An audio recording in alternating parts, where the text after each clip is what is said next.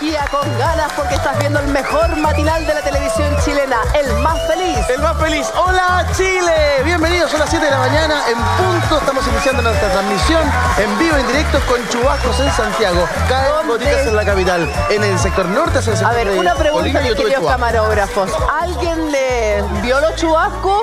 Oye. ¿Vieron los- ¿No se mojaron? Yo vi, muchachos, yo supe de varios de ustedes que entraron con la boca cerrada al canal porque si les cae agua es peligroso. Oye, pero yo vi el pavimento mojado, no así inundado, ni pozas de agua, ni nada, pero, no sé si era lluvia o... No, chubasco. o- Oh, sé, o ¿qué? Oh, o ¿qué? neblina. Chubasco, Ya.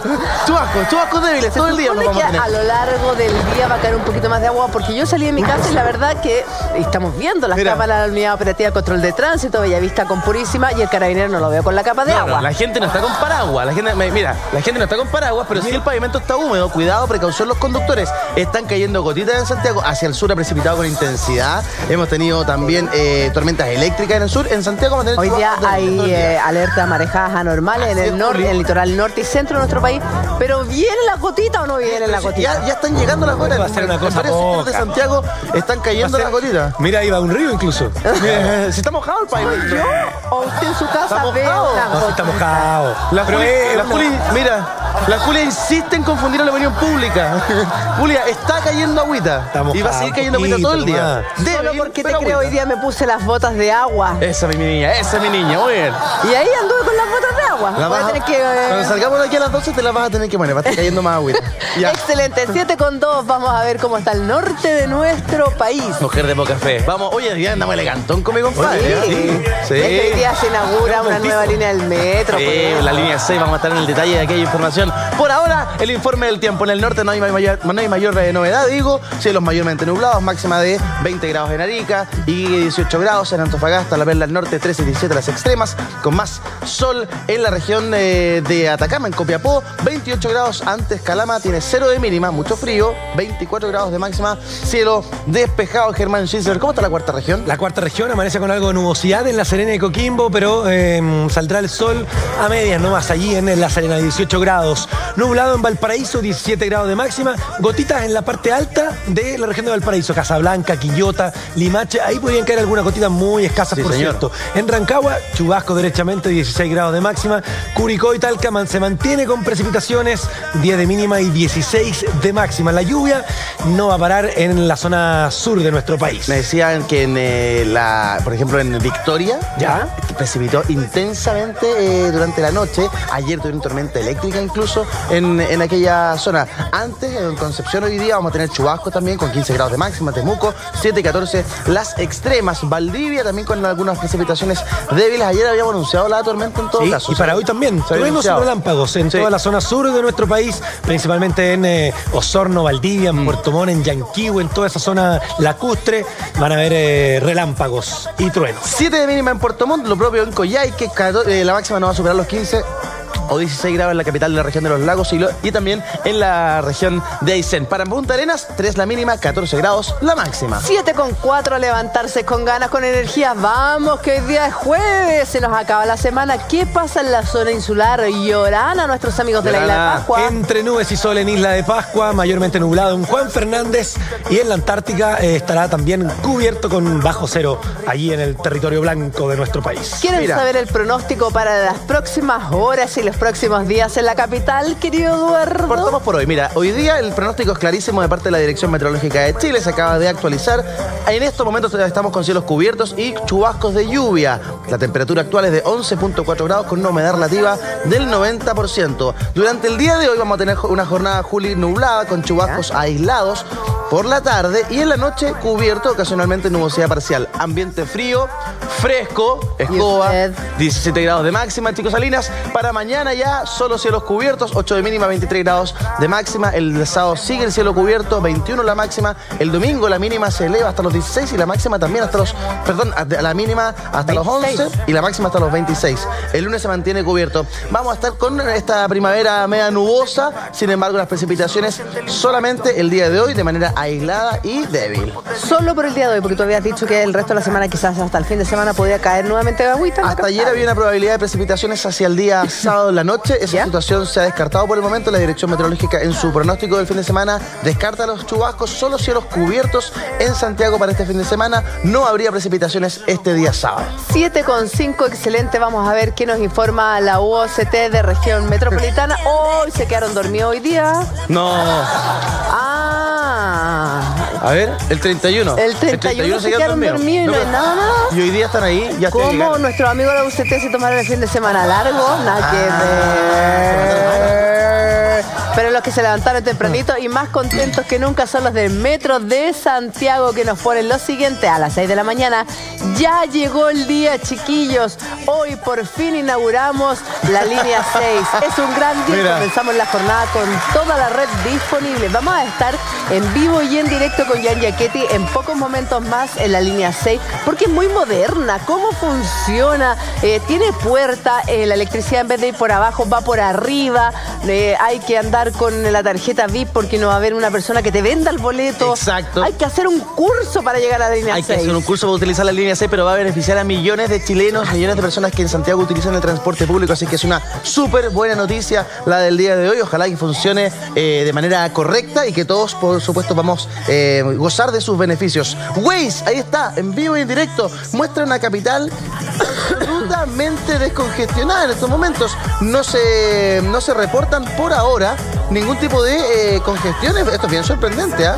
Eh, de hecho, me, me llama poderosamente la atención que no tengamos ningún tipo de trastorno, sobre todo con eh, precipitaciones. Mira, vamos a hacer lo siguiente. Voy a cerrar Waze, lo vamos a, lo vamos a reactualizar y de ahí, lo, de ahí lo mostramos de nuevo. Claro, porque mostrar Waze de las 4 de la mañana no sirve esta hora igual. No, claro. No, no, no pasa nada. No pasa nada. Mientras hace eso, ¿por qué no vamos a la revisión de las portadas de los diarios con las últimas noticias que trae a una Pamela Díaz indignada? Indignada, mira, la fiera se enfureció con vecinos carreteros. ¿Cómo? Pamela Díaz terminó en la comisaría ¿Qué? tras una pelea en fiesta de Halloween que duró hasta las seis y media de la mañana y la historia rápidamente es así. Pamela Díaz vive en un condominio en Chicureo. En este condominio, una de sus vecinas hizo una fiesta en la, en la noche de Halloween. Pamela Díaz estaba muy molesta, tan molesta que a las seis y media de la mañana decidió apersonarse en la casa de la vecina. No. Aprovechó que una de las invitadas o invitados iba saliendo y el portón quedó abierto y ella entra a la casa de la ¿Se vecina. coló a las fiestas? Se, se cola la fiesta, pero parece para, para, para pagar la fiesta, iba como los bomberos. Entonces, ahí tienen una discusión con la dueña de casa. Se dice que habrían llegado incluso a los golpes, a las manos. Y eh, ambas habrían sido llevadas a la comisaría por riña y Pamela Díaz, además, por eh, ingresar a propiedad privada, a una propiedad que no, que no era la, la suya. Así es que eh, yo, yo solidarizo con Pamela Díaz porque cuando tú tienes que, por ejemplo, no sé si trabajaba ayer la Pamela, pero cuando tú trabajas y tenés fiesta al lado y no, no te, tú pides por favor que paguen la música, que la bajen y no te dejan dormir, es una situación eh, desesperada. Más cuando tenía una guagua chica que se despierte y llora y llora y llora. O sea, está bien celebrar, hacer fiestas de Halloween, pero cuando eh, tu vecino ya te está pidiendo por favor a las cinco y media, seis de la mañana que eh, bajen la música, uno también tiene que respetar a, a quienes viven a tu- al lado, ¿no? La fiera fue a pedir explicaciones a las seis y media de la mañana. Ya, eso, eso se pasó de rosca a la po. A las seis y media. Quizás se llama la pega. Puede ser. Y dijo, antes de irme a la pega, le voy a decir un par de cosas a la A la vecina. Pero y por eso a- aprovechó, pero se entró sin metió. permiso. Sí, Eh, olvídate. complicado. Además, vamos a tener un informe hoy día sobre la situación de Pamela Díaz. El- las últimas noticias dicen Metro, análisis de las estaciones de la, de la nueva línea 6 que se inaugura hoy día, donde nosotros vamos a tener allá en Yaquete y va a estar la presidenta, vamos a estar, por supuesto, en el detalle de esa información que es relevante. ¿Cuál es la mejor hora para comprar en Cyber Monday? Se viene un Cyber Monday y muchos colapsan la- el sistema a ciertas horas. Hoy día la última noticia te explica a qué hora es. Entiendo que a las 4 de la mañana. Nosotros vamos a poder comprar porque estamos ya funcionando a esa hora. El, Cyber, el Cyber Monday, ¿no? Sí, Sí. la mejor hora donde tú eh, corres rápido, puedes comprar sin que se caiga el sistema. 4 de la mañana es la hora. Vamos al diario La Cuarta, que La cuarta viene con lo mismo que las últimas noticias. La fiera sacó toda su ira en el carrete, ¿no? Pamela se fue presa por eh, agarrarse con vecina bulliciosa. Y hay una historia muy emotiva. La emotiva historia de las tres Marías. Son tres monjitas, cada una de ellas se llama María, pertenecen eh, a la, mm, congregación sacramentina de Don Orione. ¿Ya? Y eh, la historia recoge, la, la cuarta recoge esta historia. Les gusta el Facebook, les gusta la pintura, también escuchar los partidos de Colo Colo. Ah, mira, bien las Tres Marías. Curiosa historia de estas tres monjitas que tienen el mismo nombre, son los titulares destacados de eh, la cuarta y está justamente y aparecen con el Papa. Eh, las monjitas dicen eh, son del eh, Arzobispado de Santiago, agrupación que tiene entre sus miembros, miembros a estas tres monjitas y además de llamarse las tres Marías, las tres son no videntes.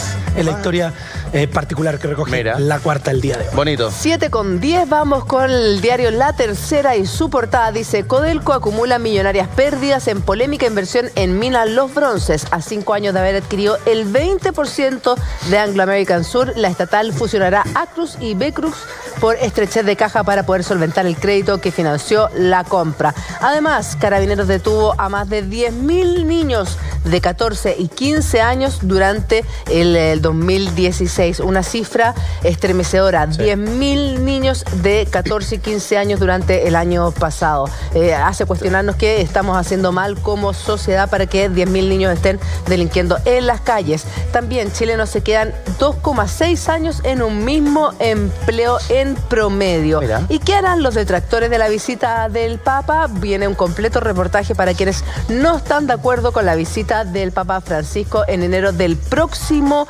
año. Seguimos avanzando y vamos a revisar la portada de El Mercurio. Línea 6 del metro debuta con la promesa de reducir en 60% el tiempo de viaje de Cerrillos a Providencia. Sería inaugurada esta tarde por la presidenta de la República, esta mañana más bien, y eh, ya en horas de la tarde eh, abrirá a todo público.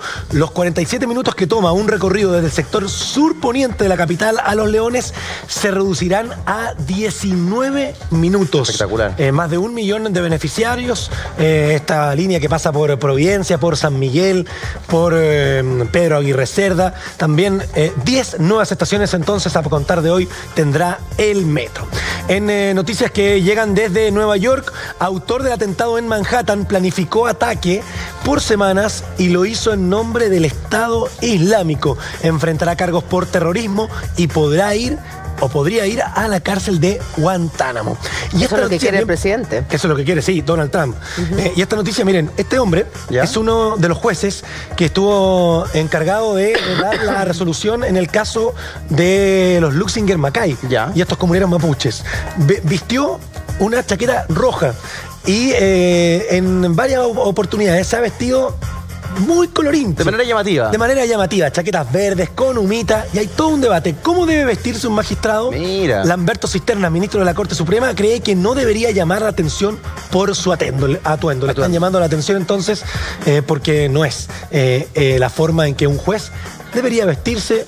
Claro, Hay debate. eso, eso no la forma, de- eh. debate de moda, ¿no? Ya es como. Claro. Sí, sí, Debate ya. fashion en, en- en la Corte Y Suprema, además, en los tribunales. don- don- es muy chileno, yo creo, eso, de, cómo nos vemos, cómo te ven, te tratan. Exacto. Eh, deberíamos fijarnos más en el desempeño del, del Claro. juez que, en su ropa. ¿Qué nos importa cómo se vista? Están preocupados de las apariencias nosotros. ¿eh? Mira, ahí está. Mira, esas son los- los- los difer- las diferentes prendas que es llamativo, es llamativo. sí. Creo que la ropa tiene que ver con la dignidad del cargo. Soy partidario de la toga. Es irrelevante si la chaqueta es roja o no, pero estimo que los jueces deben guardar una formalidad. Sí, pero esa eh, formalidad no tiene que ver con el color, tiene que ver con que él no vaya con hawaiana Con o no vaya con choro, una polera. Esa es- eso es la formalidad. Él va incluso hasta con un humita, siempre con corbata. Y si a alguien le molesta el color, bueno, que se haga ver, pero no, no- no le va a dar menos Yo lo- yo lo seriedad. veo de lo más formal. Sí, yo también. De lo más O formal. sea, si hablamos de formalidad, está Exactamente. formal. Exacto, está con corbata, está Claro. con humita, está con chaqueta. Yo encuentro que está la moda. Está la Está moda. la moda. 7 con 14 y lo que también lamentablemente está eh, de moda es que los menores estén delinquiendo. Y la verdad es que esta información que trae el diario La Tercera es sobrecogedora. Carabineros arrestó a más de 10.000 niños de 14 y 15 años durante el 2016. Según las cifras de la policía uniformada, en total fueron detenidos 35.612 menores de edad en ese periodo. De estos, 13.797 eran adolescentes de 17 años. Es increíble. Esta semana, señala el periodista Víctor Rivera de La Tercera, al menos 10 menores fueron detenidos por carabineros por su participación en distintos delitos eh, ocurridos en nuestro país. Incluso en el robo al ex fiscal, ocurrió el 22 de octubre, eh, al fiscal José Antonio Villalobos, al ex fiscal José Antonio Villalobos, donde participaron dos jóvenes de 16 y 17 años. Este es un tema que preocupa a las autoridades comunales, a las policías y al gobierno. Y es que eh, para ello se han, se han instalado distintas mesas de trabajo en el Ejecutivo para enfrentar la delincuencia juvenil, la que durante el año pasado dejó un saldo de 35.612 niños eh, y niñas también y adolescentes arrestados por la policía uniformada. Es que de esos 3.373 tenían 14 años, Mira. o sea, 3.373 niños de 14 años estaban delinquiendo y 7.041 tenían 15 años, lo que suba 10.414 menores infractores. Además, 13.797 tenían 17 años y a través de la ley de transparencia, eh, el diario La Tercera solicitó la institución la cantidad de detenidos desde el 2012 al 2016 y detallando además sus edades y tipo de ilícito. En los últimos cuatro años la tendencia ha ido a la baja. Gracias a Dios, en el 2012, por ejemplo, fueron eh, casi 10.000 más que el año pasado. Pero hay múltiples factores y esa foto es bien desgarradora si Sí. uno se detiene a mirarla. Es un niño, es Sí. un cabro de cuánto tendrá, 11, 12. Ah, Es, es terrible, uno piensa en sus propios Mm. hijos, en las oportunidades que uno le da a sus hijos de educarse, de prepararse, de enfrentar la vida con herramientas y ve este mismo niño que también podría ser nuestro hijo. Eh, Es que además ve a este niño que probablemente sus padres o están en la cárcel o están en un círculo Claro. en donde no le pueden dar la contención necesaria para que no caiga en el delito. ¿Y qué? Va al Sename. ¿Y qué pasa con el Sename?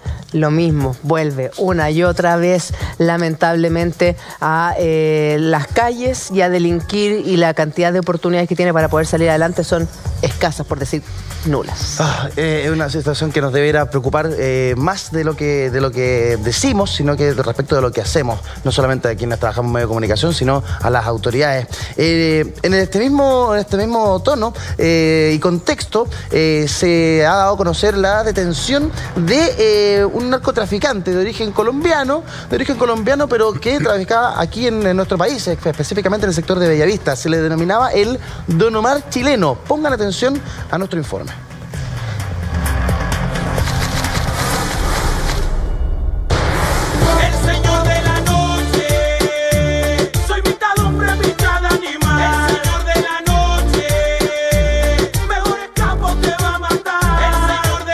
Omar fue capturado, apodado también como el Señor de la Noche. Pero no es precisamente este personaje que está viendo en pantalla, sino que se trata de un peligroso narcotraficante colombiano que operaba en nuestro país.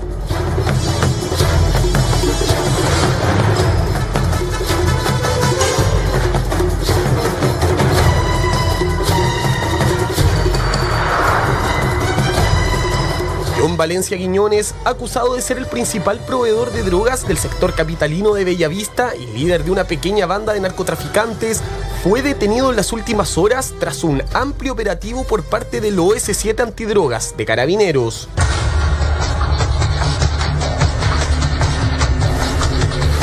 Tras cinco meses de investigación, el personal logra eh, detener a una organización criminal que se dedicaba a abastecer a los microtraficantes de- del sector del barrio Bellavista, ¿cierto? Eh, logrando además incautar eh, un kilo de clorhidrato de cocaína, un arma de fuego y deteniendo a cuatro personas que eh, hacían las veces de el anillo de seguridad, ¿cierto?, del traficante para evitar cualquier tipo de delito que se le pudiese producir o algún enfrentamiento con otra organización criminal o con los mismos agentes encubiertos que operaban en el sector. Tras el operativo se lograron incautar diversas cosas que a continuación te detallamos.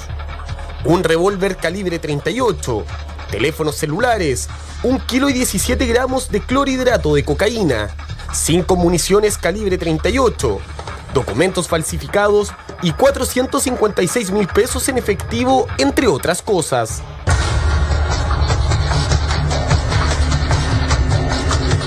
Destacar que al momento de la detención en su domicilio, el apodado Don Omar se encontraba armado con un revólver. Un peligroso hombre que comandaba una banda que realizaba minuciosas transacciones de drogas, entre otros modus operandis. Esta organización lo que hacía era internar al país, siempre asociada a bajas cantidades, no estamos hablando de más de uno o dos kilos que ingresaban, ¿cierto? Principalmente a través de encomiendas, las cuales llegaban a la región metropolitana, eran retirados por estos y lógicamente posterior a ello eran distribuidos a los microtraficantes precisamente del sector del barrio Villavista donde se comercializaba la droga. Los detenidos serán pasados a control de detención y entregados a la justicia para someterse a su debido proceso penal.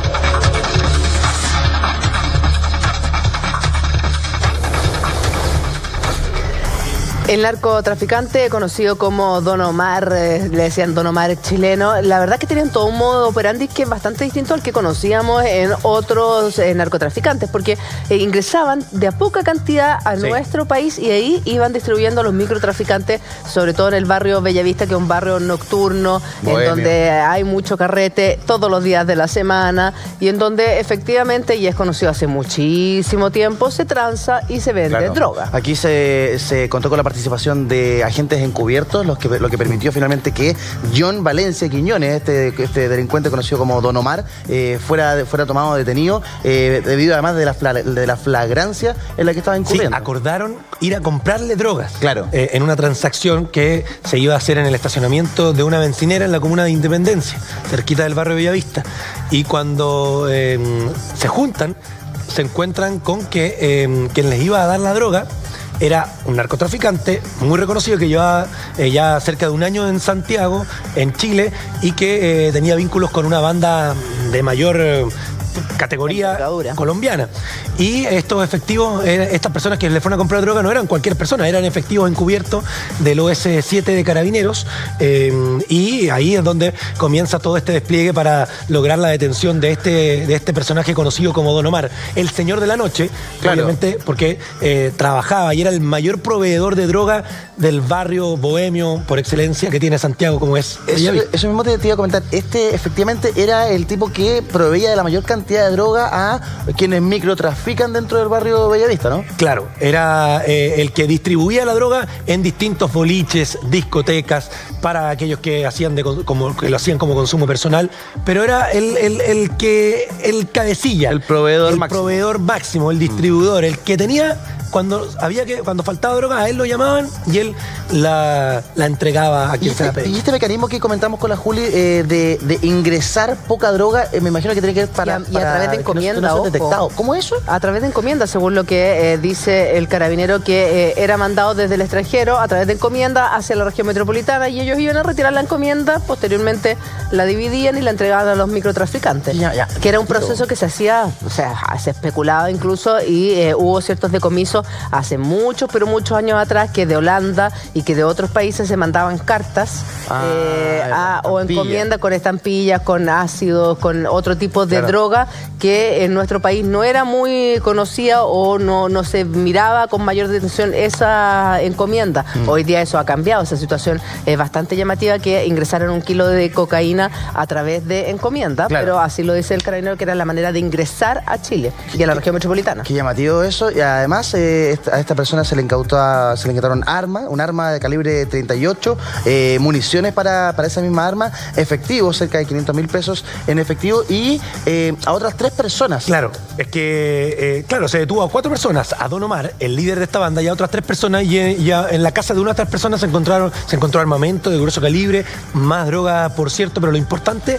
es que aquí se sacó del mercado a- al líder, ¿no? A quien, a quien Claro. hacía trabajar a estas otras tres personas y a quien en definitiva era, era el propietario de la, de la droga y, y abastecía a todo un sector. Ahora, no se detiene en cualquier momento a Don Omar, ¿ah? porque según Carabineros, eh, Don Omar eh, es detenido y por eso mismo estaba con un arma en su cinto preparado para disparar eh, en el momento en cual se estaba preparando con sus otros eh, seguidores de la banda para perpetrar una mexicana. Se estaban preparando para ir a hacer otra cosa, claro. No claro, solamente ellos iban a hacer una mexicana, iban a sacar sacar eh, la droga a otra banda, iban a quitarle la droga a otra banda de narcotraficantes y ahí cuando eh, finalmente es detenido por eh, carabineros. Esperamos que el barrio Bellavista desde hoy esté un poco más tranquilo. Lo mismo lo que sucede en Valparaíso. Ha aumentado la delincuencia, hay vecinos que se oponen a los carnavales como los mil tambores porque rayan sus casas, dejan todo sucio. Pero hay un vecino que dijo, ¿sabéis qué más? Ya que no van a parar este tipo de manifestaciones y de eventos en Valparaíso, yo voy a inventar mi propio método para ahuyentar a los delincuentes y a quienes quieran hacer destrozos en la entrada de mi casa. Y lo hizo. Hizo un método que combate la delincuencia con agua. Los invito a ver la siguiente nota.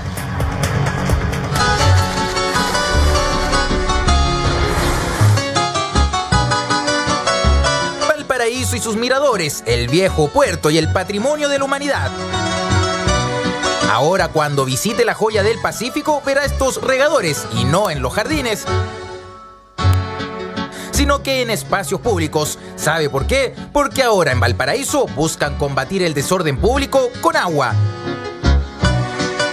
Si es sorprendido rayando sus paredes, lo mojarán. Si es visto orinando en la calle, no lo dude, lo mojarán de pies a cabeza. Una creativa pero desesperada medida hecha por sus habitantes para evitar la destrucción del patrimonio de la ciudad. De hecho, ha tenido resultados muy efectivos en el tradicional ascensor Reina Victoria. Hoy luce completamente rayado. Generalmente durante las noches en este lugar grupos de personas se reúnen en este espacio público. El problema es que no se comportan como deben. El resultado por años lo tiene a simple vista.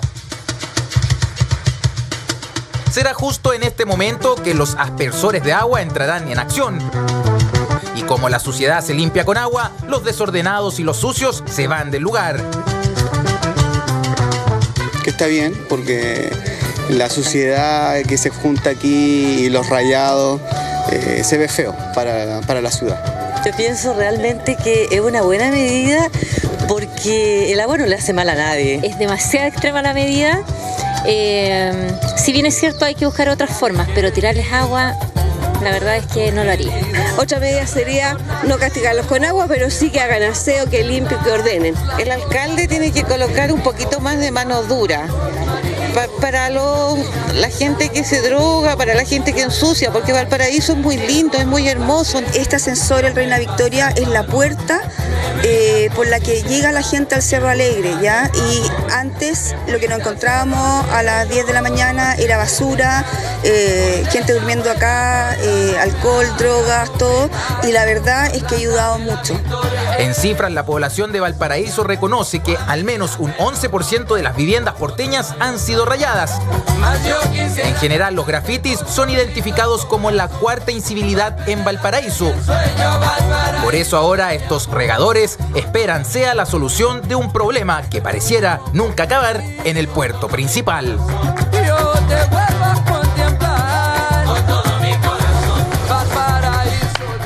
Mira, crea- creativo este vecino porteño, una iniciativa además que ha comenzado a ser replicada por, otra, por otras instancias y yo lo había visto esto en una película ochentera gringa en tono de broma. Como decían, tenemos un nuevo mecanismo para los, eh, los que hacen rayados, graffiti. Y era un aspersor que tiraba, que tiraba pintura que tiraba agua. Hoy en Valparaíso se está, se está utilizando y con, con cierto éxito. Alonso Rossi, experto en eh, seguridad, está con nosotros. Alonso, eh, ¿efectiva la medida? ¿Es buena? ¿Es para imitar? Excelente. Bueno, primero buenos días. Me parece de que son ideas que van saliendo dentro del grupo de la comunidad y que son extraordinarias porque no son tremendamente invasivas y creo que neutraliza este accionar de este tipo de personas que alteran eh, el orden público, que causan daño y que indudablemente como tienen todo el tiempo del mundo eh, nos afecta la convivencia diaria. El, el agua o cualquier otro producto que no sea tan invasivo es bueno en la medida que neutralice este tipo de, de hechos. Pregunta, eh, si, un, si una persona está haciendo un rayado o está haciendo sus necesidades en, eh, En la puerta de mi casa, En la puerta de mi casa, en la puerta de mi casa. Y yo le tiro agua. Ese tipo no puede tomar acciones contra mí. Es decir, oye, eh, yo me resbalé, me caí de un accidente, oye, ¿por qué esta persona me está mojando? Porque a veces, muchas veces pasa que eh, el, el victimario pasa a ser víctima en un segundo. Así es. Bueno, aquí se trata de faltas. Ahora, lo que tú dices, si yo le tiro agua, depende si le tira agua caliente y lo deja al hombre todo quemado. Ah, claro. Es lógico que va a reclamar porque estamos causando daño. Pero el agua en sí, sin ningún elemento o aditivos, no va a causar daño. Pero este rociador tiene cinco puntas, según entiendo. eh, lo hizo. Oscar Aspersores, lo hizo Oscar Pérez y ha sido replicado por otros vecinos de Valparaíso como una buena manera. Tiene 10 metros de largo por 2,50 de ancho y él lo acciona cuando ve que le vienen a rayar sus paredes o cuando ve que alguien le viene a hacer su necesidad y lo prende y ¡pum! y moja nomás. O sea, yo encuentro que es una buena manera porque probablemente don Oscar ah, salió muchas veces a decirle, oye, eh, no, No no tu necesidad en la puerta de mi casa, oye, no me rayí la... Llega un minuto en que ya uno dice, ¿por qué tengo que desgastarme si esta gente no entiende? Claro. Y encontró un mecanismo que es legítimo y que no se le puede acusar de que está ocasionando ningún daño a los transeúntes ni nada. Correcto, daño o lesiones, que ahí sería la situación compleja cuando yo causo a, a través de estos productos eh, lesiones a las personas. A- Además que para un delincuente o para alguien que comete desórdenes, no hay nada peor que lo ridiculicen. Eh, Entonces, claro. al momento de estar cometiendo la falta o el delito, que se vea expuesto a una situación en el que va a ser objeto de burla de todas las personas que lo vean, eh, esa persona no va a querer volver más, porque, porque es como que dañan su orgullo. Claro, como es la con mofa, algo tan, la mofa la sudar. mofa, con algo tan simple, tan básico, me voy trasquilado, me voy Mojado. eh, y así hemos conocido varias historias. No sé, el delincuente que, que- que quiso meterse por una chimenea y quedó atrapado también. Los in- y, y queda en su círculo, además, como un torpe.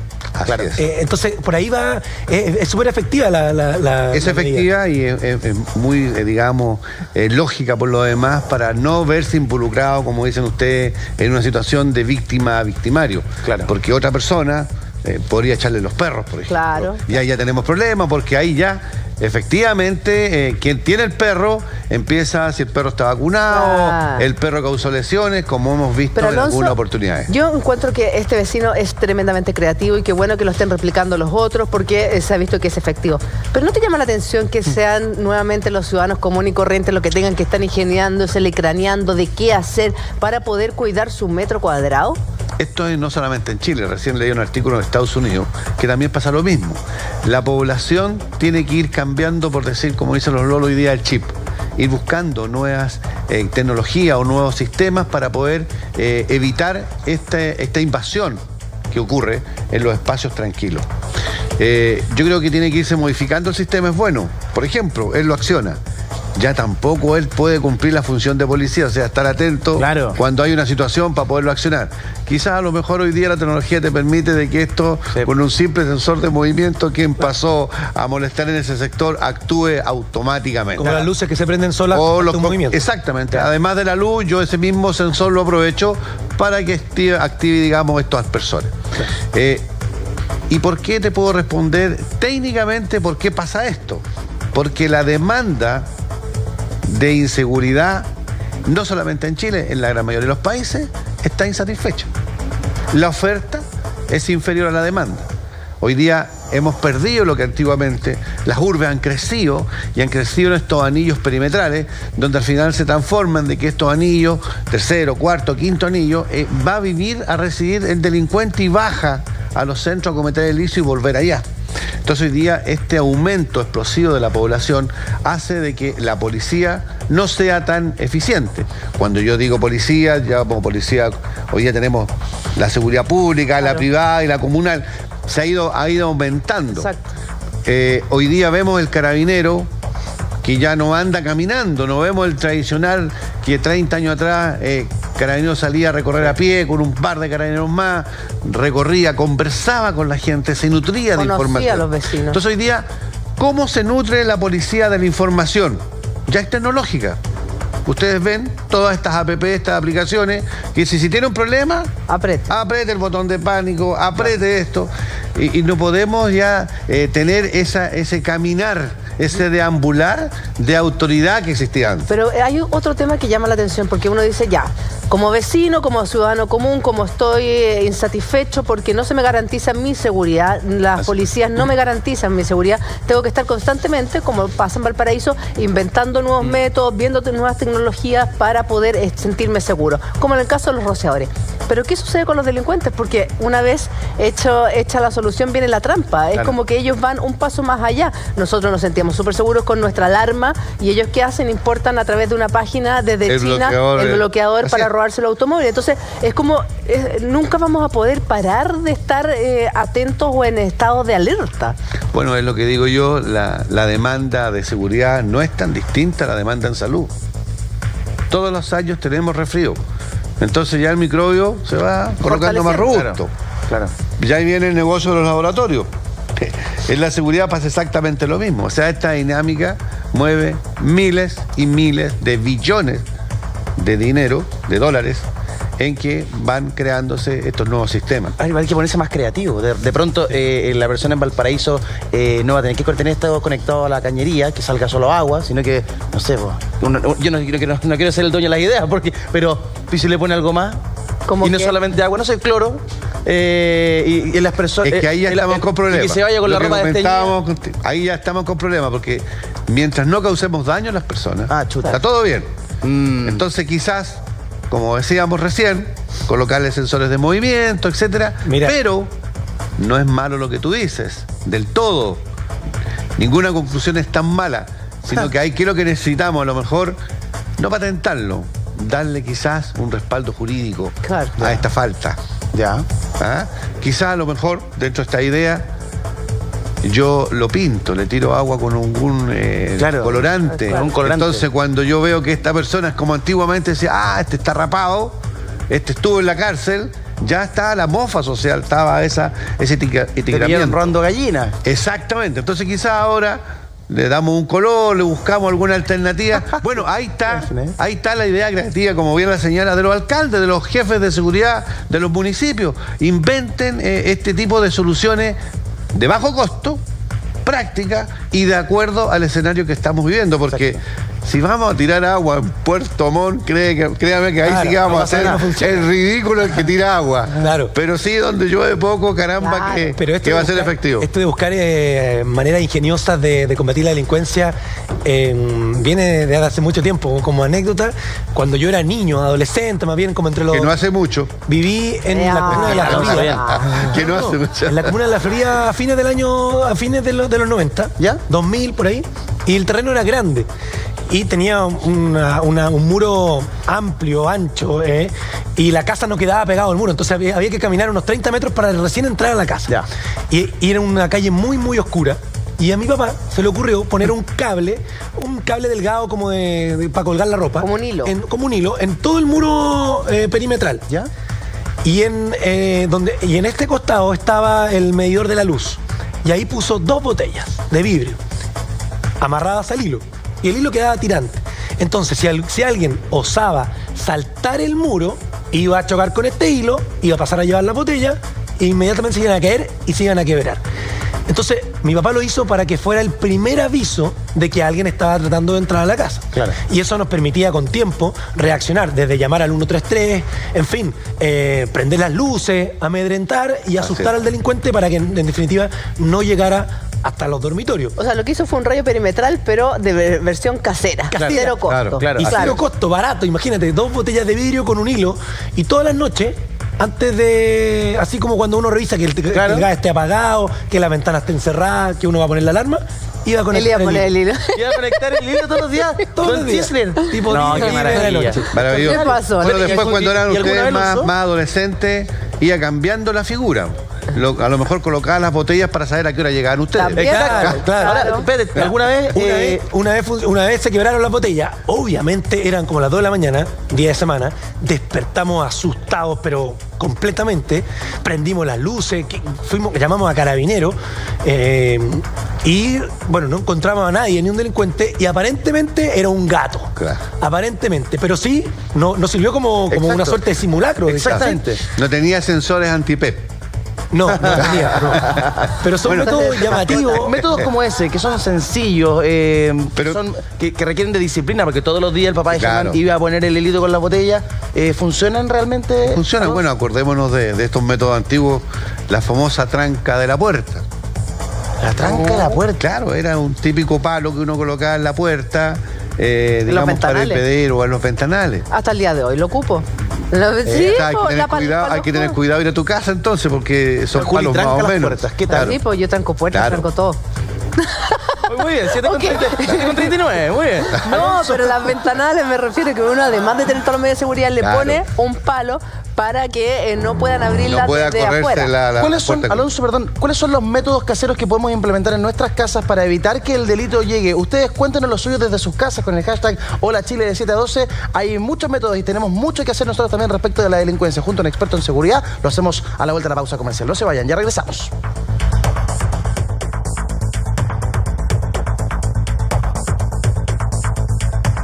Estamos viendo eh, Santa María con Recoleta. Hay mucho tránsito, hay mucho taco, así que a salir con calma. Mejor no salga, quédese viendo la Chile y así no tiene que enfrentar estos tacos en la capital. ¿Qué dice la UOCT?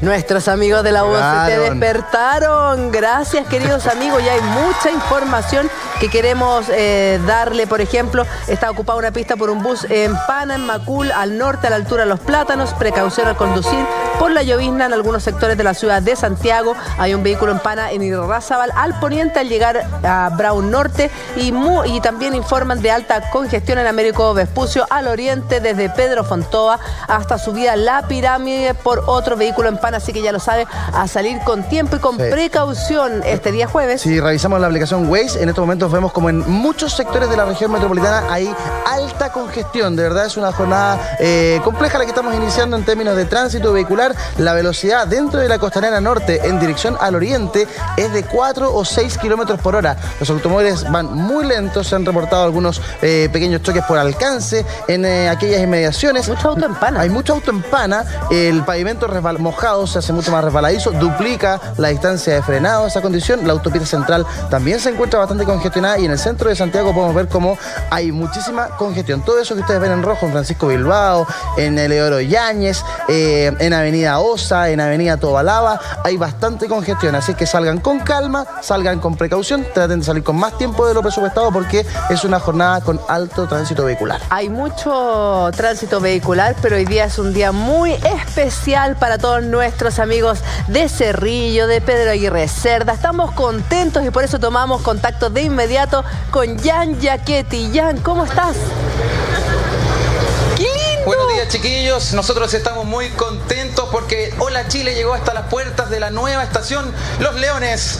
Por favor, empecemos Bien, a mostrar inmediatamente Patito Mesa que por fin ha llegado el día en donde la primera vez que se habló de la línea 6 fue el, 20 el año 2009 Claro. y también el año 2015 ya se eh, abren estos 15 kilómetros que van a conectar a 10 o 7 comunas y 10 estaciones que van a estar repartidas entre ellos. Nosotros vamos a entrar inmediatamente a ver cómo se encuentra, pero antes vamos a hablar con el gerente general de Metro. Muy buenos días, don Rubén Alvarado. Yo creo que ahora el desafío va a ser dentro de las próximas horas, donde incluso la presidenta va a presentar este nuevo servicio de Metro. Así es. Muy buenos días. Buen día. Efectivamente, nosotros estamos. Muy buenos días. Estamos muy entusiasmados, muy contentos. Es un muy, gre- un muy buen día para, para la ciudadanía, para Metro. Eh, a partir de las 9 la presidenta nos visita acá en, eh, en la estación Los Leones y, de- y iniciamos un viaje inaugural en que llegamos hasta Cerrillos y ahí vamos a hacer una ceremonia ya de inauguración y partir con la operación ya de la línea 6 esta línea con- que tiene tanta tecnología y tantas prestaciones para nuestros clientes Rubén. eh, a partir ya de las 4 de la tarde Sí, ahí se corta O sea, la, a- la cinta en Cerrillos con la presidenta. así es A partir de las 4 de la tarde ya Juli, se sí, puede empezar a utilizar entonces esta nueva línea 6. Así es a partir de las 4 de la tarde ya estamos dispuestos a recibir a nuestros pasajeros Oiga, va a ser ¿qué- más qué- de un millón de personas que van a estar beneficiados. Efectivamente, aquí se incorporan dos nuevas comunas. Se, comuna, se incorpora Cerrillo, se incorpora Pedro Aguirre Cerda y se incorpora varios sectores que hoy día no tenían el servicio de metro y que eso significa aproximadamente un millón cien mil personas que, que tienen a partir de hoy empiezan a tener acceso Rubén. a nuestra red. Y además es una. eh, quieren hablar. eh, Rubén, además es una línea y, las 10 nuevas estaciones son bien modernas. ¿Nos puedes contar detalles de cómo van a funcionar? ¿Tienen puertas los carros? ¿La electricidad va por arriba? A ver, eh, la tecnología que tenemos en la línea 6 es la mayor, es la tecnología de punta a nivel mundial. Es sin conductor, eh, lo que se llama UTO. Eh, tenemos alimentación eléctrica por la parte superior, lo que se llama una catenaria. Tenemos puertas de andén que pe- permiten que sea una operación mucho más segura y además permite que las personas puedan eh, saber eh, con anticipación dónde va a parar el tren. Entonces eso también da, eh, agiliza el flujo de, de los pasajeros. Tenemos cámaras interiores, tenemos aire acondicionado en todos los trenes, en todos los carros. Tenemos un interfono que permite al, al pasajero en caso de una emergencia comunicarse con el centro de control. También tenemos también tenemos eh, máquina de autoservicio para cargar la tarjeta VIP. en fin, hay Mira. una serie de eh, accesibili- accesibilidad universal, por cierto. Bueno, Rubén, ¿cómo estás? Buen día. Eh, este es un día eh, feliz, me imagino, para, para la gente de Metro, para todos los usuarios del Metro, para la gente de la región metropolitana en general. Es un, es un sueño hecho realidad. Y hoy día a las 4 de la tarde, muchos chilenos, muchas personas van a acercarse a la estación 6 del Metro. ¿Qué tienen que llevar? Porque en materia tecnológica hay, varias, eh, hay varios, varios cambios, hay varios adelantos. Eh, de partida, no hay cajeros. Entonces la gente tiene que ir con su tarjeta VIP cargada o va a poder cargarla ahí. ¿Cómo va a operar aquel, aquello? Bueno, la recomendación es que venga con su tarjeta VIP cargada, es lo ideal. Eh, esta, esta línea funciona solo con la tarjeta VIP, no funciona con el boleto Edmondson como lo hemos venido anunciando con bastante anticipación. Claro. Ahora, si no tiene tarjeta VIP o no la tiene cargada, lo va a poder hacer. Las máquinas autoservicio son bastante amigables eh, y va a poder, ya sea comprar una tarjeta nueva, va a poder cargar la tarjeta con efectivo, con tarjeta de, de crédito, con tarjeta red débito.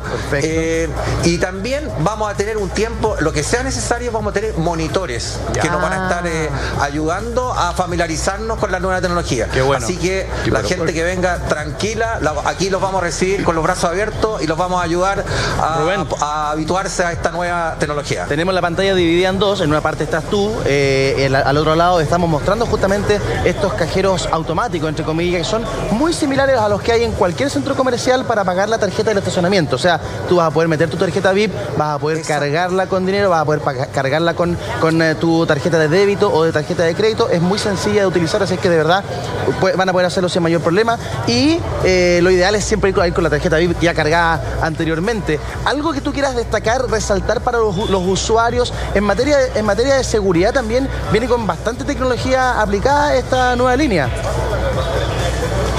Así es. Bueno, en la parte de seguridad eh, te- tenemos cámaras al interior del tren, tenemos cámaras también en todas las estaciones, tenemos muchos puntos donde uno puede comunicarse y poder eh, pedir ayuda o pedir orientación en, un- en una situación que se sienta eh, que se sienta premiado. Entonces, nosotros creemos que estamos generando una línea con los mejores estándares mundiales, segura, cómoda, en que las personas van a poder tener una muy buena experiencia de viaje. Oiga, y además tengo entendido que eh, varias de las 10 estaciones nuevas tienen estacionamiento para bicicleta. Sí, estamos, es- estamos, en ese, estamos en proceso de instalación. La idea es que las personas también se puedan acercar en las bicicletas y dejarlas también de manera, de manera segura, porque nosotros somos conscientes que el uso de la bicicleta es algo que va creciendo de manera muy importante en nuestra ciudad y, y la intermodalidad eh, incluye también no solamente la conexión con los buses, sino que también con otros medios como es, como usted menciona, la bicicleta. Me llama la atención, eh, Rubén, el tema de que mm, los rieles no, no tienen electricidad. Coméntenos un poquito cómo va a ser, por ejemplo, en el caso de que eh, haya una emergencia y haya que evacuar el tren, uno va a poder salir caminando por, eh, por la Por misma línea, por la misma vía del tren. Así es. Eh, hoy día esta nueva línea tiene alimentación por catenaria, es decir, por la parte superior. O sea, tiene como un pantógrafo que toma la energía desde, una, desde la parte superior. Por lo tanto, en el evento que hubiese que evacuar un tren, se va a abrir, se abre como un tobogán, se abre como una rampa en la parte delantera o trasera del, de- de- de- del, del tren y uno pasa y camina con toda tranquilidad sin ninguna posibilidad de estar expuesto a contacto con la energía. Oiga, y usted como, como gerente general, les voy a hacer una consulta porque eh, hemos estado, hablando- se ha hablado mucho el, el último tiempo de nuevas líneas de metro, de posibles anuncios. Hoy día va la presidenta a inaugurar. ¿Habrá algún anuncio el día de hoy? ¿Por qué se lo pregunto también? Porque esta línea es la más corta después de la 4A. Eh, y se habla ya, antes de inaugurarse, de extender esta línea 6 hasta la plaza de Maipú, hasta la portada de Vitacura. ¿Qué hay de cierto de eso? ¿Habrá novedades el día de hoy? Bueno, nosotros estamos concentrados haciendo, eh, ejecutando los proyectos. Hay múltiples proyectos. De hecho, también estamos construyendo la línea 3. Claro. Y que estamos, que tiene la misma tecnología de esta y que estamos eh, ya dispuestos a inaugurarla en el segundo semestre eh, hacia fines del próximo año. También ta- eh, tenemos, tenemos ya anunciada la extensión de la línea 2, que, que va- que- que desde la cisterna va a llegar hasta, por el, hasta el sector del Hospital del Pino. La misma línea 3 también se va a extender hasta la plaza de Quilicura, desde los Libertadores hasta Quilicura. Hemos también tenemos la, anunciada la línea 7, que va desde Renca hasta Vitacura. Por lo tanto, tenemos mucho trabajo con lo ya anunciado. Estamos, estamos bien entusiasmados, estamos bien entusiasmados y por cierto, el metro es muy importante para la ciudad y en materia, eh, y en materia de discusión y enhorabuena que así sea. Y sin duda, Rubén, va a mejorar la calidad de vida de todas las personas que habitan en la región metropolitana. Rubén, te puedo pedir dos favores. Uno, si nos pueden mostrar un poquitito el acceso de esta estación Los Leones, un adelanto. Sabemos que en un rato más vamos a estar mostrando todo cuando eh, llegue la presidenta, pero un adelanto para ver cómo quedaron, porque Rubén. hay un trabajo arquitectónico también. Y lo otro, preguntarte, esto que el tren vaya sin chofer, no es que yo sea desconfiada, pero es que no, yo y la tecnología no nos llevamos. ¿Es 100% seguro?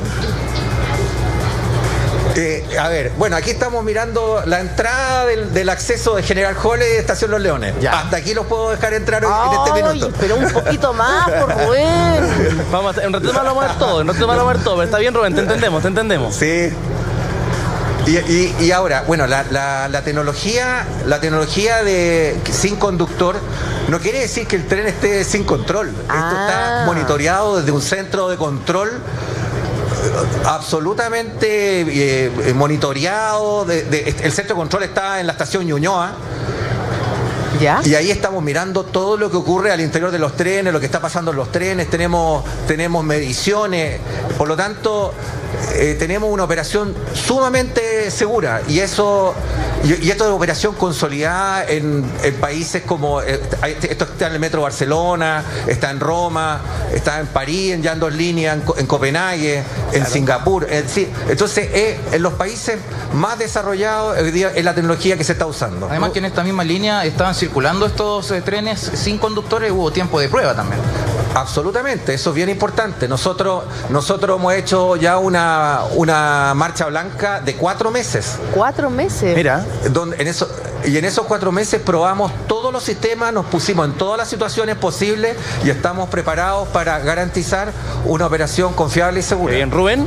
Rubén, antes, antes, antes de, de despedirnos, nos queda mucho para, para conversar toda esta mañana, pero eh, esta, esta línea 6 pasa por estaciones como Franklin, como Lo Valledor, que son zonas de alto comercio, ¿cierto?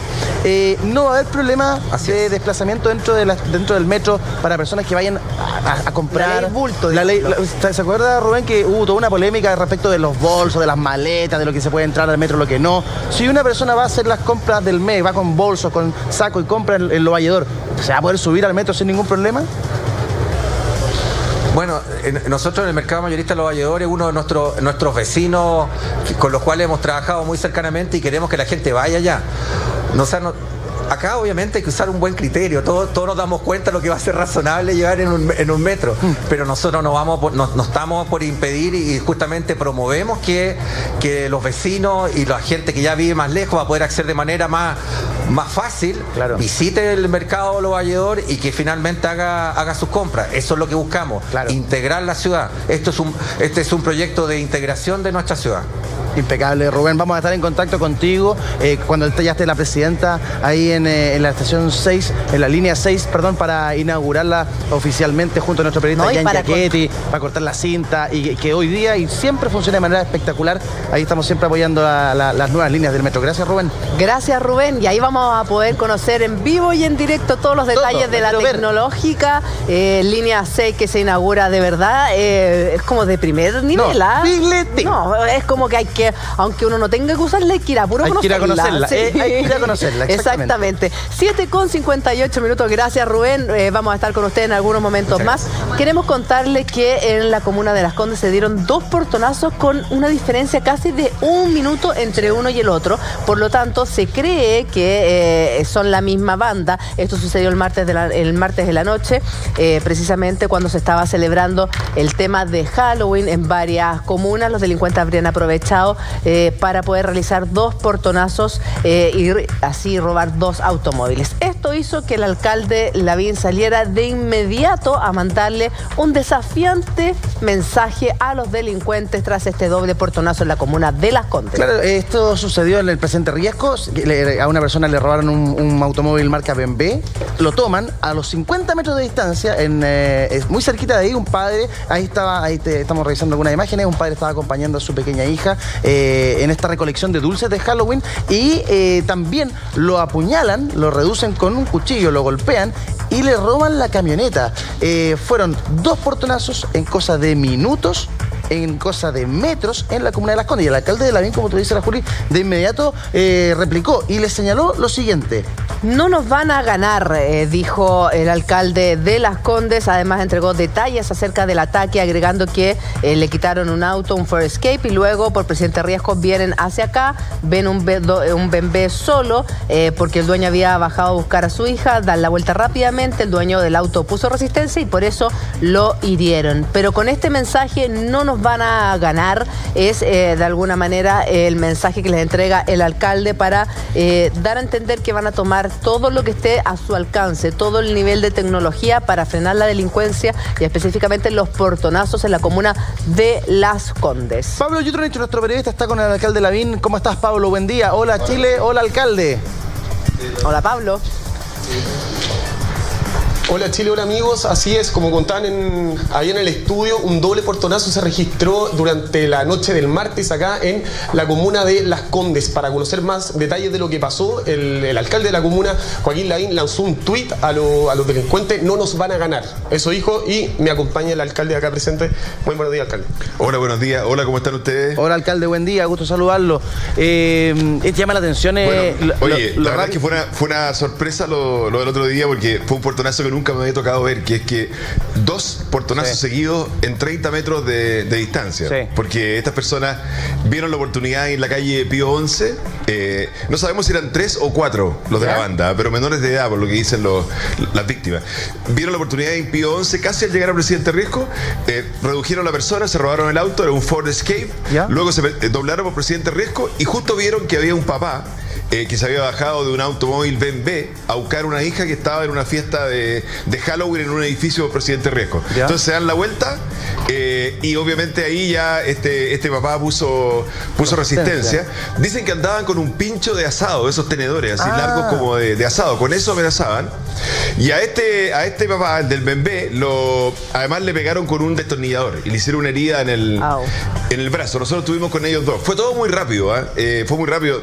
Diré- diría que hubo tres minutos de diferencia entre un portonazo y otro. Realmente increíble. Alcalde, eh, usted dice que es un hecho que no es muy común eh, en otras comunas como en Vitacura. Sí se está dando que, eh, por ejemplo, luego de un portonazo, los mismos delincuentes a través eh, utilicen este auto para empezar a robar a peatones claro. eh, que van circulando por el sector. O sea, ya no es que cometan un delito y se van para la casa, sino que hacen un verdadero tour del delito a partir del portonazo, roban el automóvil, roban a transeúntes, hacen un tour y posteriormente eh, dejan abandonado el auto. Usted puso un tuit bastante intimidante de no nos van a ganar eh, un mensaje dedicado a los delincuentes. ¿Qué cosas planean implementar ahora en su comuna para que la delincuencia no gane? Bueno, Julia, yo, yo lo dije precisamente porque sabía que al día siguiente íbamos a lanzar esta aplicación anti-portonazo, que no solo para los portonazos, para los robos de autos en general, aunque obviamente los portonazos nosotros llevamos 115 entre enero y septiembre, a lo que hay que sumarle los dos del, del otro día en, en la noche. Lo- obviamente los portonazos, no solamente el robo del auto, el robo del auto te diría yo casi que es lo de menos. Exacto. Eh, Es el trauma que significa para esa familia, Y la esa- para esas personas, especialmente cuando hay eh, la violencia, cuando hay niños chicos involucrados.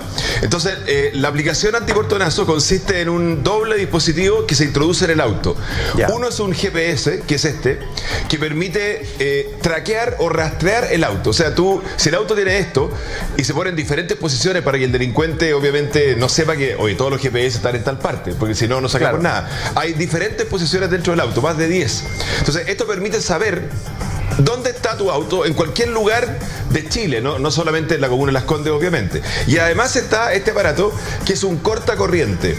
¿Qué significa esto? Esto significa que yo puedo de la central de seguridad municipal, eh, si a mí me dicen este auto está robado, bueno, yo lo puedo rastrear, ver dónde va y en ciertos momentos, que puede ser de persecución que está haciendo carabinero, o hay que hacerlo en calles de menor tránsito, Claro. cuando el auto va a una velocidad más baja, yo puedo ir viendo a qué velocidad va el auto, yo corto la corriente, o sea, paro el auto y hasta ahí nomás llegan los, los delincuentes. Ese es el objetivo de esta aplicación o botón antiportonazo. Alcalde, perdón, e- esto, para, para entender bien cómo funciona, esto, eh, esta alarma, este sistema, este GPS, se conecta directamente con el Departamento de Seguridad de la Municipalidad y de ahí ustedes con carabineros o va directamente conectado a carabineros y son ellos quienes operan todo esto.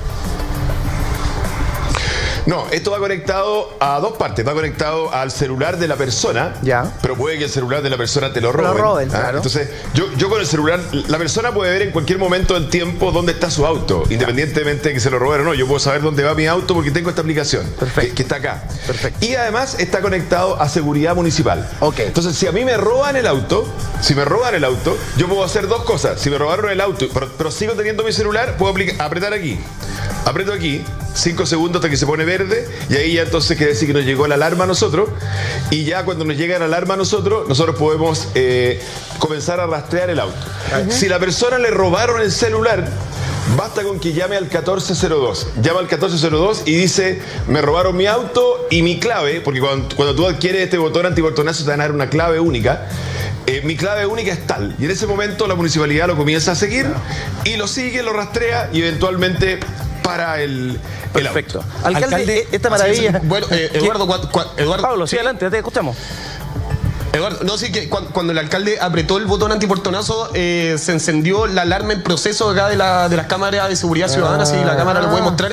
Entonces, alcalde, cuando se aprieta el botón, Exactamente. le da el aviso al tiro. Exactamente. Lo que pasa es que esto es un tema técnico, pero, pero cada auto tiene una clave única en el momento en que tú adquieres el botón antiportonazo. Perfecto. que, que hace que obviamente los movimientos del auto sean privados. Cuando tú le das la clave a la municipalidad, que puede ser apretando este botón o puede ser llamando por teléfono, la municipalidad entonces comienza a rastrear tu. ¿Y quiénes, tu quiénes van a poder acceder a esto? esta aplicación? Bueno, para poder acceder a esto, esto tiene un costo, ¿ah? Esto tiene un costo, yo lo mencioné ayer, eh, es un costo de 3.800 pesos mensuales. No hay costo de instalación, sino que son 3.800 pesos mensuales. Van a poder acceder todos los vecinos de Las Condes que tengan tarjeta vecino o que hayan eh, sacado el permiso de circulación en Las Condes. Y la municipalidad, a su vez, compró, adquirió 5.000 de estos dispositivos ¿Ya? eh, y vamos a entregarlos a precios menores a personas que han sido víctimas de portonazo, que quedaron más afectados o personas que trabajan con nosotros nuestros centros de seguridad vecinal. ¿Y a quién se le pagan esos 3.800 pesos, alcalde? ¿Quién recibe esa plata? A la empresa que ganó la licitación. Nosotros hicimos una licitación eh, en que le dijimos a la empresa a ver quién inventa primero, porque esto algo existe en el mercado, pero a precios bastante más altos, eh, para, para autos más caros. ¿Quién eh, hace, diseña este botón antiportonazo que permita rastrear el auto, que permita cortar la corriente y que lo ponga a disposición de los vecinos al menor precio? Y, Y a, ese fue el propósito, menor precio. y a propósito, alcalde, de este dispositivo corta corriente, ¿cómo funciona eso? El delincuente se roba el auto y puede quedar parado eh, en la mitad de la calle porque no le funciona el auto y ahí llegar carabinero. Cuéntenos un poquito Sí, cómo mira, funciona. Este, este es el- este es el, el cortacorriente, que este este de acá. Eh, Mira, básicamente es igual a como si, si a ti se te acabara la benzina. Es exactamente igual que si a ti se te acabara la benzina. Eso lo digo porque hay gente que piensa, oye, eh, yo freno en seco. No, no es así. Si yo corto la corriente, el auto como que anda y finalmente unos 40, 50 metros. ¿ah? Eh, se le va cortando la benzina, el paso de la benzina, y definitivamente, finalmente, 30 o 40 metros más allá, el auto para. Pero no para en seco, sino que va parando de a poco. Obviamente que cortar la corriente es un, es un tema ya mayor, por eso te digo que eso se va a hacer si, si Carabineros te dice, oye, lo vamos persiguiendo, córteme la corriente, o si vemos que está en una calle más, más pequeña, eh, no una autopista, por ejemplo, eh, y va a una velocidad más eh, reducida. Pero obviamente que ahí se corta la corriente, se para definitivamente el auto, no anda más, y ahí los delincuentes tienen que arrancar eh, a pie. Alcalde, quiero, quiero seguir revisando lo- los aspectos técnicos de este, de este botón que me parece tremendamente efectivo, podría ser muy eficiente, pero para evitar todo tipo de suspicacia y para evitar todo tipo de, de, de duda. La municipalidad no está ganando un peso al cobrar 3.800 pesos mensuales a quienes quieran adquirir este servicio, porque hay muchos que dicen, oye, la municipalidad de Las Condes se está transformando en una empresa de seguridad. Eso, eh, para descartarlo, ¿la municipalidad no gana plata con esto? No, absolutamente nada, nada, nada, cero, cero. Al revés, lo que la municipalidad hizo fue una licitación en que dijo a empresas privadas, se presentaron más de 10. ¿ah? A ver, ¿quién de ustedes es capaz de diseñar esto? GPS y corta corriente, rastrear el auto y parar el auto. eh, y lo ofrece al menor precio a los vecinos. Nosotros como municipalidad aseguramos que vamos a comprar los primeros 5 mil para nosotros, como claro. municipalidad. Al- alcalde, yo no- Así fue yo no sé ni revisar la presión de los neumáticos, así que dijo, Ok, yo lo hago sin costo de instalación y con 3.800 pesos mensual. Perfecto, muy bien, muy bien. Ahora, en, en materia técnica, si eh, me hacen un portonazo, se llevan mi auto, dentro de mi auto va mi teléfono, se llevan mi teléfono, ¿cómo me contacto con la Municipalidad de Las Condes? Y si yo no estoy en Las Condes, ¿esto funciona igual? Sí, esto funciona igual porque obviamente el, el GPS y el cortacorriente funcionan en, en cualquier parte. Si a ti te robaron el teléfono celular y por tanto tú no puedes apretar esta, esta aplicación, lo que tienes que hacer simplemente es llamar al 1402, y decir, mira, soy X persona, eh, me robaron mi auto y la clave de mi auto, esa es la clave, ah, eso es lo importante. La clave de mi auto es tal. Y acuérdate que cada vez que tú, cuando quieras el dispositivo, te van a dar una clave. Y esa clave es muy importante por lo siguiente, porque eh, si no, como este auto está conectado a la seguridad municipal, si no tuviera clave y fuera libre, la municipalidad podría saber en todo momento dónde está el auto. Claro. Aunque no te lo estén robando. Yo podría saber, ah, tú fuiste para allá, tú fuiste para acá, porque los autos van a tener este GPS. Exacto. Claro. Y se presta para otras cosas, po, alcalde. Y solamente tú le dices a la municipalidad, tú le dices a la municipalidad, mi auto me lo robaron, esta es la clave, por favor, rastree. Es que claro, como dice usted, se presta Y eso para con un llamado telefónico. Porque si yo tengo dudas del comportamiento Por de mi marido, Eh, puedo saber a pues, dónde va también con ese GPS. No va a faltar la mujer hacker. O al hombre hacker. o el hombre hacker que quiere saber dónde está la señora. No, de, de hecho tú en el celular vas a poder, el, el celular tuyo, si no te están robando el auto, tú vas a poder saber eso. Porque el auto tiene el GPS, entonces tú vas a poder saber cómo- Arma doble Parece filo. que me voy a ir a vivir a las. Condes. Arma doble Lo filo. Oiga, alcalde, pareciera ser que para los delincuentes cada vez va a ser más difícil robarse un auto en eh, su comuna, pero eso va a provocar que se vayan a las comunas que están cercanas, Vitacura, La Reina, Peñalolén, Providencia. ¿Lo han contactado? ¿Usted piensa que o cree que esto debería implementarse, eh, ojalá, en todo Santiago, en todo Chile? Mira, yo, yo creo que estas cosas, esta- estas innovaciones o estas cosas nuevas siempre parten en, en un lugar y después se, se amplía, porque obviamente que, que hay que hay que hacerlo y hay que atreverse y hay que, y hay que probarlo. Lo mismo pasó probablemente con los drones o con esas cosas. Tú ves que después ahora la PDI también tiene un dron, otras municipalidades también. Entonces, eh, es así esto. Yo creo que obviamente que al final esto va a estar en, eh, en todas partes. Y me imagino que se va a ir sofisticando en el tiempo. Porque a lo mejor los dispositivos pues, se van a ir achicando, se van a ir poniendo en, en diferentes lugares, la- el cortacorriente va a ser de otra manera. Estos, estos van evolucionando. Esto, esto es lo primero que aparece sobre este tema. Pero es, es obvio que comunas vecinas las nuestras están sufriendo tanto más portonazos que nosotros. Y yo creo que van a tener que tener algo así, igual o muy parecido de todas maneras. Alcalde, le queremos agradecer Ahora, por... una cosa, una cosa, Julia, no, no es solo para los portonazos, ¿ah? porque aquí hay do- dos grandes tipos de robo de auto. Nosotros llevamos 400 robos de auto entre enero y el 30 de septiembre, 400.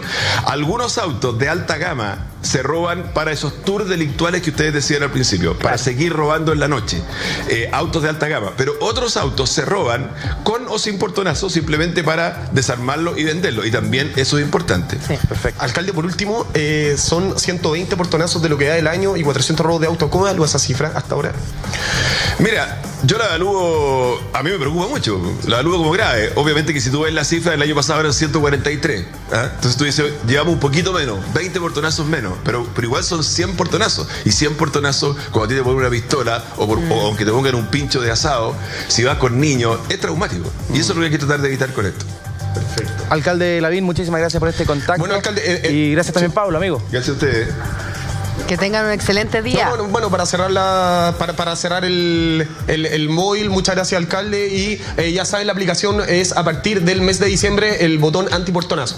Impecable, Pablo. Un abrazo grande a Pablo Yutronich y al alcalde Joaquín Lavín de Las Condes que nos presenta este Gracias. botón antiportonazo que eh, esperemos sea tremendamente efectivo para, para los vecinos. Así es. Da la autoridad para poder evitar que esto suceda, porque hoy en día cualquier lobo solitario, cualquier persona puede tomar un automóvil y generar un atentado, generar eh, el terror como ha sucedido en Nueva York eh, en estos días. ¿Se puede hacer algo para evitar que esto suceda? Es muy difícil en Estados Unidos. Ahí tienen un problema, además, jurídico. Eh, la Constitución de Estados Unidos, en la, segunda enmien- enmienda, protege el derecho de los ciudadanos a poseer y portar armas. Y, y ahí es donde está el problema. Hoy día, eh, más de 11.000 personas ya han perdido la vida en el año 2016 en estas circunstancias por el uso del arma de fuego. Lo que comentábamos también delante es relacionado de que los perfiles ya se están determinando de estas personas lobos solitarios. Veamos el, y analicemos el tema del hotel. La persona tenía una cantidad de armamento enorme. Entonces ahí son varias las situaciones. Primero tenemos un amparo legal. De hecho, eh, hay un- una agrupación de personas Sí. que defiende esta condición. Y que es tremendamente poderosa Que es tremendamente poderosa, que es la Asociación Nacional del Rifle. Claro. Que O sea, partiendo de la base, Alonso, que llama la atención cuando uno va a Estados Unidos, ver carteles en las carreteras diciendo eh, hoy no se pierda la gran venta, la gran sale de armas. Claro. Una cosa que para nosotros que no nos regimos, gracias a Dios, con otro tipo de mercado eh, de pistola y de armas, mm, cuesta entender, así como hay promociones en los diarios, Así como eh, hoy día las balas 50% menos. Claro, estamos con pero- descuento, Claro, estamos con descuento y uno dice, pero ¿cómo? Así como está Pero, ilegal. pero- bueno, pero es veamos legal. valores. Entonces, aquí donde está el tema. Tenemos de- primero un respaldo jurídico de Estados Unidos por el armamento. La cantidad de personas que tienen armamento. La cantidad de personas que están bajo el perfil del famoso denominado lobo solitario. Pero que además- son personas por guerra, que tienen problemas psicopáticos. Ya se, se- se ha demostrado que todas estas personas que cometen este tipo de, de hechos tan violentos, tan agresivos, son personas desequilibradas Alonso, mentalmente. Estamos hablando de un hombre de 29 años que trabajaba en Uber, que incluso formó una empresa de eh, conductor, de chofer, después eh, vivió en Ohio, tenía licencia Ohio, Florida, en fin. Eh, pero acá estamos hablando que incluso las armas que él tenía eran armas falsas. Mm. O sea, eran una, una de paintball y la otra de postones. O sea, ni siquiera había adquirido armas que son tremendamente baratas en Norteamérica. Poder comprar armas es barato. Eran armas falsas. Pero acá su arma principal es un automóvil. Eh, realmente Nueva York se, ve, se vuelve a ver eh, golpeado por el terrorismo y están de manos atadas. Por eso Donald Trump pide la pena de muerte, que yo creo que no es la solución para este tipo, eh, porque son vulnerables aunque creen que tienen un nivel de seguridad extremo. Bueno, pero veamos el tema de. Primero el costo del armamento. Sin, fíjese que un arma ya, que aquí cuesta mil dólares, allá cuesta 200. Claro, o sea, Lo se, que se aquí- puede comparar. Lo que aquí 130 mil- cuesta 650 claro. lucas, allá, Allá cuesta 130 mil pesos. 130 mil pesos. Y la persona la puede comprar sin mayores problemas. Después es un rifle. Acreditando la edad, ¿no? Claro, en acreditando partes, la edad. acreditando Exacto. mayor de 18 años. Mayor de 18 años. Y después un rifle cuesta 1.500 dólares. Entonces, ya tenemos un tema de valores. Segundo, conducta de las personas. Y tercero, vemos que pese que se señala, o lo dice Julia, es un país seguro, cuidado. El hotel, una persona ingresó más de 20 armamentos a una habitación. La pregunta es, En el ¿qué caso de hizo Las el hotel? Las No. Vegas Sí. para controlar ese acceso. Entonces, no estamos lejanos nosotros en Chile la misma situación que ocurre en Estados Unidos. Esto es la falta de capacitación al personal de seguridad. ¿Qué capacitación tenía el personal de seguridad de ese hotel? Como ocurre aquí también, ¿qué capacidad de instrucción y conocimientos tienen los guardias de seguridad? Es que yo en ese caso ha- haría una diferencia con el Mandalay Bay, que es este hotel A, porque él era un cliente frecuente. Y eh, los casinos generalmente tienen una lista de clientes VIP a los cuales hay una serie Hay de regalías. beneficios y regalías y no se le está constantemente revisando eh, su entrada, salida, los automóviles, en fin. Entonces me parece que en el caso de eh, este, este tirador de Las Vegas, él tenía una cierta libertad y ventaja en ventaja. comparación a cualquier otra Ahí está persona. el tema, Julia, ahí está el tema Se de la relajó la libertad. seguridad porque lo no, pero, pero te doy el ejemplo en Chile. ¿Qué pasó con el personaje del Monticello? Ah, bueno, también. Exactamente igual. Ah, porque viene siempre ya. Dejémoslo pasar, no lo registremos. Hasta antes ocurrir ese evento lamentable en el Monticello, ¿existían arcodetectores de metales? ¿Existía la dotación de personal de seguridad? Nada, nada. ¿Por qué? Ahí está. El primer detalle. El- En la confianza está el En la peligro. confianza está el peligro. Ok, pero hacemos las cosas una vez que suceden, reaccionamos. En Somos reactivos, no somos Y proactivos. probablemente en Chile también. Ya se han puesto los arcos, ya se han puesto los detectores de metales. ¿Qué más habría que hacer? ¿Qué es lo que podría venir? ¿Cuál podría ser la forma de atacar de una, persona en Chile y en Estados Unidos? ¿Y qué podríamos hacer para evitarlo? Bueno, ahí es donde está el personal especializado, ahí es donde está la capacitación y la instrucción. Hoy día en Estados Unidos tenemos universidades de la seguridad es que están día a día analizando toda la situación mundial, Security College, toda la situación mundial para ver cómo podemos ir generando instancias de ser proactivo y no reactivo. Vamos capacitando, porque todas las cosas necesitan un upgrade, ir modificando, porque todo esto es cambiante, todo esto es dinámico. Me llama la atención que, que de pronto algo sucede en estas personas que aparentemente son catalogados por el, por el, por la familia, por el barrio donde, en donde viven, por los amigos, como personas normales, por el entorno. Aparentan. Este, este ciudadano uzbeco tenía una esposa, tres hijos. eh, claro, se le, cataloga, se le cataloga como terrorista por el solo hecho de venir de un país con tendencia musulmana, cuando desarrolló una vida completamente normal en Estados Unidos. Se benefició del modelo de Estados Unidos, hasta que en algún momento dijo, chuta, o me Algo com- hizo cortocircuito. algo hizo cortocircuito y está en veremos si es que tiene relación con el Estado Islámico. Se le encontraron a esta persona, a a este ciudadano en su celular 80 videos en donde eh, había eh, instrucción y adoctrinamiento del Estado Islámico. Eso lo dijo el FBI el día de ayer. Eh, el Estado Islámico descartó, lo descartó que perteneciera a, a- a su- a sus filas. Pero eh, eso es llamativo. Algo sucede en, en- en las personas. Y, en el, y si nos vamos al caso de Las Vegas, él era norteamericano, tenía un pasado con el papá ligado a, a estar prófugo de la justicia. Y lo último que ha salido es que a um, Stephen Paddock se le va a analizar el cerebro. No te creo. Se le va a abrir. Eh, y eh, científicos de la Universidad de Stanford van a investigar si es que en su cerebro había algún indicio de alguna enfermedad mental, algún, algún problema de corte eh, psiquiátrico, por ejemplo.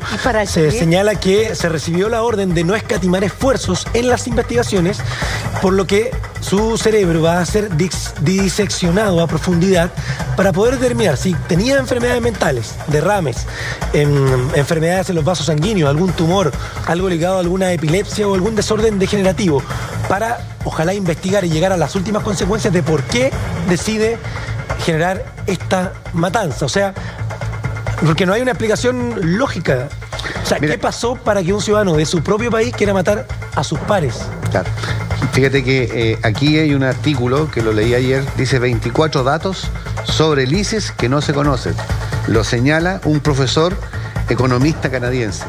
Y caramba, él es muy claro, es muy preciso en su apreciación de esta condición mirado a un punto de vista holístico. Del Estado Islámico. No. ¿De qué? De cómo se empieza a buscar personas con este tipo de desviaciones, como lobo solitario, para entregarle información, para entrenarlos y capacitarlos. O sea, no nos olvidemos del tiempo de la de la situación de las Torres Gemelas.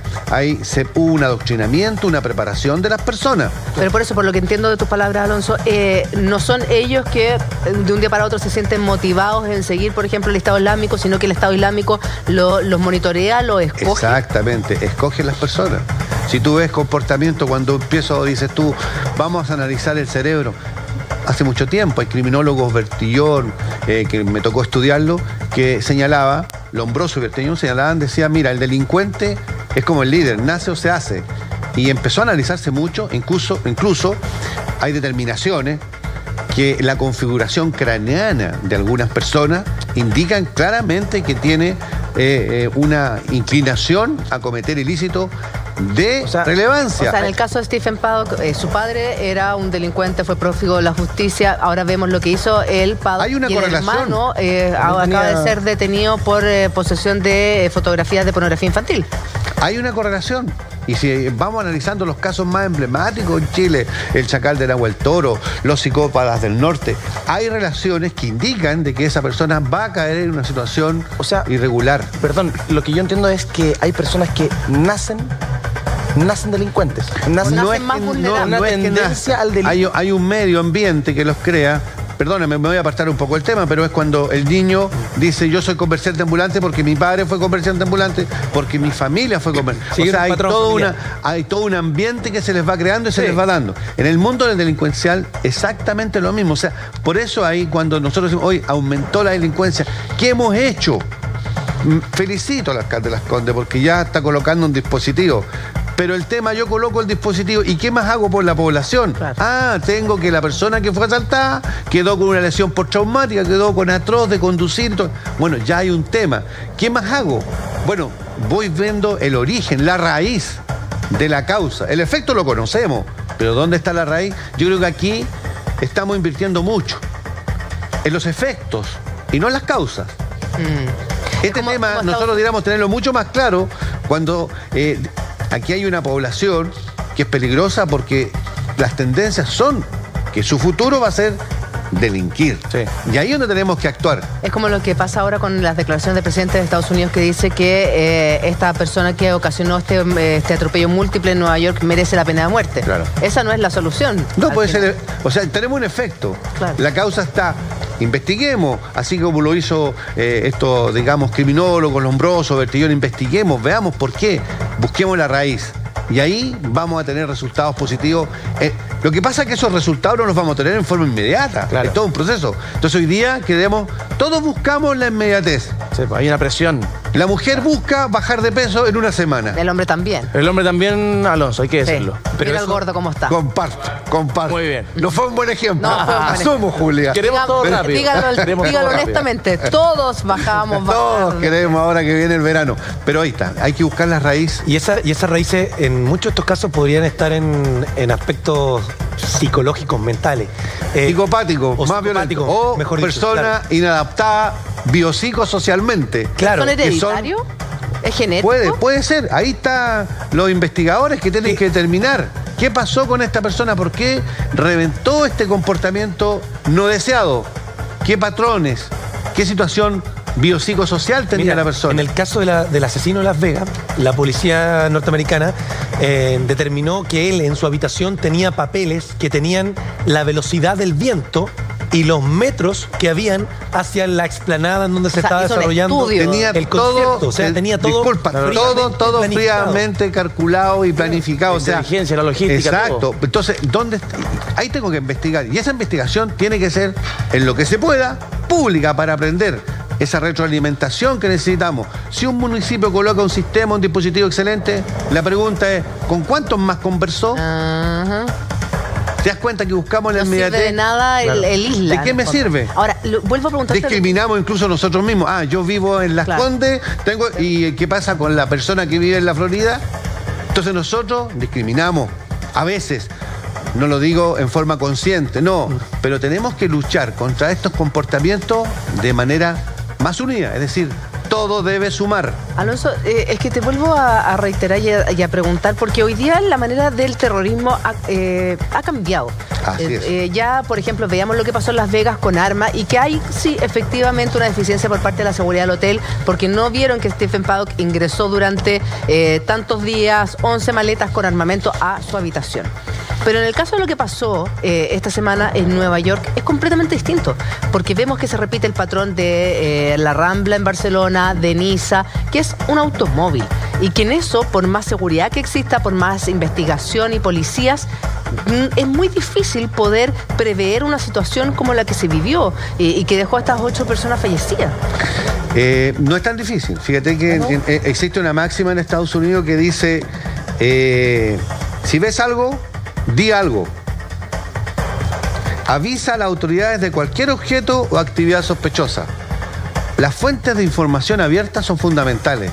Cuando yo veo a una persona con un comportamiento errático, yo tengo que informar. Porque esta persona tuvo comportamientos distintos. De hecho, tuvo una capacitación, tuvo una instrucción. O sea, ya no, no fue un lobo solitario en sí. Se ubicó a esta persona, cumplía con el perfil para cometer hechos de esta naturaleza. y ahí ya podemos entrar en cosas más profundas que lo señalan la información. Eh, que muchas personas de este tipo han sido capacitadas y preparadas por la propia CIA. ¿Por la propia CIA? Claro. Entonces, este eh, ingeniero comercial canadiense detalla y respalda con hechos concretos de cómo se ha capacitado. O sea, es decir, por un lado, que atroz este mundo inseguro. Y por otro lado, la pregunta, ¿quién prepara este mundo inseguro? ¿Quién le dio los primeros armamentos a la a ISIS? ¿Por qué? Porque hay un tema, obviamente, lo que decíamos, también comercial. Necesito vender armamento, necesito vender dispositivos eh, tecnológicos que eviten este tipo de cosas. Mm. Entonces, todo un círculo quizás vicioso. Pero ahí donde están los comportamientos, donde ahí busquemos la raíz. Es decir, esta persona en estas condiciones y bajo este perfil es vulnerable. Alonso, creo que sigamos revisando algunas informaciones. Nosotros ayer tuvimos un despacho en vivo de un accidente que se generó en eh, la comuna de Peñalolén, ahí en Avenida Consistorial, en una Ya. esquina que los propios vecinos han denominado y nos dijeron ayer al aire, esta es la esquina de la muerte. Nosotros dijimos, ¿qué- ¿de qué se trata esto? Nos quedamos conversando con los vecinos y resulta que los testimonios hablan de constantes accidentes en una intersección que está sumamente regulada por semáforos. ¿Cuál es el problema? Fuimos a investigar, queremos tu opinión, luego de la siguiente nota. Atención.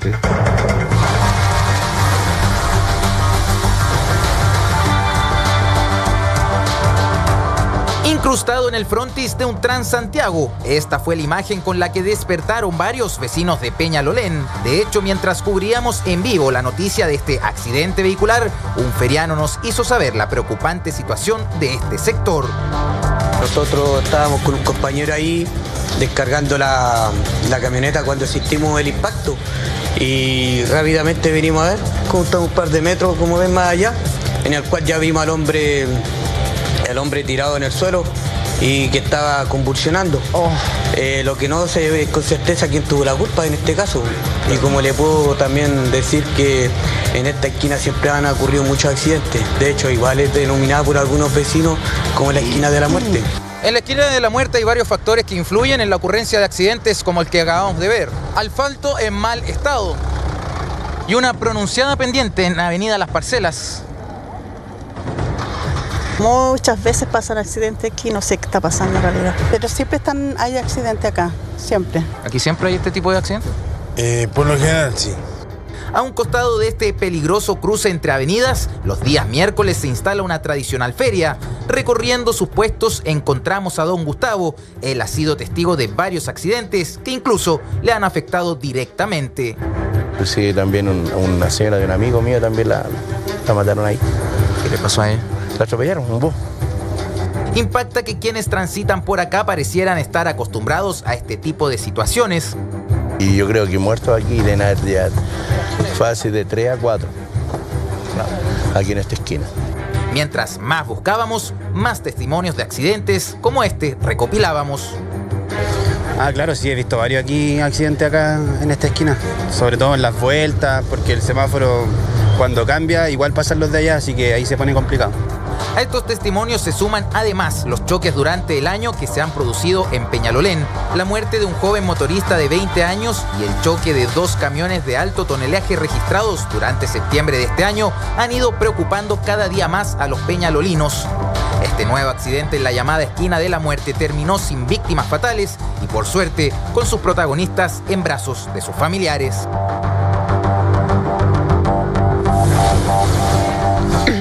No hay una explicación lógica de qué es lo que pasa en esta intersección entre Avenida Las Parcelas y Consistorial. Si bien hay una cierta pendiente, Claro. hay partes donde el asfalto no está de las mejores maneras, de las mejores condiciones, eh, está todo muy eh, señalizado, están eh, los semáforos y los mismos vecinos nos, nos decían una y otra vez que es normal, lamentablemente, que en esa intersección hayan constantemente accidentes. Nosotros tratamos de tomar el contacto ayer con la gente de la Municipalidad de Peñalolén, era un día feriado, más no se pudo. Eh, entendemos, por supuesto, que eh, para hoy día quizás podríamos tomar contacto y tratar de entender qué es lo que sucede. Eh, se suma a nuestra conversación Cata Pulido, Connie Roberts y Camila Recabarre. Hola chiquillas, buen Bueno, día. hola, y en tu comuna hay una esquina, hay un lugar conflictivo, cuéntanos al hashtag Hola Chile de 7 a 12, vamos a tratar de investigar qué es lo que sucede, por qué se generan estos problemas. Alonso, según tu experiencia y lo que hemos visto ahí en la nota, ¿cómo es posible que en una esquina, en consistorial con las parcelas, en Peñalolén, donde hay semáforo, donde hay señalética, donde se sabe que hay accidentes, sigan ocurriendo los vecinos la, la- la denominen la esquina de la muerte? Bueno, eh, a veces hay sectores, lo mismo que pasa en la ruta, que hay puntos donde se repiten los accidentes. Ahora, si está señalizado, se han tomado bien los tiempos para los cambios de semáforo, de luces, eh, hay un tema que alguien, cuando ocurre un accidente, alguien no respetó una norma del tránsito. Claro. Eso está claro. Cuando dos personas colisionan, uno de ellos cometió una infracción. O sea, se están cometiendo infracciones.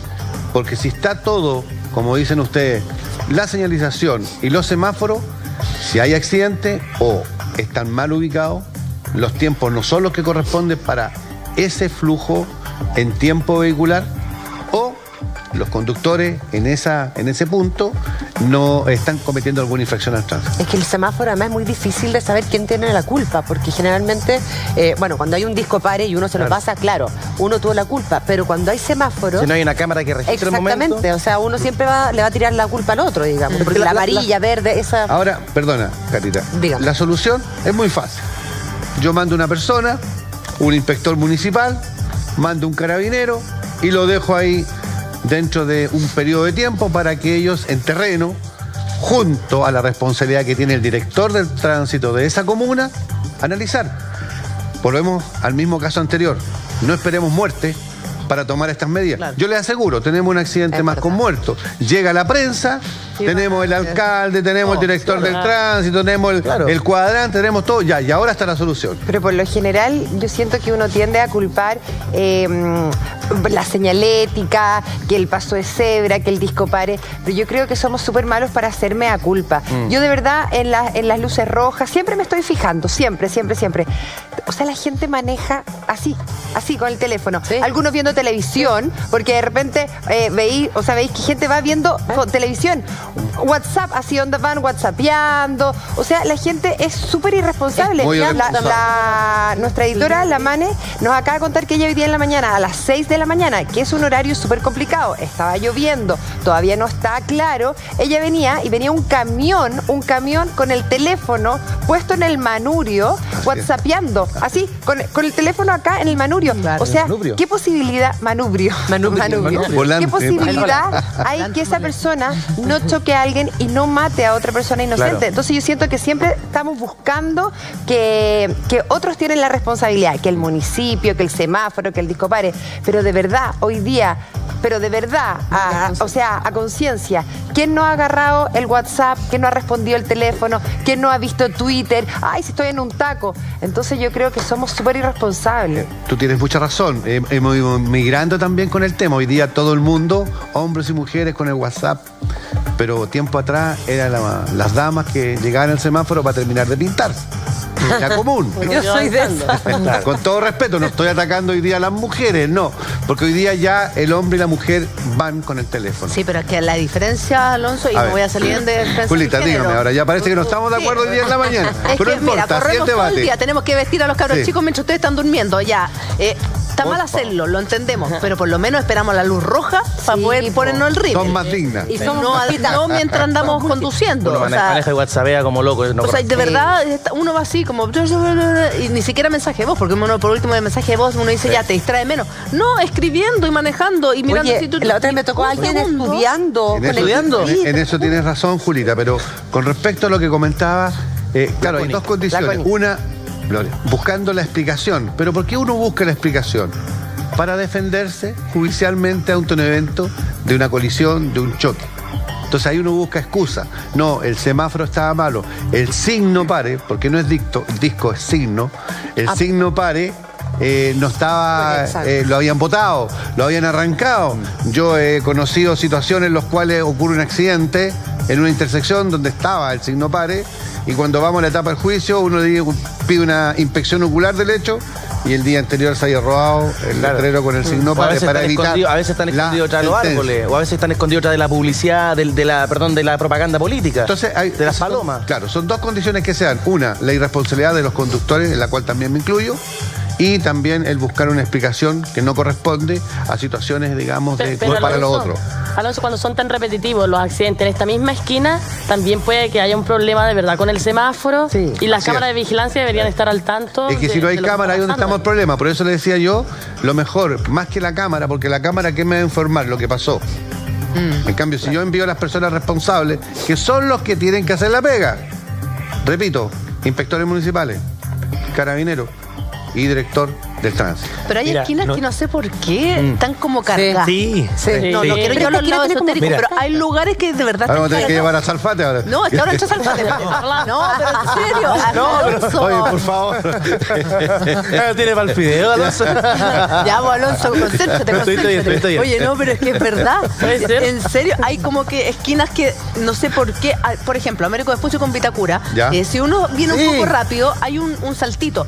Que hay Tú ese un- con Bilbao también. Hay un símbolo de que hay un. ¿Cómo se llama? Toro lomo, lomo toro. Lomo toro. que yo lo Como digo de sea, lomo. te lo entendemos, Julita, no hay problema. ¿dónde ¿Era en Vitacura con Vespucio? Tú vas por Vespucio hacia la pirámide y antes de y en un- en muchos agarran velocidad y al lado de la bomba de encina hay una especie de saltito y eh, se producen hartos choques en ese sector por uno porque está cargado eh, energéticamente y dos porque eh, Por viene el muy saltito. fuerte pero de verdad es que hay esquinas que por más que tengan la señalética no sé si no prestamos atención Yo creo. andamos a exceso de velocidad o, o como que algo También. energéticamente un- confluye para el accidente Hoy día, hoy día no. Perdón. Hay un ranking a propósito de Vespucio con Vitacura que las intersecciones que están en el perímetro de la circunvalación Vespucio concentran las cinco peores esquinas que tiene Santiago. Ah, ya. Ay.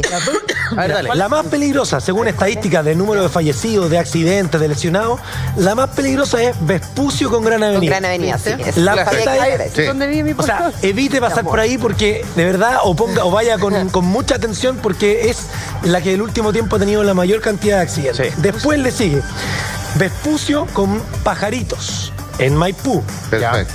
ubicado. Vespucio con Vicuña Maquena. Allí, el Claro, 14 sí, sí. De, la, de la Florida. Emblemática esquina que también se mezcla Vicuña Maquena, Es que Vespucio. sí, está mal señalizado. Y además que eso lo viven arreglando. O Además. sea, entre el metro, pero vean cuántos años llevan arreglando esa parte. Entonces está llena de Vicuña desvíos. Maquena. Uy, Uy, espérate que Vicuña faltan Maquena. todo esto porque están más atrasados que no sé qué. Sí, llevan años arreglando No, eso. y van a seguir años también. Tenemos- tienen que seguir dando pega a los alcaldes de ahí. Pues, sí. Hay que dar trabajo.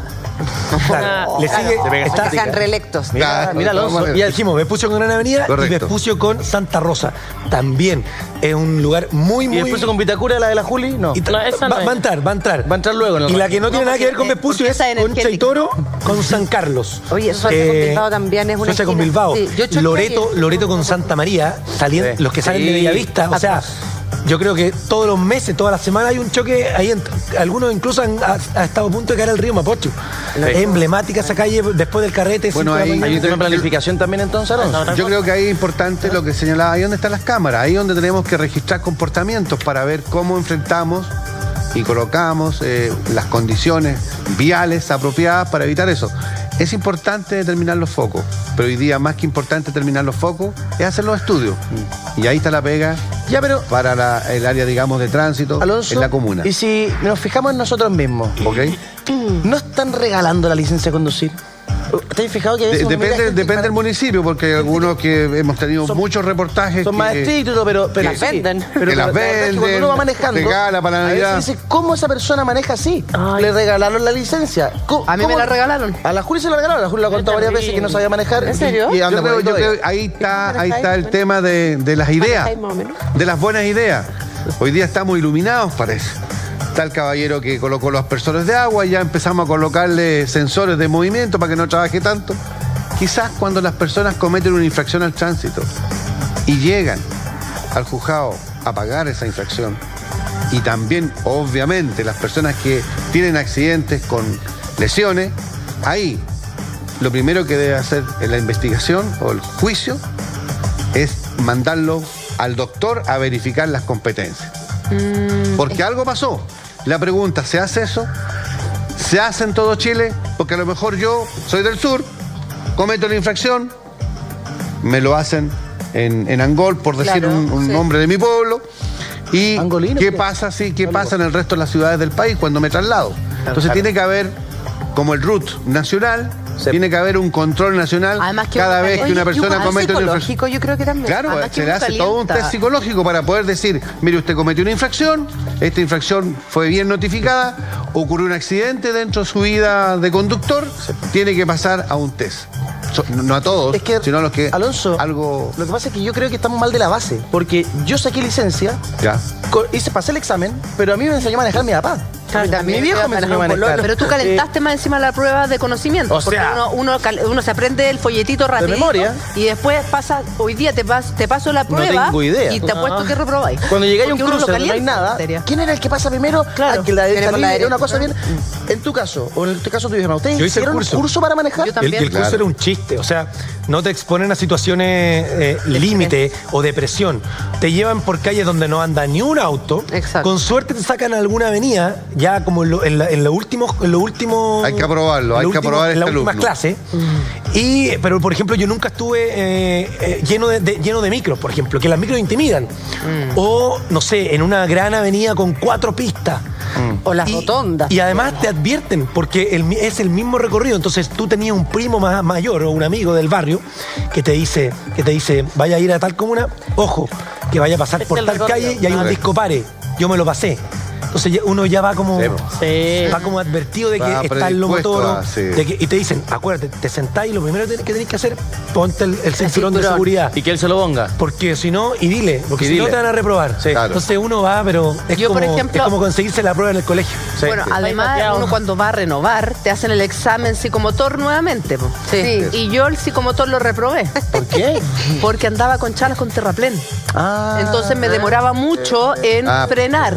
La moda siempre primero. La moda hacía- sacarse los zapatitos. Bueno, fui de nuevo con zapatilla y me aprobaron. No, Pero la realidad es que. ¿cómo manejo Sí. yo? ¿Con zapatilla o con terraplén? Claro. Con terraplén, Claro. Oye, ¿te Entonces ahí aprendí parte? a que tengo que andar con dos pares de zapatos y yo manejo con mis Sí. zapatos Es una, planos. Julita, una actitud responsable, ¿te das cuenta? Pero la aprendí después que reprobé. Si no, hubiera seguido manejando Oye, con es mi que tú terraplén. sabes que un carabinero te, te para y te, te pilla manejando con tacos, pues te puede sacar un parte. ¿En Con- serio? Sí, con también. tacos, con hawaiana o a de vela. ¿Con hawaiana? Con Con hawaiana. hawaiana. también. ¿Por qué? Porque se mete, se- a mí Con se me ha hawaianas enganchado. Es también. peligroso. Alonso, se te mete la hawaiana con, es, con es una pedal. condición riesgosa el conducir. A mí me ¿Y sin polera se puede cuando- manejar? Yo he visto en la playa gente manejando sin polera, ¿se puede? Ay, No. Entiendo que te pueden pasar un parte. Se pueden pasar un par. Sí, sí. Acá en Chile te pasa Mira, un parte, si camináis eh, bien, un, hay un tema de criterio ahí, porque hay un tema que, que hay una invasión, digamos, a las buenas costumbres, más que una, Sí. una situación A mí una jurídica. vez por caminar sin polera me quieren pasar un parte, pero yo me la puse el tiro porque...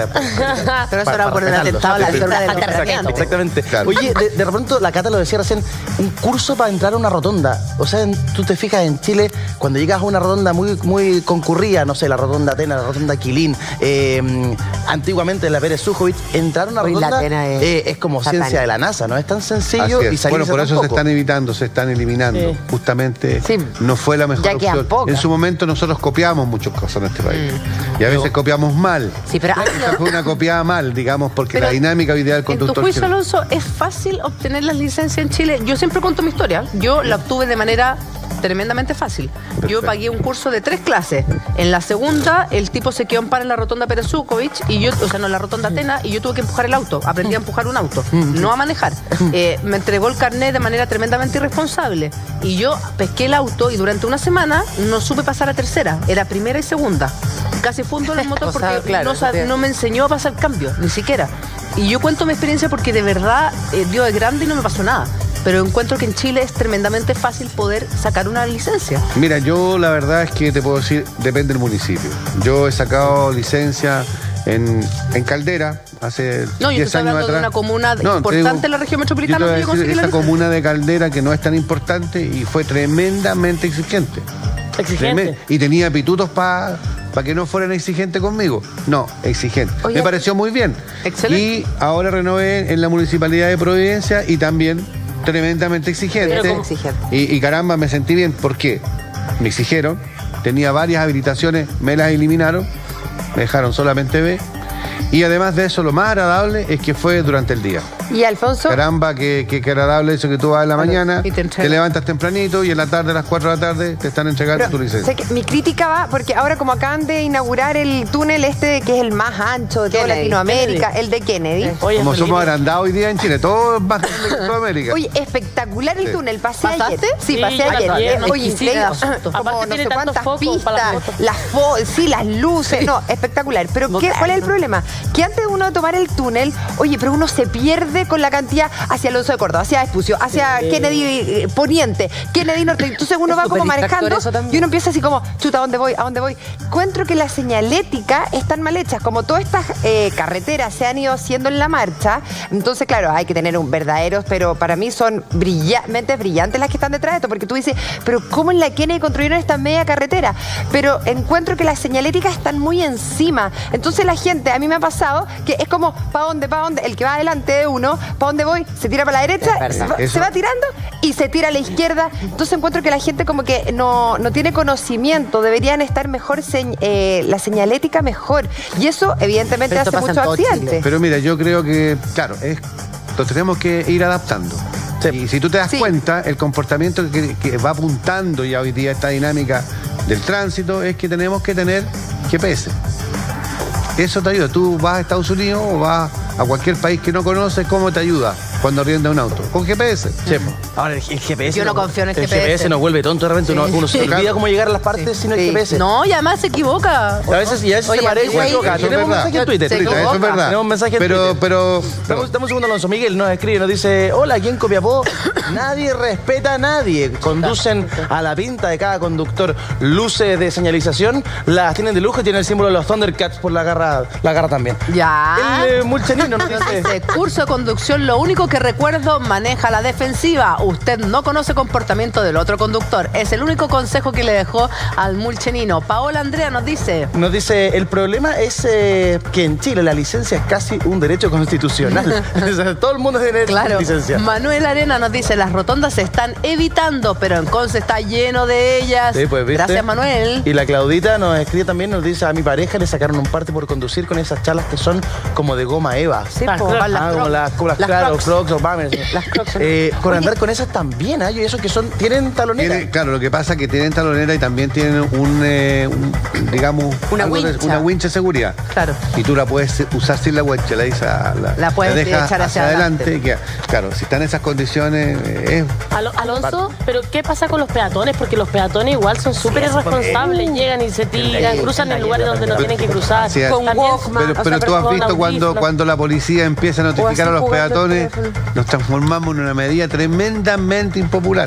Pero es que ¿sabes lo que me pasa a mí, Alonso? Eh, eh, ayúdame a ver si yo estoy equivocada. A Porque ver. antes, uno como peatón, a mí que me gusta caminar, eh, el paso cebra, eh, uno se tira a pasar, igual siempre con cierta precaución, porque hay muchos conductores que no respetan el paso cebra. Pero hay calles que no tienen paso cebra y la, y la gente va hablando por teléfono o con esos audífonos No, que tiene va la. Y se tiran. Así y no es. tienen paso cebra, no tienen ellos la prioridad. Y como que asumen que alguien va a frenar y que alguien no los va a atropellar. Pero ves tu comportamiento. Yo me acuerdo años atrás, años atrás, Viña del Mar era la ciudad más maravillosa para caminar. Modelo, porque Modelo. cada vez que había un paso cebra Tú- frenado. yo lamento a lo mejor eh, muchas veces personas que vivían en Villa llegaban a otra comuna, a Sí, otro a- a sector mí me pasó. y lo atropellaban. Sí, a mí me uno, y, y- y caramba, y el conductor te insulta, te, te garabatea, todo el Repite, eso tema. es cuando hay paso cebra, pero cuando no hay paso cebra, ¿cómo, cómo asumen ellos que siempre tienen la prioridad? Ahí donde está el tema, po. alguien no está haciendo la pega. De ahí vuelvo a señalar estos puntos, todas estas eh, situaciones que damos a conocer, tiene que manejarla el municipio a través del departamento del tránsito. O Pero sea, entonces las medidas se toman por popularidad. Por, porque, No, yo creo que por los evento. o la autoridad debiera, debiera regular a los malos peatones. O sea, si van cruzando a alguien a mitad de cuadra, deberían tomarlo, tomar los documentos, cruzar una infracción. Además, pero que como lo es ven popular ya no se hace. Pero no, sí, bueno, hoy día tenemos medidas impopulares que se están haciendo y se están haciendo muy complejamente. Eh, la situación de Antofagasta. Lo de, los, cami- lo de las personas en situación de calle. Eh, horrible, yo estuve ayer en Antofagasta y realmente me dio vergüenza. ¿Qué te dio vergüenza? Me dio vergüenza porque ¿Por fui a la, a la playa, a la costa, frente al hotel, lleno de gente indigente, carabinero.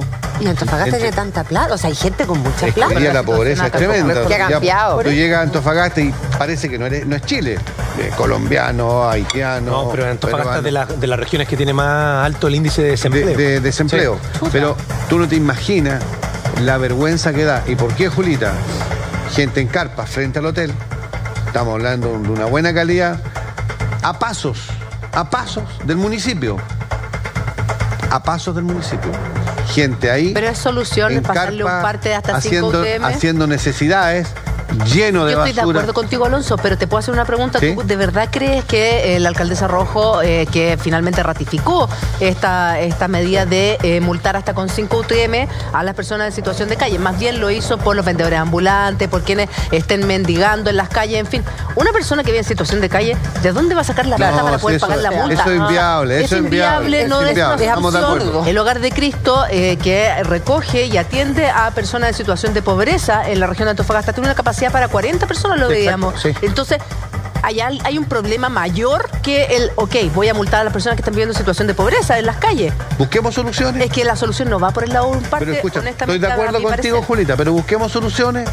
Mira, ¿cuánto dinero se gasta una minera, que usted lo puede comprobar, en dar situaciones de, en el Teatro Municipal de ópera? Miles de millones. Las personas que van a la ópera, con todo respeto en este país, creo que tendrán la situación económica para pagar la entrada. Porque esos recursos, que son de esa zona, Sí. y que la ópera se da en Santiago, esa minera no dice, oye, tenemos realmente gente pobre, gente en la indefensión, gente que hace sus necesidades en la calle, Y que que, nos ensucian nuestras playas. No, ¿Por qué ese sanitarias? dinero no, no lo llevan a una fundación para ese tipo de personas que no tiene vuelto? O sea, está bien una persona que no va a ayudar que tiene 20 años, correcto, es joven. Pero estamos hablando de personas de 50, 60 Aunque tenga años. 20, ¿sabéis lo que me pasa a mí, Alonso? Que hay personas que no han tenido la oportunidad y que, que están enfermos. Estoy de acuerdo, Julita, entonces- alcoholismo, drogadicción y que necesitan una ayuda para salir adelante. Siento, honestamente, que con este de pasarle un parte a las personas en situación de pobreza, en situación de eh, calle, no se mejora. No es la solución, no es la solución. No, Por eso Hay un problema, lo tenemos claro. Hay una crisis en Antofagasta, todos lo tenemos claro. Quienes hemos viajado recientemente o hace un tiempo, hemos visto cómo ha ido cambiando la ciudad. Pero el punto es las soluciones. eh, Por eso le damos, le, le estamos dando este tip a la señorita alcaldesa de Antofagasta, que busque soluciones que sean más acorde a una realidad objetiva.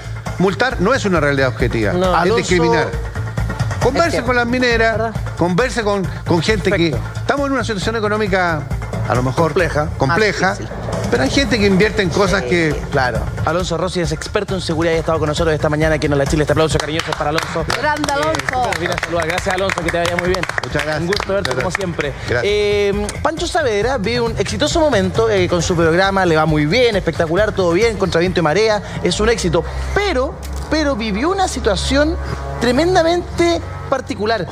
Y que tiene que ver con algo paranormal. Fíjate que los eh, usuarios de las redes sociales de inmediato alertaron sobre lo siguiente. Se dice que habría volado lo siguiente. Esto ocurrió en el episodio del día lunes cuando eh, se vio una experiencia paranormal que llamó la atención de una tuitera que hizo eh, la publicación del video. Miren el ramo de flores impresionante. detrás de la niña. Parece que fuimos los únicos que, no- que nos dimos cuenta. Por un tema de derecho nosotros no podemos Mira. emitir el, el video, pero sí podemos mostrar ese ramo que está ahí y que de pronto, ¡fum! Yo le, vuela. le acabo de mostrar el video a la, a la Cami, a la Connie Oye, y quedamos todos con la boca abierta. Eh, porque ese ramo de flores que está marcado con ese círculo Sí, rojo sí, sí. vuela justo Vuela. cuando el Pancho le pasa otro ramo de flores a, a- a la invitada, no sé, a la, a la persona con la que estaba desarrollando el, el reportaje. Y desde atrás, o sea, yo creo que deben haber unos 5 o 6 metros. En- en- en- desde donde está Pancho Saavedra hasta donde está más o menos el cuadro que está allá, allá atrás y sale un ramo de flores y Oh, vuela, y cae al suelo. Es impresionante, como, como, o sea, no, no tiene explicación.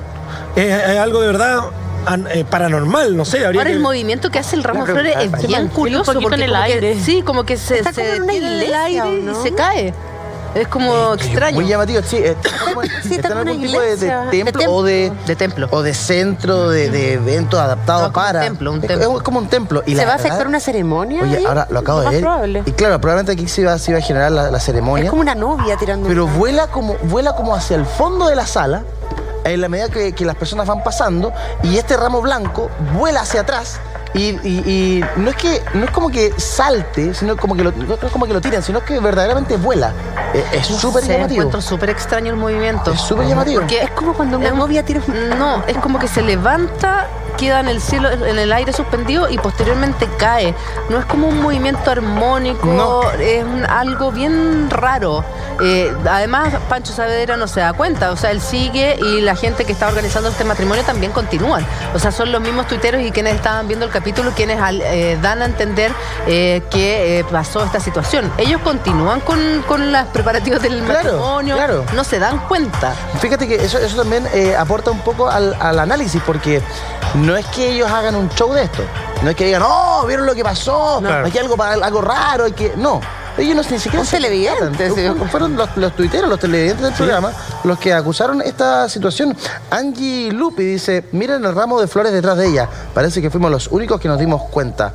Eh, paranormal. Hashtag paranormal. Oye, se llenó su. Cuando ella sube este video que dura 10 segundos, no más que eso, a Twitter, eh, varios televidentes comenzaron a responderle: Oye, impresionante, mandan link, eh, increíble, nadie se dio cuenta. Vi el video y quedé impactado, señala otra, otra tuitera. Eh, lo acabo de ver en YouTube y está clarísimo. Las flores estaban paradas en la banca y vuelan solas. En- y están justamente, aquí hay otra foto, están como, no, es una, es una iglesia o no, ¿qué es lo que Es como un templo, como un evangélico. templo, Como un como un templo templo, ¿no? evangélico, algo así. como un ¿no? templo evangélico. Era el capítulo de Valesca y Sergio. Eh, la madre de la novia rechaza a Sergio por su forma de ser y su situación económica. Cree que él no es para Vale, que le traerá puro sufrimiento. Eh, así, esa era la historia del Mira, acá yo estoy del- hablando del con Pancho por WhatsApp ¿Ya? y me mandó un mensaje de audio porque le digo, ¿qué explicación tú le das, amigo? Ah, Y Pancho dice: ¡Ah! ¿Qué pasaste?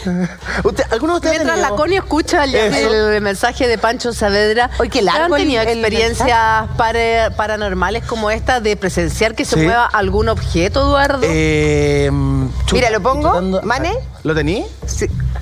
Sí, ¿se Ya. puede emitir? Sí. Eh, usted es periodista, haga, haga de editora también, pues. Panchito, no te escuché entero, pero... ahí- ¿Cómo? Ah, no, no, ¿cómo? Ah, ¿Y si se ríe? ¿Y si Pero se ríe? Es que es una buena explicación porque hay gente, lo que alcancé a escuchar, que hay gente que dice no, que era un ventilador, pero todos los No ventiladores estaban apagados. apagados. Yo también pensé lo mismo y me claro. que los ventiladores hay estaban tres apagados. ventiladores. A ver. A ver. Súbelo, súbelo. vuela con un ventilador, eh, pero los televidores, los Al otro lado. ventiladores ese día estaban apagados. Sí, no sé, no sé, porque es como que alguien lo amarra con un hilo pescar. Esa sensación como cu- cuando antiguamente se jugaba a molestar a otra persona eh, moviendo un objeto, es como lo mismo. Pero nada, era una iglesia evangélica y realmente no había nadie más. No sé, pero ¿cómo salta tanto? Porque además está la niñita que se ve ahí, que es la mejor amiga de la hija de la novia, y no había más niños. O está Ya, impactado o está despertando. No, no, no, sí está ambos. impactado. No, no, no, sí. De verdad está impactado porque lo que él explica que no había nadie más, no había alguien que haya podido hacer una broma, no había más niños, solamente el que estaba ahí, que aparece en la fotografía, la niña, los ventiladores estaban apagados. Entonces, finalmente, si tú eres, te- porque a mí nunca me ha pasado tener, y además como algo tan evidente, Claro. porque no es como algo sugestivo, Es que se algo, mueva. claro, es algo tremendamente explícito que sale volando. Entonces yo creo que igual te impacta. Qué miedo. O sea, lo más ¿Y eso que hay atrás? ¿Qué es lo que es eso? es- ¿Es otro ramo de flores o una de- figura es el que se mueve. No, ese es el ramo que vuela. Ah, es el ramo que vuela. Ah, El ramo sí, que vuela. El ramo claro. estaba como por acá y salta hacia allá. Y aquí hay un ventilador, pero, realidad apagado. tiraría hacia acá. Y por acá hay otro también. Entonces Sí, no, no tiene sentido que el, que el ventilador lo mueva. Y lo, y lo que dice Pancho es verdad, es como si es como si estuviera amarrado y alguien lo tirara. Es que el movimiento no es eh, armónico, el movimiento es como que, uh, si es que yo en algún momento pensé, mira, acá estaba el ramo, y yo en algún momento pensé que de acá alguien había, eh, amarró en el ventilador de arriba un hilo y lo Claro. puso, entonces le pegó una estirada y después lo botó. Ya, pero Porque el movimiento es como Es un arco, así, sí. como, es como brusco. Una parábola. Claro, pero revisando, eh, no, revisé el cuadro arriba, no se ve Nada. y no hay, por do- el ventilador está más a este lado, entonces no hay por dónde lo pudiese sostener Claro. con este movimiento ascendente y después hacia abajo. Sí, yo sospecharía si, si Pancho o alguien hubiese hecho como eh, acuso. Oh, mira lo que pasó, mira, no sé qué. Ya, yo digo mm, sospechoso, pero eso no pasa. Entonces. eh, No, se dio cuenta claro, junto el, con los el, el movimiento del ramo es así. Y de ahí se va hacia allá. Claro. Más o menos. Y no hay nada atrás. Qué Yo miedo. veo esa miedo. cuestión, patitas para que te quiero, yo arranco al tiro. Que no se dieron cuenta, pero. Ay, pero, ¿en eh, serio? Se, O sea, están el- moviendo las cosas, eso es muy raro. El a mí ojo- nunca me ha pasado. A mí Oye, se me mueve una- el piso de repente, ¿no? Ah, esa es otra cosa. Oye, uno trata de buscarle. el. Pero, Uno pero le de busca noche, pero de explicación noche. al tiro. El- Uno le busca que fue el explicación, ventilador, que fue esto, pero quizás de verdad se movió porque había un fantasma, algo así, no sé.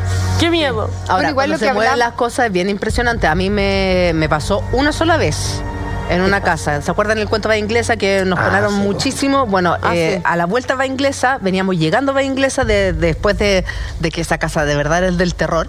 Y estábamos en la casa de un amigo que eh, es hindú y que su hermana es hindú, pero es como vidente, como touch of God, como se le dice, como Sí. tocada por la mano de Dios. Y ella nos abre la puerta sin saber de dónde veníamos ni nada. Nos mira y nos dice, oye, ustedes vienen cargadísimos. ¿Qué les pasó? y nosotros, no, nada, nos sentamos en la mesa, estamos en un, living y eh, ella trae una hielera y la pone en la mesa. Una mesa que era de madera. La hielera le, empezamos a contar todo lo que nos había pasado, los ruidos, la, la, la sombra, las presencias, eh, cómo lavaban plato cuando nosotros estábamos en la cocina y veíamos que no, había nadie lavando plato. Y la hielera, te prometo, que desde ahí se mueve hasta acá, hasta que ella, la, perdón, no, Germán, la alcanza a agarrar, la toma y dice, ya, Eh, ok, y se va.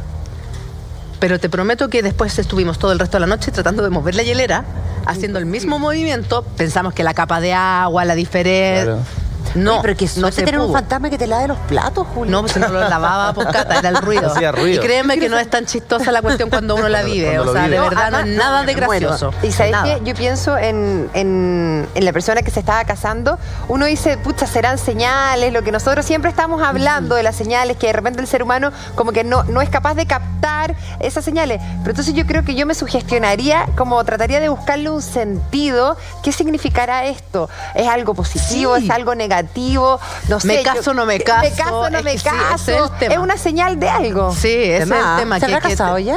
Es que te da para cuestionarte muchas Sí, cosas. po. Es como, puede ser un pariente que ya no está, que vino a, a, a- a quitarte al ramo novia. como para decirte, ¿sabes qué? Sal de ahí, una señal. Bueno, por suerte en el momento no se dieron cuenta eh, y no se El Pacho, sugestionaron. Pacho se, dio, se dio cuenta por el público. Me dice Ah, que el claro, público sí. le empezó a decir, oye, ¿cachaste cómo salió volando el ramo? Que él no se había dado cuenta. Y, oye, y hablando de amor y de programas de amor, esto no es un programa de televisión, sino que es la vida real y es lo que está sucediendo con Alexis Sánchez Oh. y Maite Oh, Rodríguez.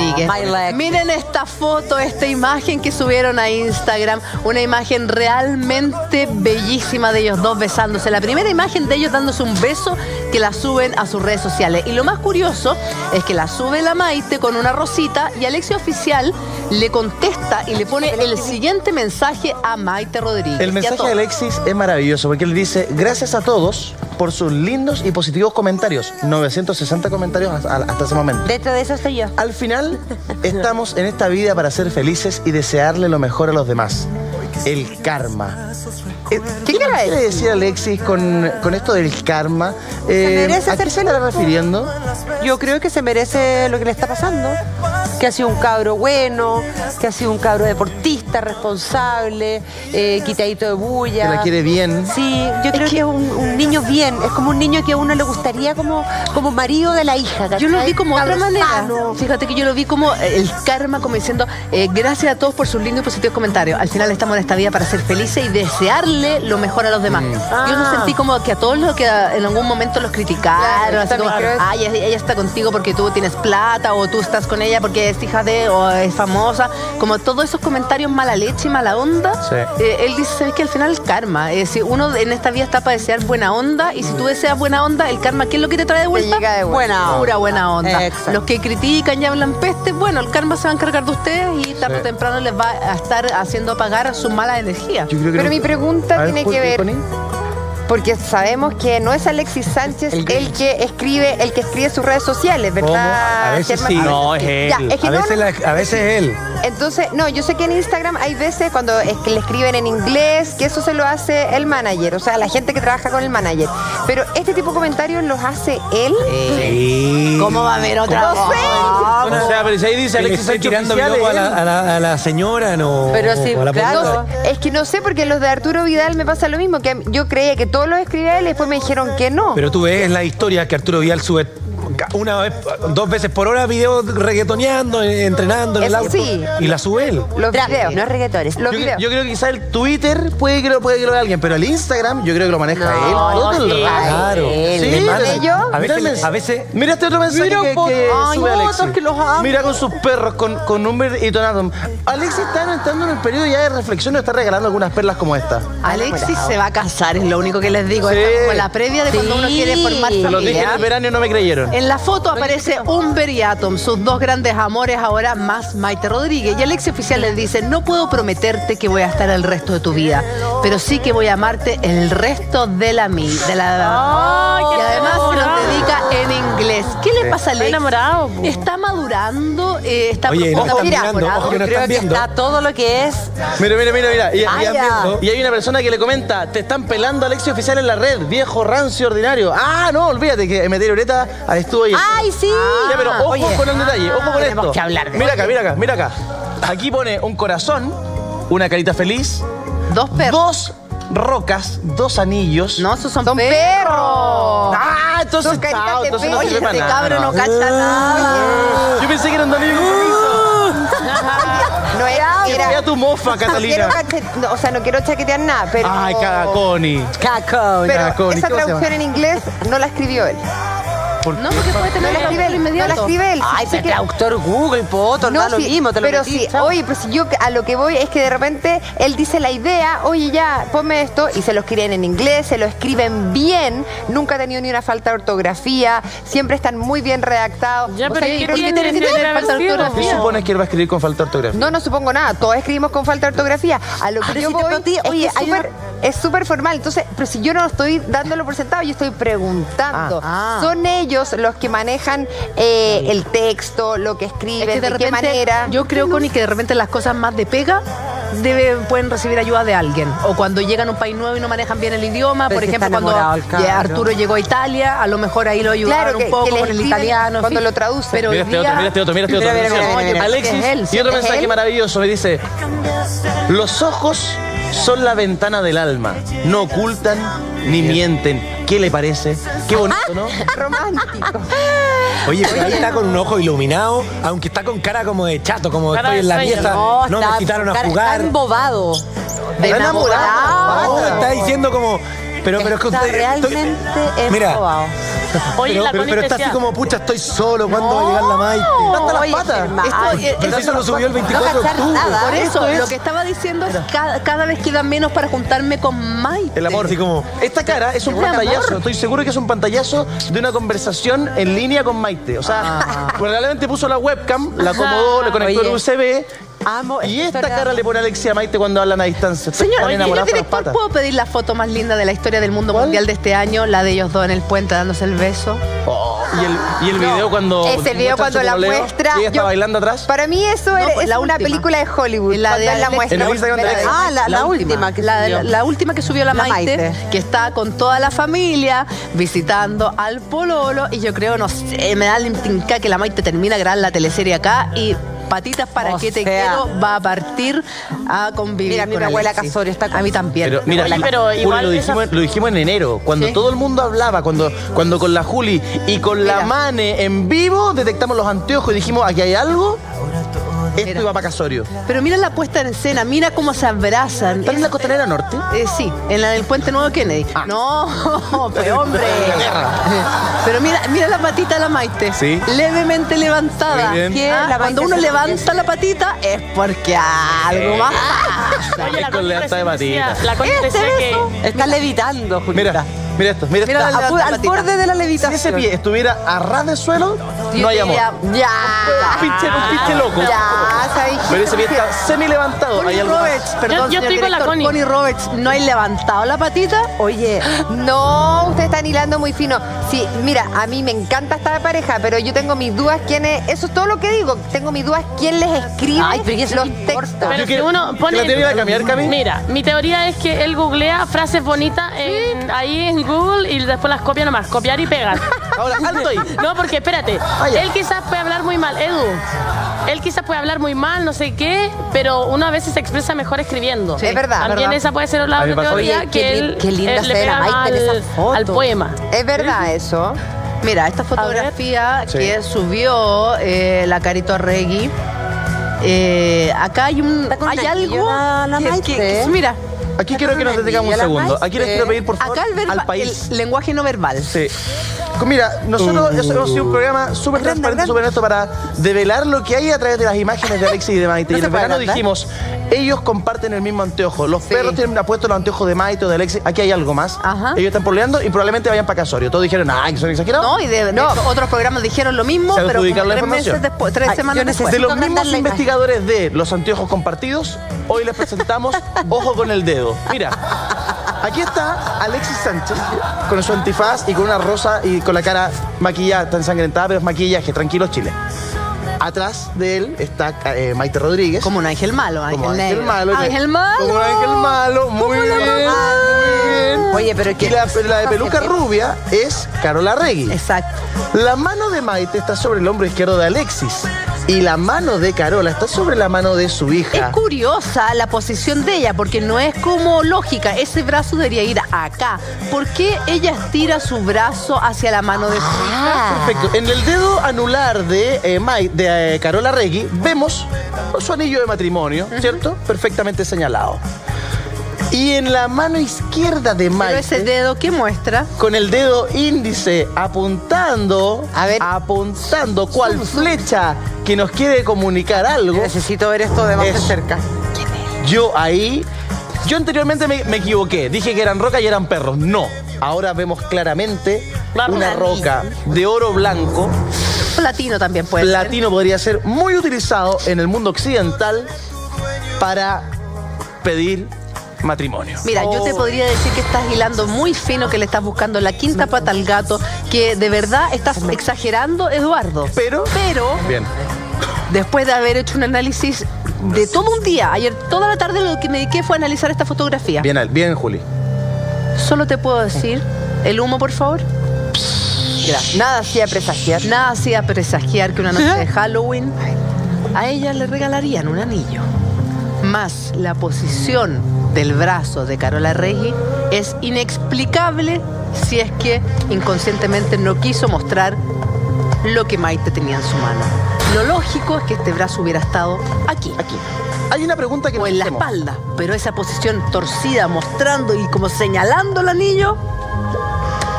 algo. Solo una duda tengo. ¿Quién es este señor que está aquí? ¿Qué está haciendo? Sí, yo estaba, ¿Sí? lo estábamos analizando. ¿Quién es ese tipo? El Creo que es pololo, el pololo de la el pololo de María Jesús. De María Jesús. Ah, ya. El pololo de María Bienvenido a la El pololo familia. de María Jesús. Ahora, O sea, Los el concuñado de Alexis. el Exacto, cuñado, claro, el los invito a recrear la escena. Hagamos la foto. ¿Les Ya. parece? A ver, a ver, a ver. Ya. ¿Quién va a ser ¿Cuántas Maite? ¿Quién va a ser Maite? ¿Qué yo. tiene anillo? ¿Qué La tiene Connie quiere anillo? ser Maite. Es La que Connie- me, la gusta- Juli me tiene gusta demasiado. ¿Andáis con anillo compromiso? No, ya, yo ¿Alguien- soy Maite ya. La, la Julia y la Maite entonces. Entonces yo soy. Espérate. Yo soy Alex. Siéntate tú. Yo soy la Jesús. soy bueno para la pelota. Yo voy a ser la hermana chica. Pero adelante, adelante, adelante, adelante. Yo soy la Yo voy a ser fotógrafa. Carola Ah, ¿Quién te Es que te- tiene ¿Cuántas que ser sillas en dos? este sillón. Robémonos este pedazo de sillón. po, acá. En el sillón, en el sillón. Vamos, Venga, ya. Vamos para allá, vamos Ya. para allá. sillón. Yo voy a ser Carola Rey entonces porque no tengo anillo compromiso. Yo voy a ser la fotógrafa porque sobro. Robémonos este pedazo de Con un sillón. pedacito de sillón lo hacemos. venga. Dale para adelante. ¿Y quién va a ser La- Alexi? Ya, aquí. ¡Ay! Cuidado. Sí. La, la Mucha velocidad. No, casi volé. Ya, ya. ¿Qué tal tenés? ¿Estamos todos? Alexis, Ya, ¿quién es Alexis? ahí está. Yo soy, no, yo, yo soy Alex. Yo no yo soy Gabriela. desconocido. Ya yo soy el pololo de la a ser la Jesús. hermana chica, la hermana chica. Necesito mi marido yo, po. A Ya, yo soy Roy. Germán, pues tú yo eres mi marido. ¿Y la Rosa? Ah, yo soy Falta mi Royston. marido, Roy. Ya, yo Soy. yo el, el otro Rivera. Yo soy la versión mala de. Ya, ya, ya. Oye, gracias. Ya, listo. Ya, ya, ya. Ok. ¿Cómo está? ¿Quién va a ser la suegra? ¿Y el anillo? Yo te tengo aquí a ti. No, y con esta mano tú te pones acá y como Ahí. señalas el anillo. Ahí, ahí, ahí. Mira, Mira lo la Súper incómodo. Su- Y tú estás Está más- ahí, un poco claro. más allá. Tú estás un poco más allá. Estás más allá todavía. Ahí. ¿Caché que incómodo? Sí. En el fondo es como la carátula de los Beatles. Es como el, es como el, es como el disco de los Beatles ¿No que te quieren parecemos? decir que Paul McCartney murió. Claro. Algo nos quiso decir Carola Regui. Descifra usted que en su como está casa. en ¿Dónde está tu Inglaterra. Espérate, ahí. A dejar ese tipo de lenguaje. Oh. Está mostrando el anillo todo el rato. Oye, pero no, yo Mira, si va a el anillo. Una Pónganse en cosa, actitud, una cosa. pónganse en actitud. Fíjense en el pie de Maite lo mismo. Rodríguez. Estaba pensando lo mismo. Ojo, eso, mira. Ahí está levantado. Ay, de nuevo está con la patita levantada. Mira, pon la foto. Mira, y muéstrate la foto original. Ya apúrate porque me estoy cansando. Se está calambrando. Mira el pie. Mira el pie. La patita Ah, no, hacia arriba. Nos parecemos, nos parecemos, ¿no? ¿Y esto para qué? La flor. La flor. Ah, la flor. La flor, Alexis. Gracias, gracias ¿Recordaron Max. de la foto Antifaz. original? El antifaz. Te acaba de pasar la flor. Estamos iguales, ¿eh? Estamos- Ahora, ¿por, por qué el, pie de la cuñada apunta a Gracias. Alexia? Eso algo dice. Sí. Queríamos comprobar, queríamos comprobar que la posición de esa mano, Cuida la flor. de esa mano, De Carola Rey. Igual, ¿sabéis qué? Eh, la Mane, nuestra, que, que en verdad que ha sido la que ha ido descubriendo todo esto, todo esto. Es la de la mente más retorcida, Todos que esos mensajes que ellos han ido dando, pero con señales. Porque recién estábamos hablando de lo importante que son saber captar estas señales. Y ¿sabéis qué? Yo, si hubiera visto la foto, yo no, no hubiera pescado la mano No de hubiese Carola Rey. No, no era cachado nada. Pero de verdad es rara la postura de la mano. Ahí hay un rara. mensaje Y ese anillo- subliminal. Y ese anillo no es como un anillo del persa, así como esos medios artesanales de. Maitencillo, porque eh, la, la Maite tiene una casa en Maitencillo. Es como un anillo bastante más cototudo. Es como. Es un rocón. Es un rocón. Yo no, que es no habrán viajado, no habrán viajado a Londres toda la familia a, celebrar El esta unión, El compromiso. Sí. No, O sea, ahí. eh, los debe haber invitado a todos porque tenía la decisión tomada de por fin me comprometo. De alto y y qué claro. mejor que esté presente la madre, la hermana, toda la familia. Sí. Eh, ahí, ahí, además que mira, estoy revisando el Instagram Ya. y me he dado cuenta Instagram. ¿De qué? que Alexis Sánchez ha estado en el spa que tiene Roy Sotters en Reñaca. ¿Por qué? yo trato por ahí siempre. Porque el, el 7 de octubre, la Maite sube una fotografía, la vamos a buscar en Instagram, mirando el mar al atardecer, precioso. Es maravilloso. Y si uno va para abajo, Alexis Sánchez le responde. Oye, se me acaba de salir el comentario. espero en el espera. sauna. Ahí está. El fotógrafo bueno. Le dice a Alexis Sánchez como diciéndole, yo te tomé esa foto. Sí. Y la Maite le responde, hermoso despedir el día así. Bueno, pero bueno, bueno. Esa es la fotografía. Bueno, Oye, bueno. sí, sí, le- tú eres Oye, periodista. ojo. Se nota. Que ojo para darme cuenta, miren. Entonces, la historia es la siguiente. Esa fotografía la sube el 7 de octubre, la Maite. En, re- es el- en la salida. Eso es la, eso es la salida en Reñaca, sí, en Viña al lado de la En playa Reñaca. Salinas. Y Alexis Sánchez, luego de que la Maite sube este mensaje y pone, ¿cómo no iba a llover si la niña que lleva el cielo en los ojos está enamorada del mar? O sea, la niña está enamorada, en- enamorada del mar ¿Quién puso y enamorada de? Alexis. Y Alexis le responde, el fotógrafo bueno. Claro. ¿Ah? ¿Quién te sacó? O sea, ¿Quién te ¿quién se tomaba la la fotito? Este pechito. Claro. Este pechito. Y la Maite le responde a Alexis Sánchez, hermoso despedir el día así. Bueno, pero muy bueno. Y le manda un corazón rojo, inflado y un besito. Qué maravilla, qué maravilla. Un amigo le pone ahí, eh, Ignacio dice, canchero, crack. Oye, ¿qué signo, ¿qué signo es Alexis Sánchez? Buena Sagitario. pregunta. Sagitario. ¿Sagitario? Y la Maite es Acuario. Uy, la Oye, Ah, por eso son uno para Oye, el que no le tiene eh, nada de fea esta pareja y que se ha dedicado a criticarlo es Emeterio Ureta. Además, ¿Por qué? desclasificó que también eh, Alexia habría invitado a salir a su hija. Sí, ha sido a la Ureta. tita. Hablamos con él, pues y esto fue lo que nos dijo. No, algo tiene que haber pasado muy íntimo, ella no cuenta muchas las cosas porque no le gusta la farándula, pero Alexis le tiró a varias amigas de ella invitación, y hasta que una señorita compró. Y fue y lo pasado bien, pues. Ahora yo quiero decirle a esta niñita, eh, no sé cómo se llama, Rodríguez, La Maite Rodríguez. que le pinte una guagua al huevón. Para que se quede tranquilo. Claro, y se queda asegurado con 4, 5, 6 millones de por día. Que la haga bien, porque deje de tomar pastillas la próxima vez. Listo, esperando guaguita. Claro, y tiene que aprovecharla ahora porque este va a ser amor un peo en un canasto. No crees tú que se van a casar ni nada. Si este es más caliente que meter ureta. Este no te quepa la menor duda que se va a vuelta carnero con otra después al tiro. ¿Tú sabes que un amor que va a durar poquito? Poquito, si no le veo. Te digo, no le veo ni 90 días más. 90, como mucho. Y tiene la oportunidad de su vida en sus manos para echarse encima y hacer vuelta carnero varias cuicas más.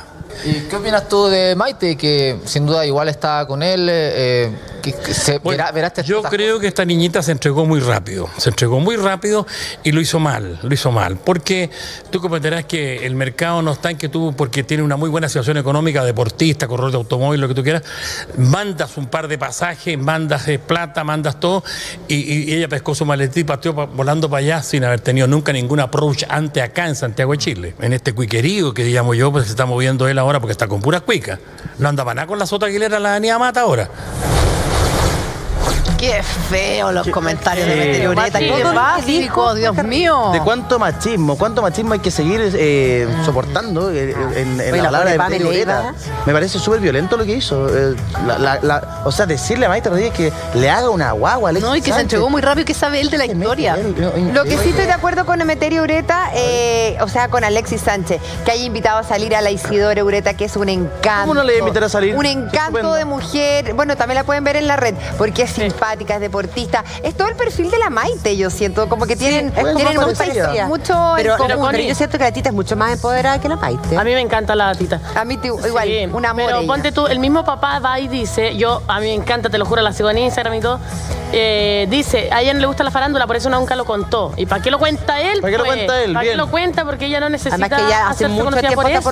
Y es Yo creo verdad que la que- tita se va a enojar. No, y además que es verdad que la tita, además que la tita lleva una relación de años, de sea, años, entonces Y esto como, no le suma ¿de qué sirve? ¿De qué sirve? Además que es verdad, ella yo creo que no solo Alexis Sánchez el que la ha invitado a salir, muchos de la farándula que pagarían lo que fuera por poder salir con ella, y yo creo que ella jamás ha abierto la boca porque no le interesa brillar por eso. ¿Pero le molestará lo que hizo el papá? Sí. Yo creo Es que sí, ¿sabes un poquito? A sí. mí me parece tan raro que este señor tenga una hija Tan con lo machista que es, con toda la cantidad de barbaridades que, porque es de una honestidad brutal. Pero ojo que se llevan súper bien. Se adoran. Se adoran. yo no estoy diciendo lo contrario, muy por el contrario. Yo sé que son súper unidos, súper eh, eh, partner, pero me llama la atención que él, siendo así, tenga una hija tan evolucionada, empoderada, chora, divertida. Porque hay muchas veces que uno quiere ser Claro. todo lo contrario de sus padres. Eh, hay muchas veces en que si ves un padre que dice que hay que acosado sexualmente en televisión y que eh, lo naturaliza o que naturaliza, por ejemplo, que una mujer tenga que hacerle una guagua a un hombre para aprovechar un minuto desde una situación económica que me parece de una bajeza ese comentario Sí. máximo. Eh, claro, probablemente la hija quiere salir lo más distinta a su padre. Pero ¿sabéis qué? Igual... Sobre todo con los tiempos que han cambiado, pues, Es o que sea. lo que te iba a decir, Emeterio viene de una generación que desgraciadamente es como el zorrón machista, No facho. sé. Yo siento que sí, en esa época eh, eh, era como No, un pasó. poquito más normalizado ser así Pero tan evolucionado. Y tan- por eso, po, pero es que él viene de esa generación. Nosotros estamos en otra, o sea, olvídate, yo- a mí yo me puedo llegar a morir de vivir una situación como la que él contó anoche, por ejemplo, que él había acosado sexualmente, pero sí entiendo que en esa época los gallos eran como los patrones fundos, digamos las cosas como son. Era normal que se abusara del poder como No por nada, la- las redes sociales reaccionaron de inmediato y lo destruyeron. sí, o sea, o sea, lo que- la- el troleo, el ataque que recibió Armeterio Ureta a partir de sus palabras eh, fue intenso, claro, porque es otro el contexto, es otro el mundo en el que vive y él debiera comprender, él debiera comprender que, los- que la situación ha cambiado, que los contextos ya no están para ese tipo de, No de, de- experiencias o de vivencias. Pero es algo que a él no le, no le cuadra en su cabeza. No, o sea, de hecho, Ignacio le decía una y otra vez que lo que estaba diciendo era aberrante y él, y él no- como que lo miraba con cara de- también era como, como, pero tú te estás ¿de qué dando cuenta hablando? de lo que dice. ves? Y él así como, sí, pero es que tú le estás echando la culpa a la mujer. No, no, no, yo tenía la culpa. Él nunca tuvo la conciencia, y yo creo que todavía no la tiene, de realmente de la gravedad del asunto que contó ayer. Es súper heavy, porque yo me quedé, bueno, lo revisé hoy día en la mañana porque me desperté con Twitter y dije, ah, no, ¿qué pasó? La tita es mi amiga, porque yo quería saber qué había dicho el papá. Y te juro que es impresionante, o sea, es indefendible. Yo acá no le puedo prestar ropa por ningún lado porque me Pero. ¿sabes lo que pasa? Es que a mí me da mucha rabia cuando uno eh, escucha las justificaciones. Yo soy de otra generación. a eso iba con eso. yo, es que No, yo no cuando era el zorrón, me importa un huevo de qué generación son. Tiene que ver con respetar al, al género femenino. Tiene que ver con tener un poco de criterio, con un poco de empatía y un poco de respeto. O sea, a mí no me, yo no me imagino a mi papá hablando así, siendo que mi papá es 10 años mayor que Meteoreta. Entonces yo, yo no justifiquemos, por ejemplo, igual que cuando, ¿se acuerdan cuando fue lo de la muñeca inflable? Sí. Bueno, que de hecho, claro, todos los políticos que estaban arriba, desde Guiller, o sea, que todos lo aplaudieron en su momento, como que se rieron y lo disfrutaron, y después, claro, cuando realmente quedó la escoba Mm. en redes sociales, ellos, bueno, sí, la verdad es que yo no, no, no soy partidario de este tipo de cosas. Si tú realmente no eres partidario, tú lo manifiestas de inmediato. Y para mí no importa ni la generación, ni de dónde vienes, nada. O sea, tiene que ver con una cosa de respeto. Mm. Entonces no sigamos justificando que son de otra generación. No. Para mí No, eso no, tiene justificación. Yo estoy de acuerdo contigo, Connie. Mi papá era mucho mayor que Meteoreta y jamás lo vi en una actitud Yo así. tampoco, mi papá Nunca. Eh, porque tenía hijas mujeres, porque tenía hermana y porque respetaba y en su casa se le enseñó desde muy chico a respetar a las mujeres. Eso me llama mucho la Entonces, de verdad, eh, yo, ese discurso de que, ah, Roberto Fantucia, ah, no sé qué, no, es que son de una generación que eh, son patrones de fondo, que son- No, eso, eso no corre.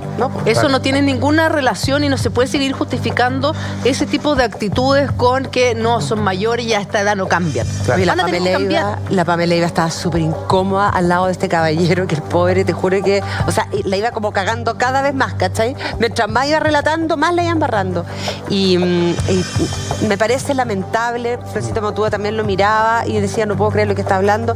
Yo creo que estaba medio puesto. Es que- es que también, además- porque, además, porque de verdad no, no- nunca tuvo la conciencia. Ah, ah, ah, yo, yo no- yo no sé si está medio puesto, yo creo que de verdad lo piensa así. Yo creo que él piensa así, él tiene esa crianza, él tiene esa falta de respeto hacia el otro género y la, se entiende la Y no lo incomodidad de la. como una falta de respeto, No, y él no lo entiende así y se lo podemos explicar dos días seguidos y él no lo va a entender No, así. pues sí dijo que su Pero- secretaria era rica y que por eso le había mandado a llamar para que trabajara con él y le subía un 30% más el sueldo y la invitaba a comer, a salir porque era caliente. O sea, ¿y cómo no entender la molestia de la Pamela Leiva? Porque mm, ella ha sido víctima de esto.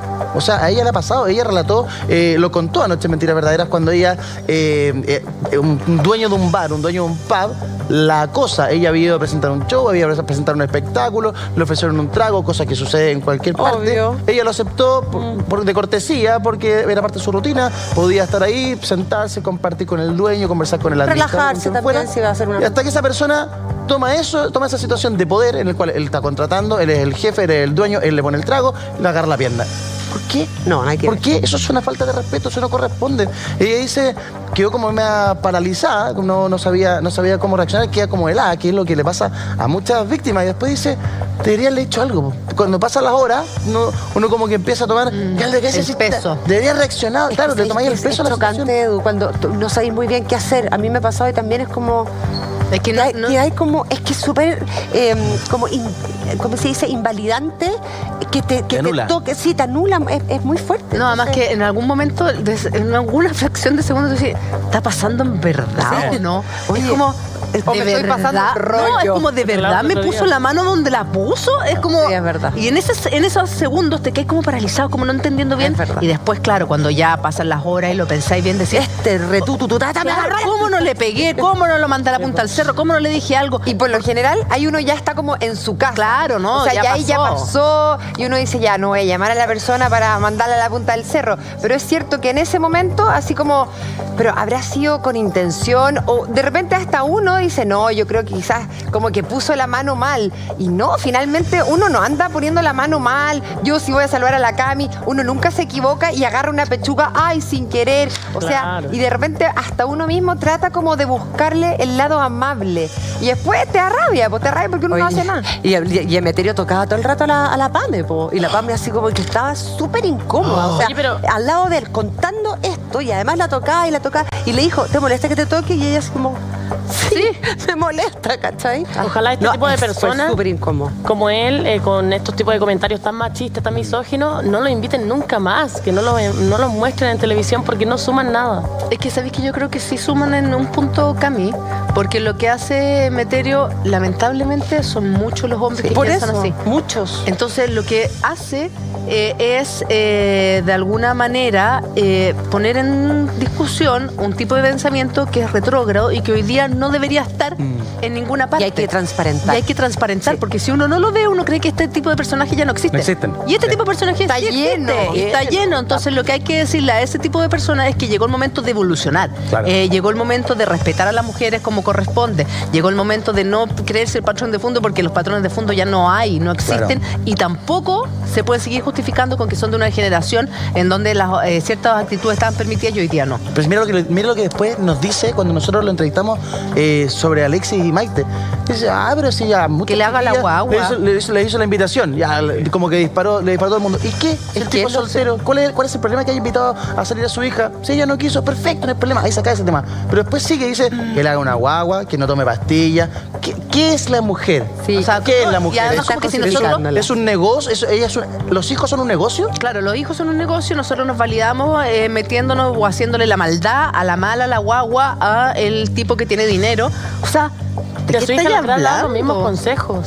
No sé, No, no, que no. ¿Sabéis No. que no? Yo creo que No. la tita si ve esto, eh, yo creo que le va a tirar su... Su raspacacho. Sí, la Sí. decía, papito. Per- y- perdón. Que son súper unidos ellos. ¿O es, o es este el humor? Estoy tratando de entenderlo. ¿O es este el humor de Yo creo que exagera él, ¿ah? Lo Juega- exagera juega- para Es que causar es- polémica. Eso Sí. es lo que te iba a decir, pero no sé, yo, yo he estado con él muchas veces y de verdad que conmigo por lo menos siempre ha sido súper respetuoso.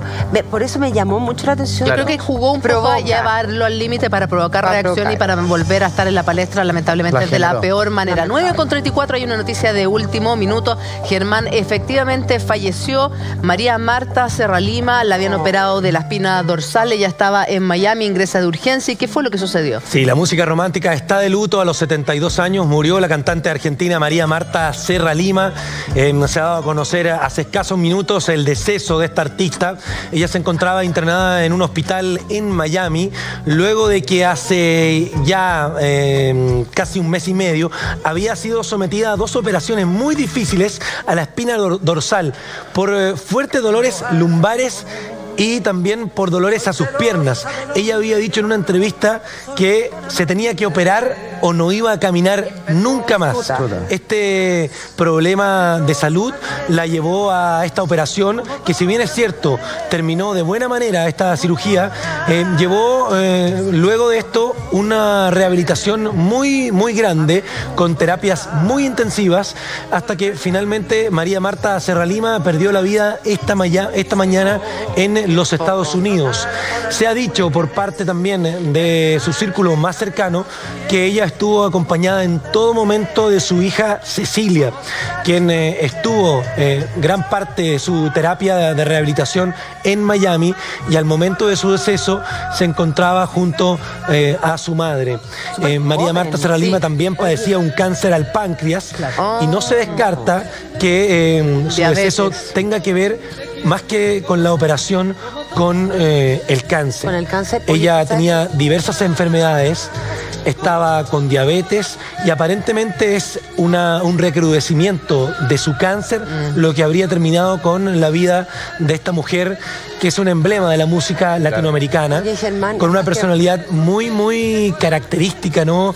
Con, con una personalidad fuerte, con una voz maravillosa. Pero tú sabes que ella se hizo un bypass gástrico y le cambió un poco la voz. Ella era obesa mórbida hace un tiempo y adelgazó muchísimo después. Entonces yo creo que todos estos problemas de salud también tienen que ver con la alimentación y con lo que ella padecía, que era la No, pero ojo que mm, el cáncer de páncreas es el Peor. peor. Sí. Es el peor, es el que tiene peor diagnóstico, es muy agresivo. O sea, de hecho, la mayoría de los cánceres de páncreas, por lo general, no son más de seis meses de vida. O sea, yo las personas que conozco que han padecido este cáncer, eh, es como que no hay nada que hacer. Sí, lo Eh, curioso, es, es Connie, tremendo. Es que eh, si este hubiese estado el cáncer de páncreas activo, en el fondo, o ramificado con metástasis, en fin, no le habrían operado de la espina dorsal en dos oportunidades a fines de septiembre. No tendría mucha lógica eh, someterla a un estrés y a una operación de alto Sí, riesgo. estaba pedida. Eh, por eso, a eso voy. Entonces yo creo que a lo mejor eh, pensaban que este cáncer estaba controlado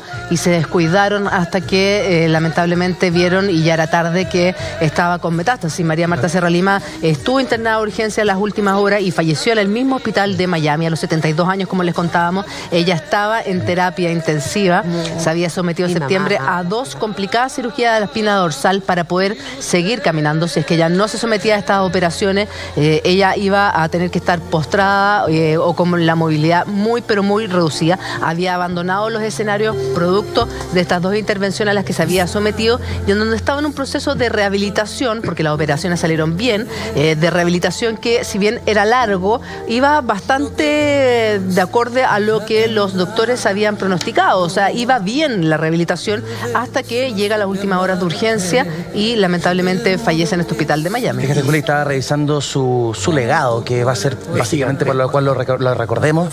Y estamos hablando de una artista argentina de 40 años de trayectoria.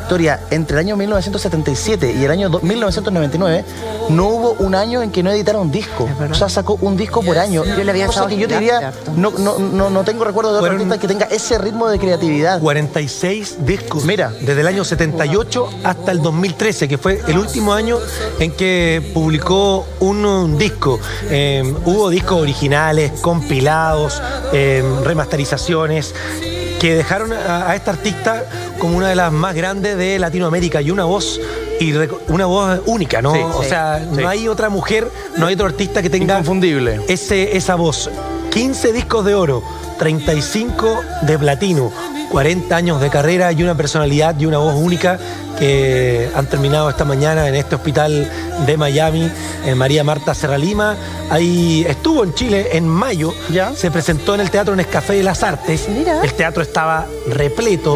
em, Público. Además que la interpretación que ella le daba a las canciones, a uno a veces le, lo- lo- le ponían los pelos de punta. Tenía una, una expresión, Transmitía. transmitía desde el corazón y particularmente con su rostro y con su tono de voz lo que ella quería transmitir. Eh, romanticismo, a veces enojo, a veces despecho, dependiendo el tono y, y- y- y la letra de la canción. Y hay canciones emblemáticas, Ceniza, Contigo aprendí, Lo de enamorado, la canción que Como hizo toda con- mujer. Como toda mujer también. Pucha, igual eh, en este momento un abrazo gigante para todos los argentinos porque yo siento que entre ayer y hoy día Uf. o Ay, sea, les ha les ha tocado. tocado súper fuerte porque independiente que uno conozca o no conozca a las personas, yo creo cuando cinco compatriotas mueren en un ataque terrorista, hoy día muere una de sus grandes expositoras de la música, Mm. no solo argentina, sino que latinoamericana, yo creo que el país entero se resiente, o como que uno siente ese, esa energía negativa, eh, no sé, y algo que finalmente no, uno no tiene ningún control. Así es que como Un abrazo Además murió Claro. un destacadísimo actor y guionista también esta mañana argentino, Pablo Cedro. Entonces es como que... Claro, como Ah, mucha gente. muy de, de pérdidas muy importante, no solo para el espectáculo, sino para la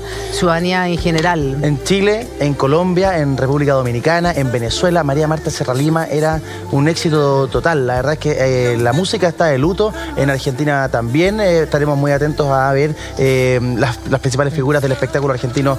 Ya, por supuesto, han enviado sus condolencias a través de las redes sociales. Así que nosotros estaremos atentos a la evolución de esta noticia. Nuestro, nuestro abrazo giga- gigantesco al pueblo argentino, a los músicos argentinos y a, a la familia de María Marta Serra Lima desde aquí, desde este rinconcito Así en es. Chile. Todo nuestro cariño y nuestro respeto. Y le vamos a estar contando la evolución y qué es lo que sucede con sus funerales. Pero cuando son las 9.42, el que no haya peleado con un vecino, que levante la mano y que tire la primera piedra. Mentirosa. Connie Roberts. Nunca, te Mira, juro. portada de las últimas noticias. La fiera se enfureció con vecinos carreteros. Pamela Díaz terminó en la comisaría tras una pelea en fiesta de Halloween que duró hasta las 6.30 de la mañana. ¿Qué pasó con Pamela Díaz? ¿Por qué se peleó con su vecina? ¿A ti te ha pasado terminar incluso a los golpes, como se especula en este caso, con algún vecino que te mete ruido o te molesta constantemente? Vamos a la nota y cuéntanos tu experiencia.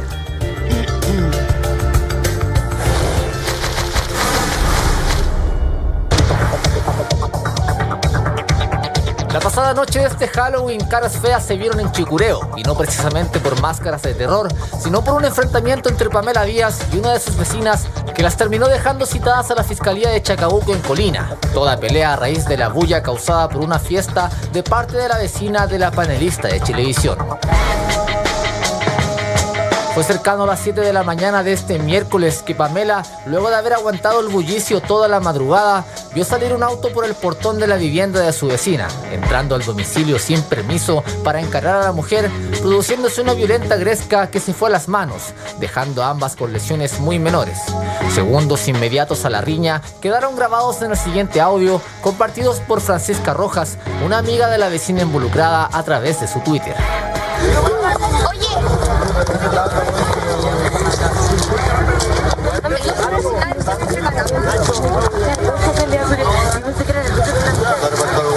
No caché nada, acabo de venir a ver qué puta y no veo la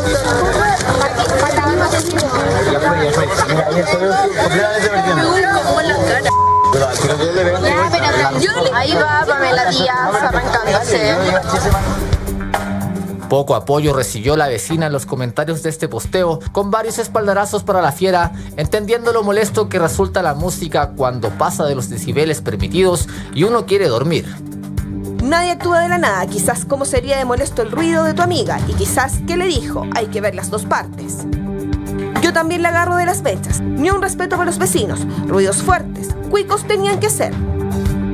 Su patá en la rata debería haberle dado a tu amiga y a ti por web, que no respetas los espacios de otros, más encima andáis sapeando.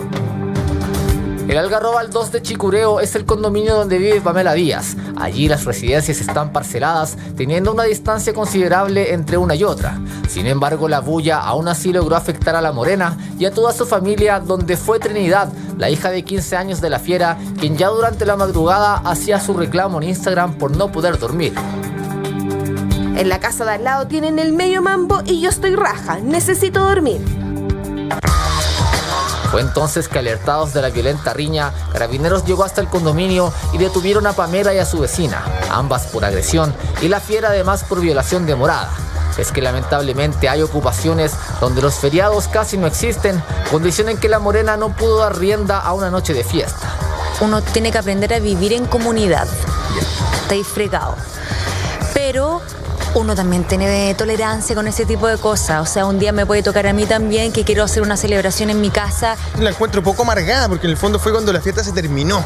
De hecho, nos fue a hacer el show en la mitad, y llamado a los carabineros, claro, y que hubiese todo un espectáculo, la gente yendo, si hay gente curada, haciendo pipí en la calle. Eh, llega un momento que uno explota, lo cual me parece un poco justificable. Si uno le pide al vecino, mira, me está pasando tal situación, tengo una nena pequeña, creo que hay que ser un, hay que empatizar. Como que yo no sé si será un tema cultural o no, pero encuentro que es súper común que siempre haya alguien que se enoje cuando tenéis la música muy fuerte.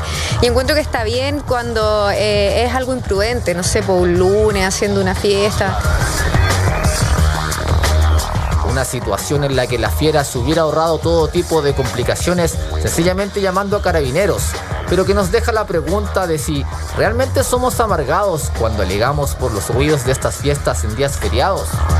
Véngase para acá, vecina. Vecina buena para la fiesta. La y ya va, vecina llegó, invita, llegó la se vecina. enojó la vecina. Llegó la vecina. Se enojó la vecina. Se enojó la vecina. Pamela Díaz pasó una noche terrible. Su vecina hizo una fiesta de Halloween. Sacó lo que son los parlantes por la ventana. Puso, Sacan los parlantes para la música, calle. Sacó los parlantes a la calle, puso música a la vez toda la noche. en un. Y Pamela Díaz, no, no vienen unos de Felo. El condominio donde vienen ellos son casas grandes, con terrenos grandes. Son parcelas. Son parcelas, básicamente. Y Pamela Díaz lo tuiteó lo- o lo mostró en redes sociales. Mi vecina tiene el medio mambo, yo necesito dormir. La hija, la hija. Perdón, la hija de Pamela Díaz. Eh, es igual aquí además, la Pame tiene hijos chicos. Tiene, una, tiene guaguita. O sea, Una guagua de medio tiene una guagua. No pudo dormir. Pascuala.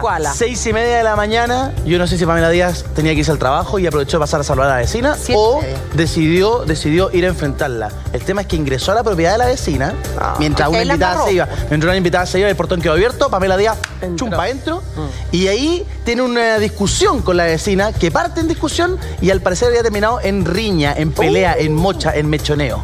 Eh, ambas detenidas, ambas por riña y Pamela Díaz además por haber ingresado a propiedad privada. ¿Cómo lo hubiesen arreglado ustedes? Les pregunto, el tiro, catapulido, yo me Ah, ah, yo más tomar. Pero ¿cómo lo haría? Pucha, es que a mí me pasa al revés. Yo tengo tanto atados con mi vecino, pero es todo lo contrario. Yo no molesto en nada y los vecinos hostigan constantemente a los cabros chicos porque les molesta el ruido. Si les molestan los niños, cámbiese de condominio. Porque mi condominio está hecho por los niños. Pero, ¿sabes que Yo no. A ver, cuando meten ruido trato de hablar con los cabros. Yo soy súper relajada. Yo, la verdad es que, mira, rara vez escucho ruido porque tengo un súper buen dormir. Menos mal, siempre estoy muy cansada. Así que duermo profundamente. Pero acá me parece que hay, no sé. no- es que tengo que ver también las otras partes. Sí, Yo- para que se lo reparte. hay que ver, Yo- ¿cachai? Me parece que es como, claro, como es Pamela Díaz, también le pegan y le pegan. Mira, me estoy hundiendo. Le Claro. dan y le dan y le dan. Entonces también es un Yo desde el- susto, porque cuando rincón- uno es famoso, ay sí, po, la galla famosa, la que alega siempre, si no te veis los, los escándalos que sí en la tele, no. Yo estoy, yo estoy con Pamela yo- Díaz. Pero yo- de- y del rincón de la también Margo voy a yo corto la luz. Le corto la luz a los vecinos. Ya Con lo has hecho. Ay, eso no- Ya lo he hecho. ¿Sabes Sí, qué? corto la luz. Creo que aquí las dos son culpables, así que qué bueno que se fueron las dos para adentro. ¿Por qué? Chumpa adentro. Chumpa adentro. ¿Por qué? Porque uno, voy a partir eh, criticando a la vecina que hace la fiesta. No porque haga una fiesta, pero yo creo que uno tiene códigos de respeto y empatizar con el vecino. Si yo voy a hacer una fiesta que sé que es hasta las 6, 7 de la mañana, lo que yo hago, voy, le toco el timbre, le llevo un- una cajita de chocolate, una botella de vino, le digo, oye vecina, sé que mañana voy a hacer una fiesta. Entonces, inmediatamente la otra se lo va a bancar hasta las 7 de la Claro, mañana porque, porque tú tuviste advertida. una actitud Sí, como súper eh, respetuosa, súper educada. Entonces, no va a llamar a los carabineros, no se va a ir a meter a tu casa. Entonces, parto contigo, vecina, vecina del Algarrobal 2. Entonces, partiste mal. ¿Y por qué también encuentro que Pamela Díaz actuó mal? Por eso digo que las dos actuaron mal, porque tú no tienes el derecho de entrar a la casa de nadie. Si yo no soy No, ahí la- invitada a una casa, yo no tengo el derecho, sea Pamela Díaz, sea quien sea, no puedes entrar. Llamas a carabineros, lo, pides que vayan, llamas a guardias de Manguereas pa'l otro lado. No, o sea, haces, pero no puedes entrar a una propiedad privada. Porque además, sobre todo, la Pamela Díaz se expone a una situación. Si eran las 7 de la mañana, me imagino que ya habían varios que estaban, po, Claro, que estaban bajo el efecto del alcohol. Anda a saber tú, o sea, lo peligroso a lo que ella se estaba exponiendo. ¿Cómo será que terminaron así lo que dicen, creo que a no los la golpes? pensó. Entonces siento que las dos actuaron mal. Yo creo que sabéis que no lo pensó, durmió pésimo, eh, su familia no pudo dormir, Claramente no lo se, pensó. se iba yendo a, a trabajar al canal y de repente ve el portón abierto y dice, esta es mi oportunidad y se baja de impulsiva. O sea, no puedes perder el control, no está bien y mucho menos pues. llegar al mechoneo o al no, supuesto arañazo.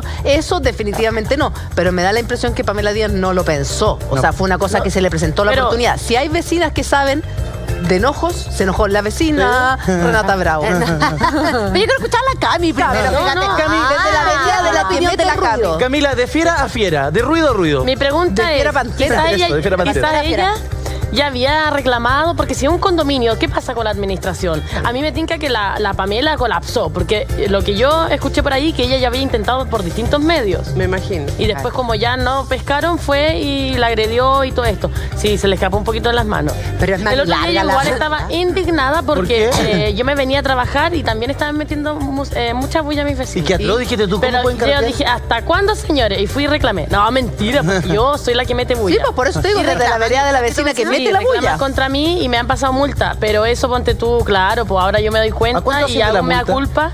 Y, y dónde está el respeto con los vecinos, pues, ¿cachai? Claro. ¿A cuánto que- la multa por meter boche? Sí, eso, UTM. Tienes que pagar en UTM. Eh, ay, no sé. La del ascensor, ¿cuánto te costó?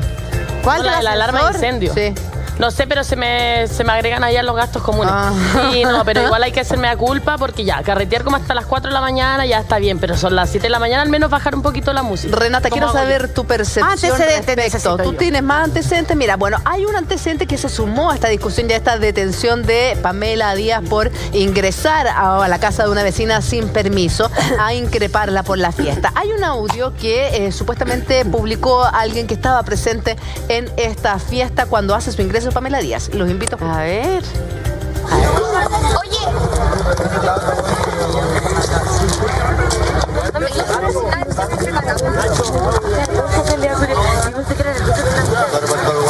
No caché nada, acabo de venir a ver qué y no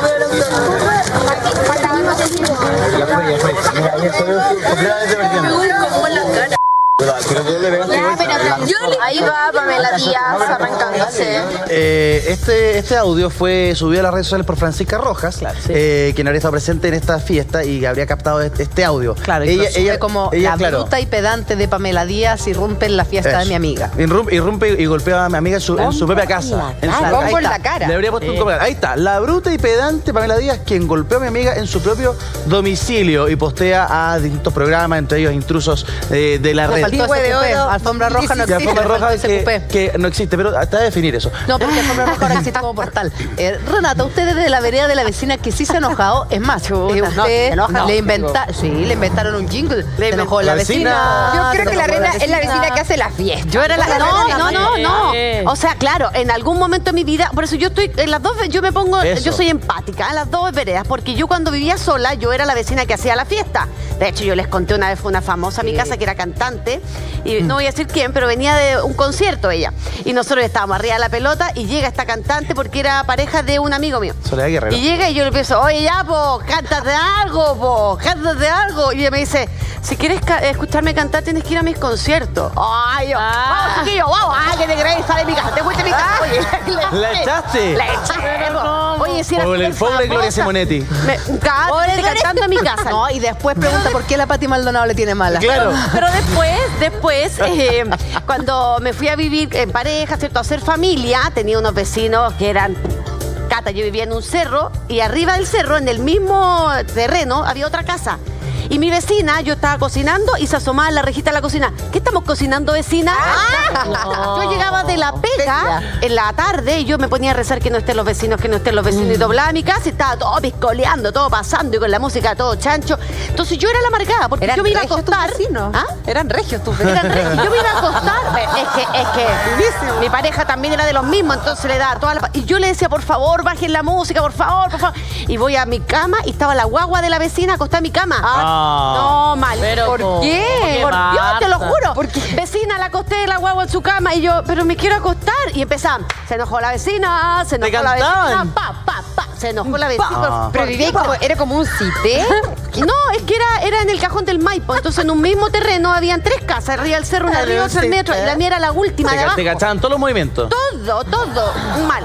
Bueno, entonces yo conozco lo que es las dos caras de la moneda. Claro. Pero para estos casos, uno lo primero que hace es llamar a carabineros. O sea, Carabineros. primero, si tenéis, como dice la Cami, sabemos todos los procedimientos que hizo la si tenéis tu administración, o sea, eh, conserje, Comité, con conserje, claro. Llamáis al conserje, primera cosa. Y si no, directamente al carabinero y los carabineros llegan. Sí. y tienen un aviso y al segundo te pasan el parte. Sí, el y si era a las 6 de la mañana tendría que haber por lo menos cuatro avisos. O sea, Pero, oye, porque ¿sabes lo que pasa, Rena? Es que a veces uno ya. de- yo yo colapsan, soy súper peligroso lo que hizo la Pamela. Es súper Sí, peligroso. Yo no lo justifico bajo ningún punto. Pero sí entiendo ese minuto de que a mí me pasó en, en un. Yo nunca he tenido problemas con mis vecinos. Al contrario, que hagan la fiesta que quieran, yo nunca voy a alegar, me da lo mismo. Pero que aunque hagan todos los fines de semana, Eh, pero, pero que no me molesten cuando yo hago una vez al año. O sea, es como el pacto de una agresión. No, yo no, yo no Claro. tengo problema. Yo también soy. Pero, de verdad, un- tuve unos vecinos que tenían una banda de rock. Ah, Te prometo, no, como la, como como, con gracias. Como Iba a decir otra verdura. como el hoyo, no, como la- gracias. como el ajo Chapi, más- como el se ajo. escucha mejor. Y eh, de verdad, los sábados, de 3 a 8 y media, 9, Batería, no, ensayaban con la no. batería, Bueno. ta, ta. Y mi, pie- mi cama daba a la, donde ensayaban ellos. Ta, ta. Y yo le decía, vecino, por favor, vecino. Y les importaba poco y nada. Entonces al final yo ahí entiendo la rabia de, ¿sabes que A mí muchas veces me dieron ganas de darme la vuelta, ir a tocarle la puerta y mandarle a la punta al cerro y no hacer el, trámite regular. Porque tú dices, oye, ¿cómo tan desconsiderado? Para ellos es el día que puedo ensayar. Para mí era el día que podía dormir, descansar y con mi hija. Pero te digo que yo te- creo, tengo la, la idea de que siempre son los cabros los que hacen el desorden, No. porque uno como papá sabe, yo por lo menos tengo sentido común y digo, si yo me mando el condoro y peleo con la vecina, me la voy a tener que Mamar, todos claro. los días. Me la encuentro en el ascensor, me la encuentro en las reuniones, me la encuentro abajo, me la encuentro. Entonces yo por lo menos digo, no voy a pelear, me voy a aguantar, me voy a morder la lengua. Pero también evito hacer escándalos, porque si no te convierte en un en mal vivir. Oye, yo O sea, creo- hay, eh, perdón, hay eh, vecinos en departamentos que dejan a los perritos en el departamento y se van a trabajar. Y el perrito ladra todo el todo día. el santo día. Entonces, dile tú a la vecina con buena onda, vecina, ¿sabe que el perro... Ah, el perro es mío, pues ¿cuál es el problema? ¿Que, que a usted no le gustan los animales? Ah, y te juzgan como que no te gustan los animales. Al contrario, si tú has escuchado todo el día ladrar al perro, te da pena. Entonces te dejan como una mala la película. pero Reina, ¿sabes qué? Tiene que algo detrás. Es como mano larga, como que... Gente decente nos va a proteger Germán Chisler. eh, testimonios y opiniones a través de Twitter a- desde ahora ya. Mira, la Connie nos a dice así. Connie 1974. Me pasó en otro condominio y llamé a carabineros. Ahora a mi vecina le aviso hasta cuando ha acostado Sí. por si molesta el humo. Esa es la actitud. Una vecina considerada. La Francisca nos dice lo siguiente. Mis vecinos tenían un equipo de, un equipo de seis parlantes y vivimos en un pasaje de menos de tres metros de ancho, casas de frente. Imagínense la bullita hasta las 7 de la mañana de viernes a domingo con volumen al máximo. Y mi pieza hasta el principio de la casa. Yo y mi bebé no dormíamos nada. Gracias a Dios se, Se fueron. fueron. Pobre.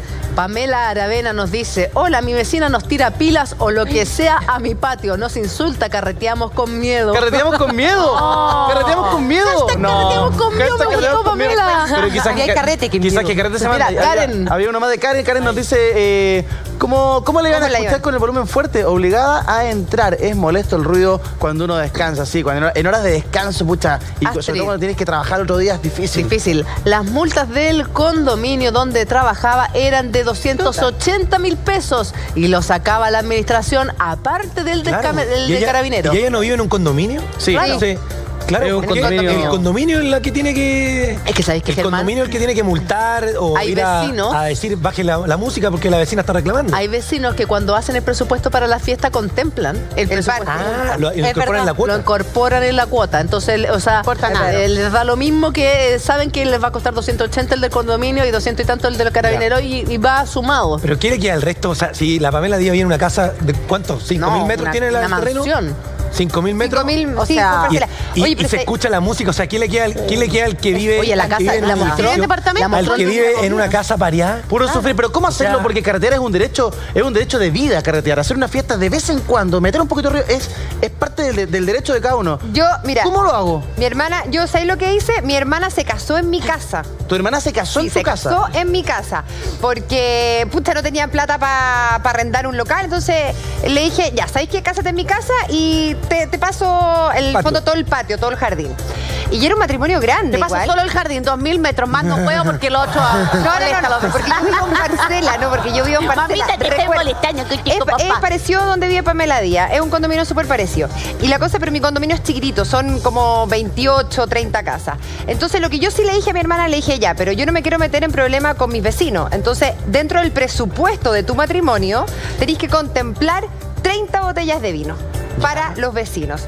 Entonces, lo que yo hice una semana antes, y mi hermana es diseñadora, entonces hizo una tarjeta súper bonita, como les quería contar que mi hermana se casa en mi casa tal día, pucha, les pido perdón por lo- los ruidos molestos, ta, ta, ta. Por los estacionamientos. Entonces, la cosa, y los estacionamientos, porque había que meter todos esos autos en el condominio.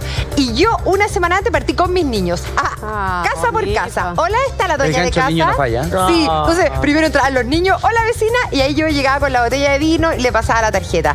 ¿Tú crees que alguien, o sea, al- en el WhatsApp del condominio, el día del matrimonio, todos, es que, que, que tu hermana sea demasiado feliz, mucha Ay, suerte? Porque finalmente uno como que tiene que ser más prevenida Claro. y, y un poco tomar, ya, si yo sé que va a estar hasta las 6 de la mañana, Oye, la música, compró. entonces ¿de qué manera? No, no es comprar, es No, no, es educada. cada- ¿Sabes qué? ¿Sabes qué? Que lata tener un vecino flight, perdona que te diga, pero que de verdad esas son cosas de buena educación, ¿cachai? Porque cuando tenéis vecinos que son criada, de mala negro. Educación, que son medio, eh, Ya, son pero medio Cata, malandros, oye, Cata, Cata. ¿qué pasa con- O sea, de verdad que no, es inconvivible. Pero ¿qué pasa con las personas que son muy amargadas y que reclaman por todo? Eh, También es también otro hay. caso es. Bien, Ya, eso. Está bien que, que te reclamen porque son las 7 de la mañana y tienen la música todo chancho. Pero yo una vez, que no puedo dar tantos detalles, estaba en una casa, estábamos grabando para un programa y estábamos haciendo un baile árabe. Ya fueron como tres bailarines, cuatro, y empezaron como a saltar.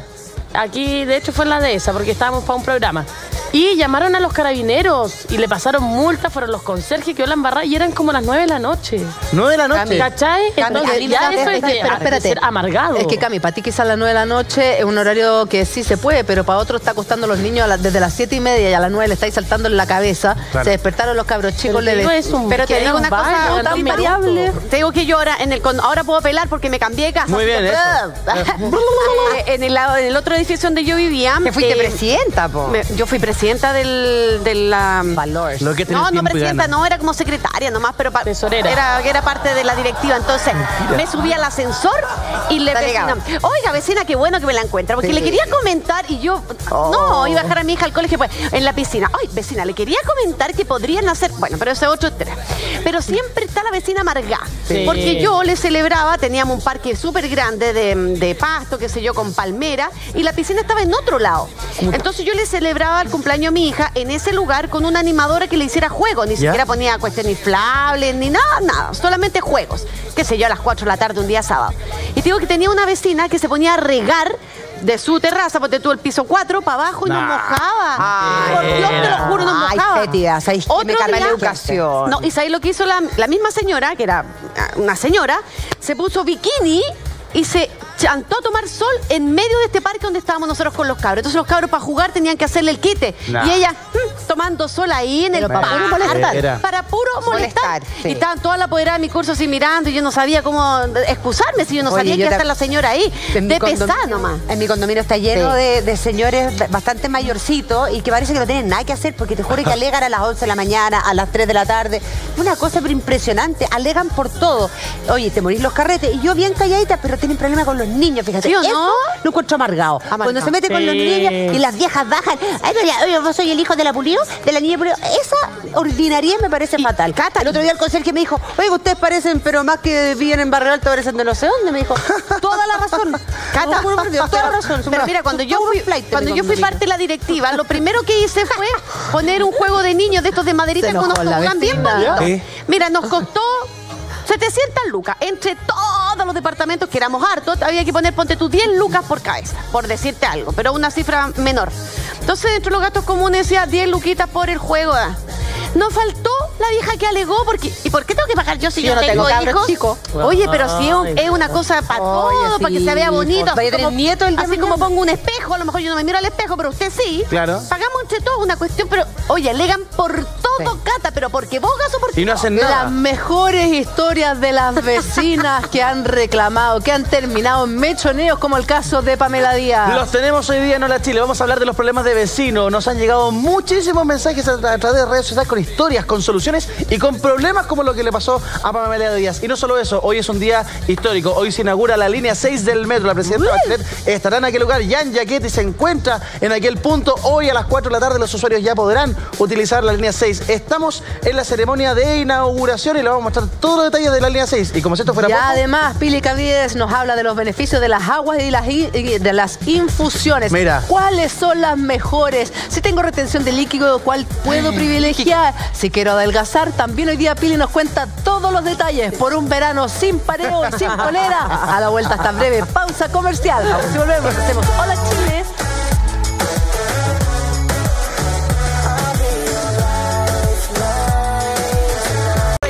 La Chile las 10 con 11 días jueves. ¿Has tenido problema con tu vecina, lo Pamela Díaz? Ya no nos dice. Dayana nos dice, mi vecina de pieza pareada taladrió, ¿a qué se- ah, taladrió. taladrió y martilló de lunes a miércoles a la una de la mañana. No. Mi marido fue a reclamar y el tipo le quiso pegar. No. Oh, Hay gente súper agresiva. Hay gente Mira, cara de palo. Pía Astorga, porque nos han llegado de todos lados los reclamos. Dice, mi vecino me tenía chata con sus karaoke para todo el sector. Y llamé a los carabineros justo el día de su cumpleaños. Esa es venganza. Lo mató, lo mató, lo Esa es venganza. Es que no hay nada peor que el vecino que se cree bueno para el cante y, y no pasa nada. Coté Escobar, la fiesta de Halloween de mis vecinos duró hasta las 4 de la mañana. Mi alarma suena a las 4 y media y tengo una guaguita de 11 meses. Pobre Coté. Han Ánimo, Coté. visto, lo peor es cuando uno vive en edificio y la vecina de arriba tiene piso flotante. Oh, los y le gusta el taco, le gusta el taco y corre con taco y corre muebles como a las 3 de la mañana. Mi vecina era buena para correr Pero muebles. ¿sabéis qué? Hay unos departamentos que de verdad que aquí hay que culpar a la inmobiliaria, a, que el- a la constructora. Construyen Nosotros cuando recién yo me casé vivíamos en un departamento, esos que son como por piso, eran como 150 por piso. ¿Sabes que tú estabas durmiendo? Ni siquiera era el taco por el piso flotante.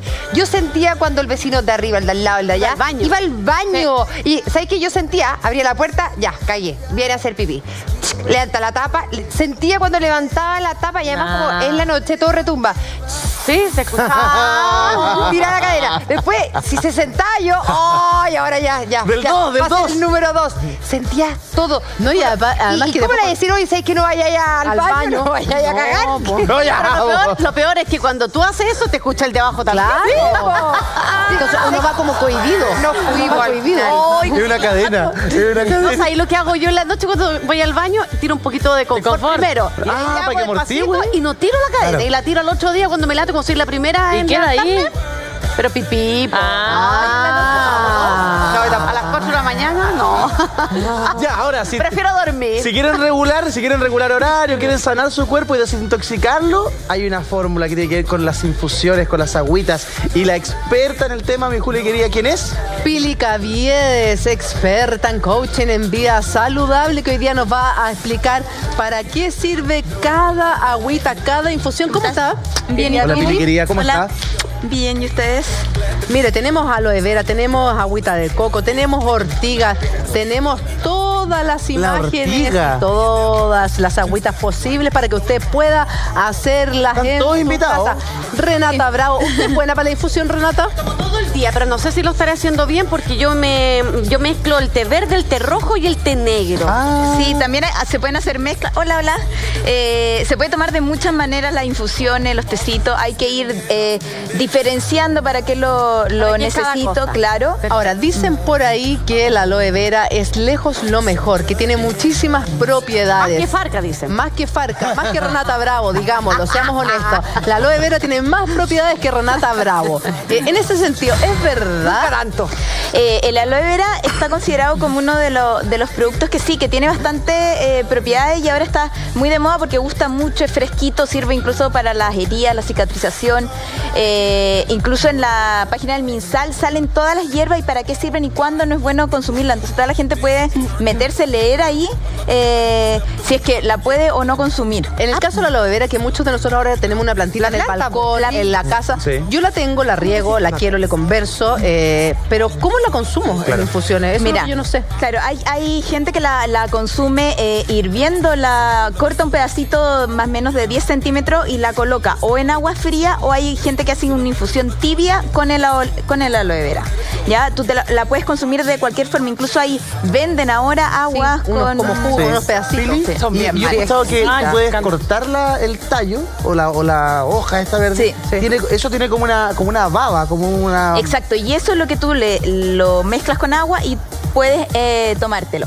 Eh, tiene un efecto muy laxante. Es Ya. como desinflamatorio. Es, es desinflamatorio, es laxante, eh, ayuda a eliminar líquido. Entonces por eso ahora está muy de moda y mucha gente lo, lo consume. ¿Es carne de perro? ¿Se, se puede como Se puede- cultivar en cualquier parte? Se puede cultivar en cualquier parte. De hecho, primero nació un poco como eh, para decorar y de ahí se le empezaron a ver sus propiedades. Ya. Pero tú dijiste recién que hay que ver en qué caso darlo. O sea, tiene contraindicaciones, no todo el mundo deberá Sí, hay contraindicaciones generalmente para todas las hierbas, sobre todo hay que tener cuidado, ojo con las embarazadas, Ya. eh, con periolactancia. eh, con gente que tiene cálculos renales, con gente que es hipertensa. Entonces, no es llegar y tomar cualquier hierba, siempre es necesario preguntarle a alguien que sepa, o por lo menos, como dije, la página del MinSal salen todo este tipo de hierbas y usted te ingresa por internet y puede leer eh, para cuando está contraindicado in- indicado. Contraindicado. Entonces es mejor no, no excederse ni recomendarlo libremente. ¿Cuándo puedo consumir eh, una agüita o una infusión de aloe vera? ¿Cuándo me es beneficioso? Por ejemplo, cuando tengo tránsito lento. Generalmente cuando las personas, claro, tienen tránsito lento, eh, no les cuesta consumir mucha fibra o no toman mucha agua, ¿Ya? es una buena manera de ingerir, de hidratarse y además de efecto laxante. Germán, ¿cuántas infusiones es recomendable tomar en el día? Infusiones tú puedes ir combinando y puedes tomar desde el té, que no es precisamente una infusión, porque cabe como en otra categoría, está la categoría el té que tiene cafeína y las infusiones. Eh, podrías tomarte una a la mañana, media tarde, pero dependiendo también de tu tolerancia y qué infusión estás tomando. Si tomas eh, muchas para estimularte, claro, también te va a afectar después finalmente el sueño en la noche, eh, o va a ser demasiado digestivo. Entonces hay que ir con calma y obviamente ingerirlas para hidratación ¿ya? Pero también eh, para, así como una comida más contundente, también sirven digestivas, como la menta. Como la mente, vamos a Sí. estar revisando las pilas. Tenemos una pregunta en Twitter que queremos que nos ayude. Dice así, eh, Karina nos cuenta, si estoy dando pecho, ¿qué agua puedo tomar para bajar un poquito de peso? Si ya tuve mi guaguita y estoy de pleno periodo de lactancia, ¿qué agüita tú le recomiendas para eh, hidratarse y además poder Mira. aprovechar las bondades y bajar un poquito más de peso? Ya, como ella está dando pecho, ya dando pecho tú vas a bajar eh, de peso naturalmente. Dar pecho se gastan muchísimas calorías, entonces, eh, y tampoco es minuto para pensar en lo que tengo que bajar. Ya Uy, el, pero, el pero solo ojo hecho de ahí, bajar. Sí. yo ponte tú cuando daba papa, yo no bajaba ni, un gramo. Pero después cuando de dar papa, hasta cuando que baja. dejaba de dar Exacto, papa. por eso hay que, hay que tener un poco de calma cuando uno está en el periodo de embarazo y de lactancia, claro, Sí. quieren inmediatamente como recuperar la, la figura, pero ahí hay muchas infusiones que están contraindicadas y, contraindicadas y de repente con, de- influye solo en ella. Entonces mejor preguntarle a su médico Claro. qué infusión Que puede no tomar. tema que no, que no sea tema. Puede tomar agua con pepino, por ejemplo, o agüita con cascarita de limón, pero evitar eh, la ruda, evitar el jengibre, eh, evitar eh, cosas que pueden ser muy estimulantes. Oye, porque por. Dios queda sed cuando uno da pechuga. Sí. Yo te juro que yo me sentaba con mi guagua y yo libre de demanda, entonces no los 15 minutos hasta que se aburriera. Y con mi guagua tenía que tener la botella de agua No, al lado. exacto.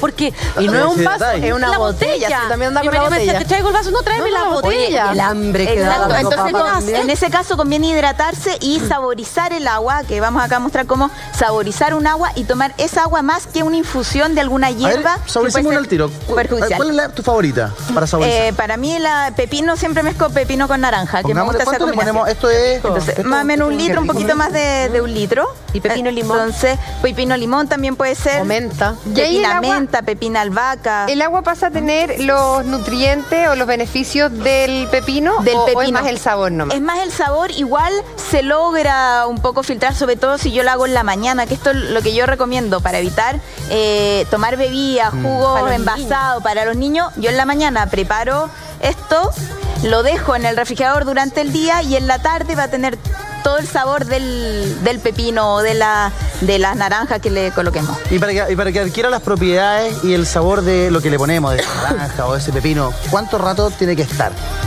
¿10 horas, 12 horas? Eh, no, no tanto porque también el agua empieza, claro, se Se empieza a amargar, ¿no? pero sí eh, yo lo puedo dejar durante la mañana un par de horas y ya toma el De hecho, ahora si esperamos un rato... Al almuerzo. eh, claro, ahora mientras estemos conversando y después podemos probarlo y está ya saborizado. un Y el poquito. meterlo al refrigerador no altera sus propiedades. No, lo podemos meter al refrigerador y no hay Oye. ¿sabes lo que hacía yo? No sé si está bien o mal. Yo me hacía limonada con menta y jengibre. Ah, Sí, los jengibre, como yo tuve mi guagua en, en verano, rico. Exacto, eso, Bacán. eso es súper bueno, refrescante y evitamos tomar algo procesado o bebida finalmente. Oye, Pili. Ah, Dale, no, dale, Carmen. dale con. Cachibura. Ah, es que lo mío se me pasó, era, era por la aloe vera. ¿Ya? Te escuché que era para las heridas, pero para ponérmelo en las heridas, ¿me lo tengo que poner directo? El, el Eh. ¿O ¿Es para las heridas o la cicatrización? Es para la cicatrización. O sea, ¿ya? una cicatriz que ya tengo, ponte tú aquí, me, me podría como No, borrar la eh, eh, cicatriz. no, es cuando tú te haces la herida y la herida todavía está cicatrizando, ahí va el, al- eh, claro, no es para borrar, eh, claro, para borrar cicatrices hay otro, la baba de caracol sirve mucho. Sí, sí. sí. Mi, mi pregunta tenía Ahora- que ver con cargar el agua al sol, Pili. Tiene que ver con eso, porque yo conozco gente que, por ejemplo, ese mismo jarro eh, se, se lo van a tomar durante el día, lo pone al sol a cargar para los beneficios del sol. Y después eso mismo es lo que se lleva al refrigerador y toman esa agua durante todo el día. A ver, ¿es algo más esotérico o Se realmente con vitamina sirve? B, Sí, sí, la, la verdad que claro, incluso algunas hierbas eh, son se dañan a la luz del sol y hay que guardarlas en oscuro. Por eso hay unos frascos como de hierba y típico las abuelitas tienen como los frascos en hierba. Entonces tampoco es bueno dejar muchas cosas a la, a la luz del sol porque se oxidan, sobre todo Los cítricos, pero, pero, pero. Pili, el agua, antes de ponerle los, los elementos, la naranja, el limón, el pepino, el, el agua la podemos poner 15 minutos al sol para que se cargue de vitamina D. no se va a cargar de vitamina No D se va a cargar. agua. No, o sea, más que es algo, esotérico. algo más. sí. Puede tomar agua, Sí. agua tibia nomás. Puede, puede tomar, claro, si quiere agua tibia, pero no, la vitamina D no se va, la vitamina D se absorbe Con la piel, con la, con con la la piel. piel, ya con los rayos ultravioleta que llegan a la, a la piel descubierta. Y lo otro, hay muchas preguntas en Twitter que nos dice, eh, ¿el agua cocida o de la llave nomás directamente? Filtra. ¿La, la hervimos? Idealmente el agua que sea filtrada. ¿Ya? Eh, el agua de la llave igual tiene hartos residuos, sobre todo también dependiendo de, de- qué comuna, de sarro. Es muy distinta el agua que tomamos nosotros con el agua que uno toma, por ejemplo, en Coñaripe. O sea, es un agua totalmente distinta, es- Distinta. Es, mucho más rica el otra agua. Oye, y cortito, ah, cortito. Para la gente que está en la casa que uno dice es filtrada y de repente, pero ¿cómo se filtra el agua? A- Aquí nos enseñaron y yo compré en una casa esta de un filtro de agua que, mira, no me costó barato. el- 25 lucas me costó. Ay, casi La compraste en del puño. Tres potas. Y eh, es súper práctico, lo, lo instalas tú misma y tú sabes que cambia el sabor del agua, pero es que increíble. Yo de no hecho, mis hijas son buenas para el agua. Y nosotros compramos esos bidones de plástico. Y un día me dijeron, mamá, está mala el agua del bidón. ¿Cómo va a estar mal el agua del bidón? De porquería. Y la probé, tenía un gusto raro. Entonces le puse el filtro y te digo que ellas solitas van, saben cómo regularla, porque es para lavar la losa uno y para tomar otro. Entonces, Y al- oye, ¿y, y al qué? final es más económico. Claro. Porque lo una pura pues, vez. nunca más. el No, es como Eh, tomar el agua de una vertiente. Eh, Oye, el, el la ducha, filtro- como te queda el pelo. Claro, eh. el, el filtro, sí, efectivamente no es algo muy barato, pero sí es algo que podemos incorporar y que efectivamente no lo vamos, hay que cambiarlo cada, Cada cierto, seis meses, Claro, cada cierto tiempo, pero no es algo tan caro que puedo tener en la casa y ocuparlo. Lo mismo que tener estas aguas eh, saborizadas, ahora hay unas botellas de vidrio muy bonitas que se pueden tener incluso Sí. en el living. Sí. Y tienen una llavecita. Y tienen una, una Ah, llavecita, entonces cuando tú tienes invitados a comer, cada uno saca Y se va eh, sirviendo. y se va sirviendo eh, su agua con los sabores Ahora, que ¿cuánto dura? Porque yo como que si dejo un jarro de un día para otro, como que ya no me gusta mucho Sí. tomármela. Tiene gusto refrigerador. Sí, Ahí. como Sí, que... idealmente Gusto yo a eh, refrigerador. ideal- idealmente yo prefiero durante durante el día y taparla. Ya, déjala tapadita, Claro, porque efectivamente a veces eh, ¿Viste? toma el, Gusto el refrigerador. Pero perdóname. durante Como el día ahora. Si ponemos este jarro al refrigerador, probablemente, como dice la Connie, gusto refrigerador, que solamente ella ha probado el refrigerador. No, no, no, Pero, no. pero si Es como- una botella cerrada, Mezcla de sabores. con tapa, O, no por ejemplo, es como no el gusto debiera. del hielo. El, Claro. el hielo tiene Ay, gusto a malo. refrigerador. Es súper importante eh, lo que estamos mostrando acá que sea un envase de vidrio. ¿ya? No plástico. No plástico. alemán. ¿ya? Porque el, el plástico, una que eh, tiene residuos tóxicos, se altera eh, la composición, el sabor del agua. Entonces, de vidrio lo dejo a temperatura ambiente, si me gusta tomar así, o lo refrigero. Ahora, esta infusión que hiciste o esta agüita que pusiste con eh, tres pedacitos de pepino, Sí. una naranja, ¿es diurética? ¿Para qué sirve? Esto principalmente te va a servir para hidratarte. ¿ya? Eh, hay eh, hierbas un poquito más diuréticas o infusiones como la, la que se hace con la cáscara de la piña. Uy, yo con esa del que, que es más diurético. Esto principalmente para hidratación y Ya, en vez de comprar jugo, hacemos esto. Hay gente que dice no me gusta rica. el gusto del agua y con esto... Con esto es cambia y es, algo barato, sencillo, lo puedes tener en la pega, en tu casa, en Pili y el té helado, el iced tea, porque a mí me gusta mucho en verano, de repente el, el té normal, pucha, helarlo y echarle, ponte tú gotitas de limón o no Claro, sé, o- eso también puede ser eh, otra opción, sobre todo ahora para cuando empieza a hacer un poquito más de, de calor. Tomar un, un té helado, eh, finalmente es la misma, es la misma infusión, pero que la dejaste. Tiene eh, los mismos beneficios. tiene los mismos beneficios que la dejaste enfriar. ¿Y el té hidrata? Rico. Buena pregunta de la Juli. El té no hidrata. De hecho, la- las cosas que tienen cafeína, eh, el café, el té, no hidrata. Hay tés o hierbas que no tienen cafeína, como el té roibos, Ya. que ahora se está usando mucho. Pero tiene un gusto como a Que- tierra. Sí, a, Súper a mí no, amargo. a mí no me gusta mucho. ¿El té cuánto? Roibos. El té roibos. El té roibos. Bien Roibos. negro y bien amargo. Eh, bien negro, bien amargo y es una infusión que se saca de un árbol de, de Sudáfrica. Ya. Eh, ahora está muy de moda porque también tiene un efecto más de eh, diurético, laxante, se ocupa mucho y lo puedes ocupar como un tema de hidratación. Ojo con el té roibos, sí, ah, porque yo lo tomé muchos años y cuando quedé embarazada también lo tomaba. Y el Ay, médico no. me dijo, por ningún que- motivo Sí. roibos para el embarazo. para el la embarazo Perdón. por ningún motivo. ¿Y por qué? Porque es diurético, po. No, no, la verdad que no sé, pero No, lo que es pasa muy es fuerte. que es me- muy fuerte y hay periodos en que la mujer empieza, o sea, queda embarazada y hay eh, infusiones o test que pueden ser incluso abortivos. Sí, La, la ruda. La, la ruda, La la, ortiga. la, la ortiga, la mm, cúrcuma,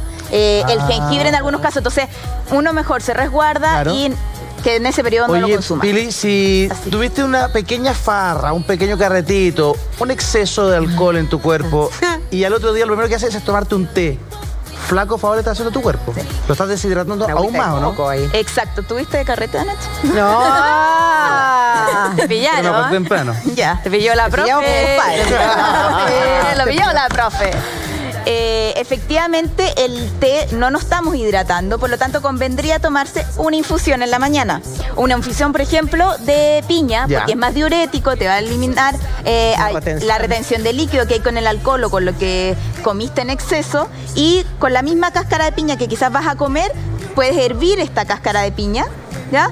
Y eh, tomártela o tibia o dejarla enfriar, como está Es que en eso quería preguntar porque la Cami pasó colado. Oiga, Dijo que ella sí, bajó mucho de Yo peso bajé con mucho de eso. peso. ¿Con Sí, qué, perdón? pero yo la hervía. Tú hervías la, claro, es- Claro. Con la pura cáscara. Con la pura cáscara, cáscara. exacto. Ya. Entonces, tú comes la piña y para no perder la... Mucha gente dice, no quiero perder la cáscara, la hiervo. Oye, pero Pili, ¿sabéis qué me pasó una vez? Que le eché tanta cáscara de piña, la dejé tanto hervir, que me llegaba a doler par- para hacer pipí. Porque era mucho, eh, eh, era mucho la ganas de ir al baño. Porque es súper mega diurético. Exacto. ¿Y qué pasa? Si no puedes ir al baño y retiene finalmente el- ese líquido, también es Claro. dañino. O sea, tómalo cuando tengas las opciones de poder Claro. ir cada Pero Pili, que- hagamos una cosa, vamos por partes. Sí. Entonces, la aloe vera es una buena infusión para quienes tienen problemas de tránsito lento, Lento. eh, y además te hidrata. Eh, las agüitas con dos eh, rebanaditas de Sí. pepino o eh, una Con naranja. alguna fruta, te claro. hidrata y es para la gente que no le gusta mucho tomar agua. Exacto. Es una buena opción, Cambiar sobre todo para los niños. Sí. El té, tú dices que nos deshidrata, que lo único que serviría sería el rooibos para hidratar,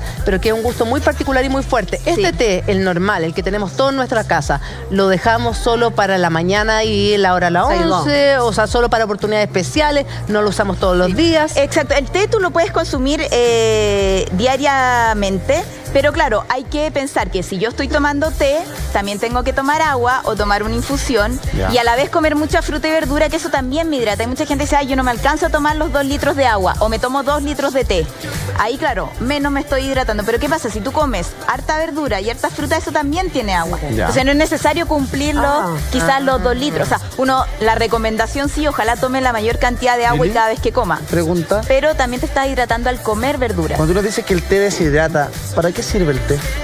El té, ¿para qué sirve? El té es un es- estimulante, te calma, te acompaña los pastelitos, que ahí les traje un regalito. Eh, el, el té también eh, muchas veces activa. ¿Ya? El té verde energiza, ¿ya? Y otra vez es un té eh, blanco, un té un poquito menos cargado, también te tranquiliza. ¿no? Billy, yo tengo una pregunta. Nosotros con la Julia, no sé si muy mal lo hacemos, pero tomamos yo en lo personal una botella de dos litros de agua y en eso disuelvo una bolsita o un- en mi caso yo uso unos sachets que vienen como té en polvo, pero en dos litros de agua, o sea, El súper, ese, súper Ah. dilui- Dis- disuelto, claro. eso. Entonces, o sea, que de cafeína tiene poco. Nada. Tiene, poco. tiene poco, claro. O sea, al hablar que el té deshidrata, el café deshidrata, también depende de la cantidad que estemos tomando. O sea, y no claro, es tan malo. No es tan malo finalmente. Igual estás tomando cierto líquido, pero no puedes basarte que solo tomes eso. Claro, que esa es tu cuota de los No, dos litros. O sea, si se toman eso, también tomen agua Entre medio. saborizada y coman más verdura, fruta y un vaso de agua. Pero, por ejemplo, un té para despertar en la mañana No, está bien. eh, claro, no hay problema. O sea, puedes tomarte un té. Pregunta sobre el té. Sí. No, sí, y sobre las infusiones. Infusiones. Eh, necesariamente, si yo tomo solamente infusiones, eh, no tengo que tomar agua. O sea, puedo suplir el agua solamente con las Podría suplir el, eh, el agua con, la, con las infusiones. Eh, siempre es bueno tomar agua sola, pero podrías en ese caso, claro, reemplazarlo porque no te gusta el sabor del agua. Entonces. eh, Para no tomar bebida o tomar Para no tomar bebida. Y otra cosa, saborizar o hacerte tu eh, agüita con sabor a piña o ponerle un. Ya, o sea, no- algún no es malo de tomar infusiones, No. todo. Pili, es que en esta época del año estamos todos cansados. La Renata, mira la carita que trae. eso quiero probar una de esas ¿Quiere, cositas que, quiere hay por que- ahí. quiere ¿Cuál- que- ah, un tecito? ¿Quiere probar Lo un que tecito? sea, Lo que sea, lo que sea. Bueno, le vamos a dar un poquito de tecito para energizar. Sí, y en este, este, este es boldo. Es una Ah, infusión de boldo. Entonces no te voy a dar nada todavía porque no hemos hablado del boldo aún. Pero ¿qué podemos consumir? Ah, este tecito. ¿Qué podemos consumir para energizarnos durante esta fecha? Es lo que nos están preguntando en Twitter. Mira, nos dice así, Jocelyn, por favor, necesito una agüita o batido para tener energía. A esta altura del año estamos todos muy cansados. Jocelyn, hoy día nuestra Pílica Díaz te va a contestar, te va a dar el secreto para tener energía durante este fin. Gracias, querido Edu.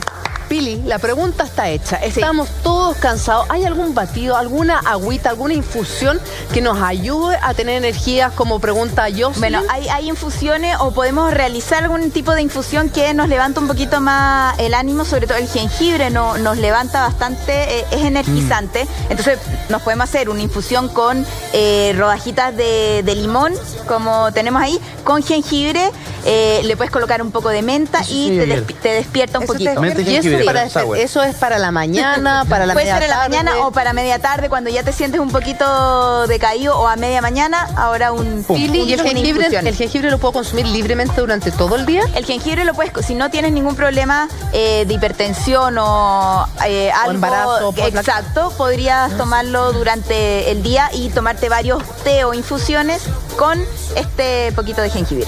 Tenemos, tenemos aquí en la mesa eh, algo que me fascina, me, me encanta, es el, el limón. El limón encuentro que es poderoso. Una agüita que con me, cáscara de me limón. despierta, me despeja. La agüita perra. Estoy como con, eh, así como alergia, todo, no sé qué. Limonada. Li- limoncito. El limón te invita a despertar los Como sentidos, alegre. Sí, el limón, de hecho, claro, a- al ser ácido, eh, es muy poca gente a la que, que no le gusta eh, el, el limón. También te despierta. Entonces, hacer una un tecito con agüita de, de limón. La agüita perra que se conocía claro. antes que tomaba nuestra abuelita. po. Exacto, o lo mismo, no, o saborizar nuestra agua con, con limón nos va a generar como una frescura y eso también te levanta. ¿Y por qué nos sentimos cansados muchas veces? Porque estamos deshidratados. Ah, Ese, cuando nos ese es otro punto. Cuando nos falta agua en nuestro cuerpo, Cuando nos, sentimos falta oxígeno también. Y muchas veces uno dice, ay, que me falta algo, que necesito como azúcar o algo, y me tomo una bebida o una energética, que pasa mucho. Finalmente ahí es peor porque no te estás hidratando bien. Entonces, cuando tú estás cansado, generalmente estás deshidratado también. Entonces, Mira. tú te tomas un vaso de agua y te despiertas. Pili ¿ya? pregunta con respecto al limón. En la búsqueda de reemplazar el agua, en mi caso, he probado de todo. Y eh, me hacía yo una agüita de esta misma botella de dos litros que la tengo hace como cinco años, el tubo oxígeno que ustedes me molestan. agua con limón, pero harto limón. Exprimía dos o tres limones en la mañana. Y eh, todo el día tomaba eso. Y todo el mundo, hasta con la celdilla. Y todo me pregunta, hasta las pepas y las botaba, la celdita. ¿Qué tomáis? Agua con limón. Y por ahí alguien me dijo que hacía mal para los dientes Sí. y para la gente que tiene úlcera. Sí. Es verdad.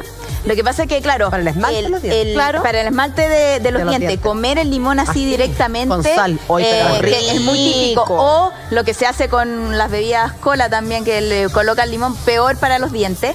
Entonces, Ay, qué rico. efectivamente, tampoco hay que abusar del limón. Uno puede tomar una agüita con limón, te despierta. Mucha gente lo hace en la mañana y eso te permite también, como efecto laxante, inmediatamente lo primero que hagas en la mañana, eh, limón con un poquito, o sea, agua con un poquito de, de limón. Pero tampoco abusar. Y la gente que tiene problemas gastrointestinales, acidez, claro, tampoco podemos estarle dando constantemente Claro, limón. claro. Hay que todo regulado. Ahora, el- la agüita eh, es después de la comida como ocupaban nuestra abuelita, la famosa, yo lo recuerdo, en mi casa le decían la agüita perra. La agüita porque, perra. ¿Qué va a querer? ¿Agüita cedrón o agüita perra? Agüita perra. Mi Abuelita perra no. No, abuelita perra no, mi abuelita No, no, no, perra. bueno. Japoneses- Agüita perra. Agüita perra que eh, finalmente, eh, después de comer y cuando hay tenido comidas que Ayuda. son Sí. contundentes, Opíparas. tu agüita caliente con las cascaritas del limón como que hacía que bajaba. Exacto.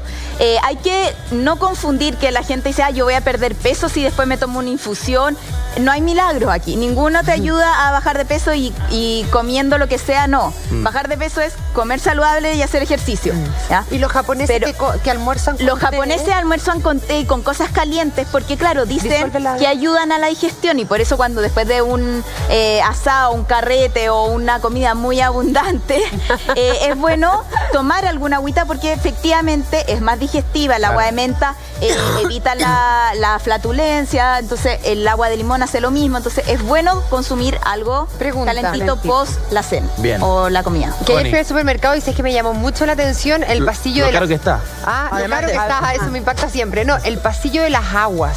Porque, o sea, no sé, hasta hace cinco años había un agua. Ahora, pero. Está lleno. Lleno, lleno, lleno, De tipos de 20 agua, sabores. 20 Pobre. sabores y todo. Y aquí estamos hablando del limón. Esas aguas que venden con saborizante. Sabor a limón, Sabor sabor, a a manzana. ¿Eso es pura azúcar? ¿No la recomiendas? Mira, pero probablemente de verdadero de, ju- de jugo de limón o algo tenga bien poco. amarillo crepúsculo. Sí, generalmente todos los jugos o bebidas son con cosas eh, artificiales saborizadas. Pero que claro, como esta te la venden como agua. Claro, algunas tienen, siempre tienen algún endulzante porque si no quedaría muy, muy desabrida. Para mi gusto y lo más barato, agua en la casa. y la haces en la Y casa. con pepino Y yo la estoy tomando, me serví ahora y está exquisita esta agua con, pi- eh, con ¿De esta? pepino. Y, Es que me estoy exquisita, tomando tiene la de sabor. piña. Pepino de naranja. Tomó inmediatamente el, el sabor.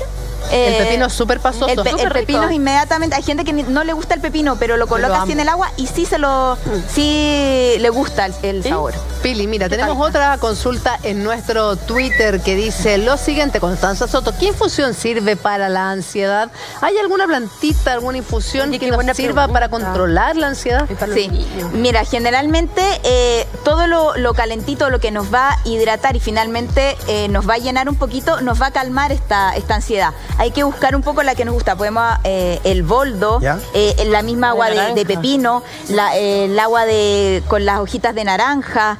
el- la misma que hicimos de, de piña, ¿ya? Lo importante es ir tomándola y sentirte eh, un poco, te va a ayudar a, a- a saciar esta como ansiedad o hambre que finalmente no es hambre.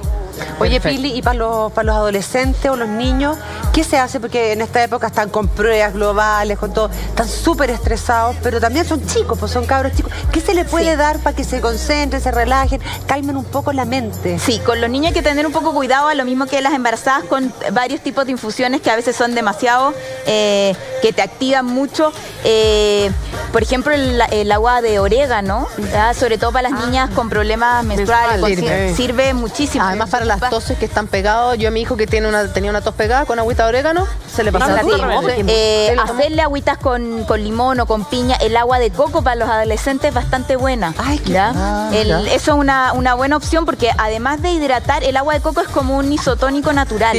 ¿ya? Entonces, sobre todo que vienen del colegio de hacer deporte, eh, se tienen que llegar a la casa a concentrar. Si no estoy hidratado, no me concentro. Entonces, el agua de coco sería una muy buena opción Oye, como para los adolescentes. Y con respecto a lo mismo, se me vino a la cabeza recién cuando los niños vomitan y te dicen en la clínica, tiene que hidratarse por lo general te dan una cuestión amarilla que vale como 15 lucas que no y que no les gusta. ¿Con qué se puede hidratar un niño después de una enfermedad o después de un... Hay un virus que está dando vuelta por Santiago Por que lo mismo. Sí, mira, hay que partir de a poco, igual hay que hacer un poco caso de lo que, que te dice el médico. Están estos isotónicos, puede ser un agua de manzanilla muy, muy Claro, eh, diluida, porque también calma los dolores. De hecho, está dentro de varios estudios, algunos algunos son ciertos, otros todavía no se justifica, pero sí eh, la manzanilla o incluso ir probando con esta agua de coco que tiene magnesio, tiene potasio. Es exactamente igual o muy parecido que un isotónico eh, Artificial. artificial. Pili, ¿Ya? este aplauso es para ti. Muchísimas gracias por habernos enseñado hoy día todo respecto a las infusiones. ¿A usted Pili, le gusta mirar el cielo de repente, mirar las estrellas?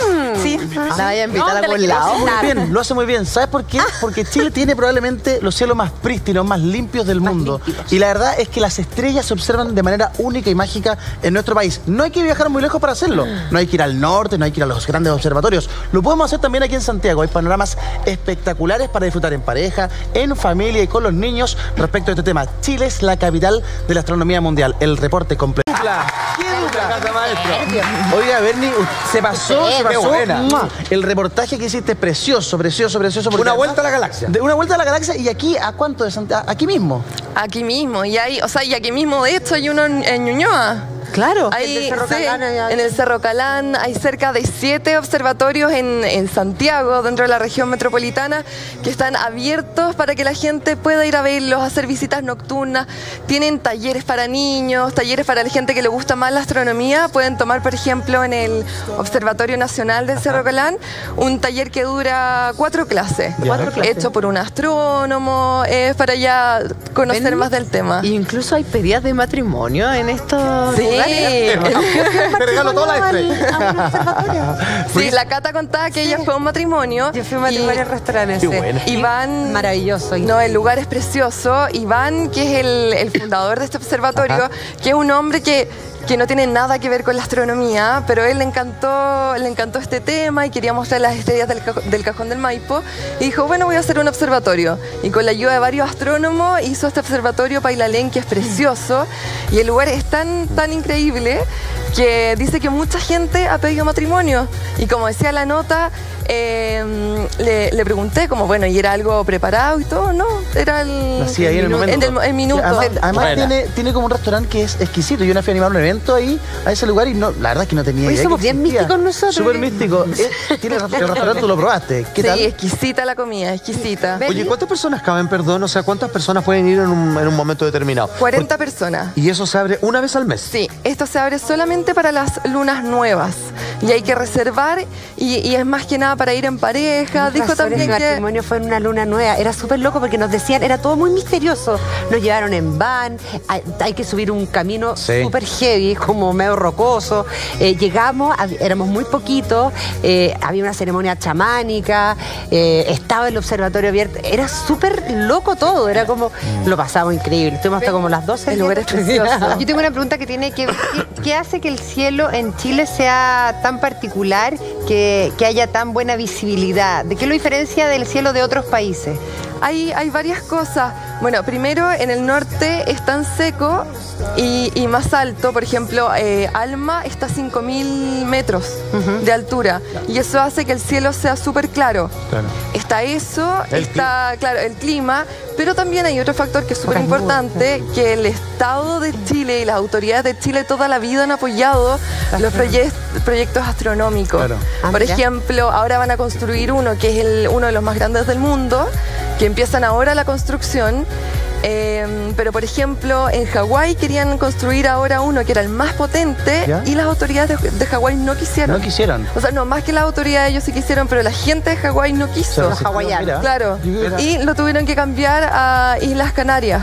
Entonces, que no- nosotros tengamos todos estos observatorios en el norte, gracias Claro. también al apoyo que tienen de Chile. Yo creo que la propia cordillera de los Andes te, te genera un la oscuridad necesaria para poder observar el cielo de, de- de mayor, eh, con mayor transparencia. Claro, no hay Hace- contaminación lumínica. No hay una contaminación lumínica que sí afectó, por ejemplo, a- al, to- al observatorio Tololo, que está en la cuarta región. Eh, hubo un momento en que la ciudad de La Serena cambió toda su luminaria por luces blancas. Y hubo toda una polémica porque esa luz blanca Ah. afectaba la observación del, del- del cielo en el Tololo. Tuvieron que cambiarla, la cambio de Por quizás- cálida. Quizás se acuerda, tuvieron que cambiarla por luces amarillas que eran Esas cálidas. que, que reflejaban menos, luz, luz más cálida. Entonces la, la cordillera de los Andes me imagino que también aporta a esa visibilidad. En este lugar del Cajón del Maipo lo hicieron ahí precisamente porque no tiene contaminación lumínica. Y el Ah, cielo se ve precioso, precioso. O sea, nosotros fuimos un día que no estaba tan, tan despejado, pero la luna, no sé si la pudieron ver en la imagen que se De veía. todas maneras, imagínate que uno a simple vista nomás es una marcadísima diferencia desde, el- desde los cerros ver el cielo donde se nota la Vía Láctea. ¿Cierto que por la mitología griega se llama así porque a una diosa le apretaron la pechuga a la guagua, ¡pum! y sale un chorro de leche. Pero eso se llama Vía Láctea. Es un chorro de leche así estelar de un dios. Entonces ahí es donde la galaxia en la que estamos insertos nosotros dentro del sistema solar. Y a simple vista se ve. Se ve como un caminito de estrellas particularmente frente a las demás. Imagínate con un telescopio con un cielo despejado. Claro, y No, y ahí se ve las imágenes de, de Alma, de, de San Pedro de Atacama, cómo se ve el cielo y eso es sin nada. Imagínate cómo se verá desde el telescopio. O sea, nosotros muchas veces en la ciudad no nos detenemos a mirar o no vemos tan bien como, por ejemplo, en la cuarta región. Cami, ¿tú creciste con esa bendición de mirar el cielo? No, increíble. Increíble enterarme que acá en Santiago hay observatorios, porque para mí cielo más limpio que el de la cuarta región o los del norte no hay. Claro. Entonces yo digo, ¿cómo en Santiago van a haber observatorios si si es tan sucio, no sé, el smog y todo eso? Pero sí, ahora claro. que enterarme... Pero hace, hace 150 años el- no había tanto smog tampoco, que probablemente. Y estos observatorios, por ejemplo, el. Cerro Calán tiene 160 años. Es que ahí está- no, y además que están en altura, lo que decías tú antes, porque cuando uno sube a la cordillera, bueno, ustedes que van harto, uno cuando va bajando te das cuenta, el smog está encajonado. O sea, Claro. si tú pasas de una Sí, altura hacia arriba, Sí. es otra cosa. Una nube concentrada. Es una nube concentrada, se pasó. ¿Cuánto cuesta venir? O sea, si por ejemplo quiero ir el sábado de paseo al cajón del Mike, ¿puedo llegar e ir a comer a este restaurante? o No, no, es un restaurante que está abierto. Este restaurante se abre solamente para las lunas nuevas. Que va a ser el 11 de noviembre. Que va a ser el me 11 de noviembre. Que incluye la comida. Claro, incluye la comida. Esto Perfecto. incluye la comida, el tour con la, con la visita a los telescopios. Hay astrónomos que te explican, que te cuentan sobre lo que se va a ver y hay que reservar antes. Ya, y si hay que no- reservar. Y si no el, ese día de luna nueva, ir a, a mirar las estrellas nomás, ahí hay que también... En el lugar se puede, no, pero está, el lugar está cerrado. Lo abren solamente para eventos específicos. Pero, por Sí. ejemplo, pueden ir al Cerro Calán, que tienen el observatorio y que una vez a la semana hacen visitas nocturnas. Bueno. Cuesta 3.500 pesos. Ay, me encanta el planetario también. el planetario planetario, también. Hay otro acá en, en Ñuñoa, hay unos farellones, eh, hay uno del Cerro San Cristóbal, que es uno, sí, que es uno de los No más antiguos. Pensé que le echáis la moneda de 100 pesitos y miráis. ah, yo pensé que. Ahora ya no son 100 Ya no son pesitos. Ah, 100. ahora son Oye, 500. y- y ahorita una cosa, eh, genera interés más a los turistas, me da la impresión que a los propios chilenos. Pero, pero no necesariamente en Santiago, porque, o sea, en el, en el norte uno no se da cuenta la cantidad de extranjeros que vienen a ver los Sí, telescopios. pues, San Pedro de Atacama. Sí, Yo- yo viajo viviendo acá nunca. Y siempre veo los turistas que si uno cacha el tiro cuando son de afuera, van con su gorrito, con sus cámaras. Cuatro cabras perras. Y van Ah. mucho Con al la chala y el o sea, y yo nunca he ido, entonces Ya. digo, parece Sí. que genera más interés de De hecho, afuera. se llama turismo astronómico. ¿Viste? Y Chile es el país más potente del turismo astronómico. Por su cielo. Sí, por su cielo y por, lo- por los observatorios que tiene. Hay dos tipos de observatorio. Están los observatorios científicos y los observatorios turísticos. Que los observatorios turísticos era lo que antiguamente se usaban para investigaciones y todo, por ejemplo en Santiago o, en, o cerca de La Serena, pero que ahora ya con la tecnología que hay en, en Alma o en otro observatorio, ya esos se han dejado más para, mm, para turismo. Oye, pero es increíble que hay que reservar con mucho tiempo antes el- una hora para ir. Sí. Al menos en el Sí. Tololo, la cuarta región. Sí, allá así es. nunca hay hora. Y el alma me gustaría. Hay que Sí, planificarse esto- hay que entonces. Un panorama precioso. ven. Este aplauso es para ti, Bernie. Muy bien, maestra. Muchísimas gracias. Y de la astronomía nos pasamos a la astrología porque la TIFA estuvo en mentiras verdaderas. Comenzamos un nuevo mes, fin de año, nos quedan solo noviembre y diciembre. Y la TIFE hizo predicciones signo por signo. Ay. ¿Cómo va a estar tu signo estos últimos dos meses del 2017? Te lo cuenta todo, todo, todo la TIFE a la vuelta a esta breve pausa. comercial. Ah, pucha, la Juli sus tantas comerciales. ¿Hasta cuándo?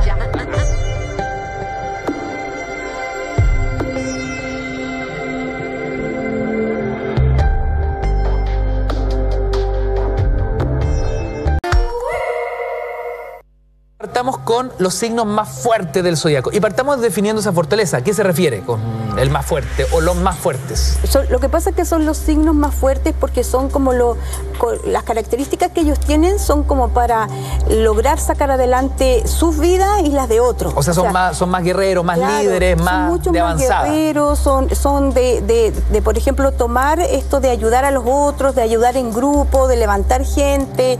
eh, no se caen tan fácil, si se caen se levantan con una rapidez única, entonces eh, son signos de verdad con, con, un, con un carisma distinto. Oiga, espérate, entonces antes de que me diga cuáles son los signos, quiere decir que hay otra cara de la moneda, es decir, hay signos débiles, Sí, hay unos signos más son- sensibles, son mucho más, frágiles. sensibles y se caen con mayor facilidad, les duele más, a veces se quedan un poquito pegados con los temas, entonces claro, entonces por eso eh, decidimos como hoy día como nombrar un poquito a estos que son los signos los más fuertes.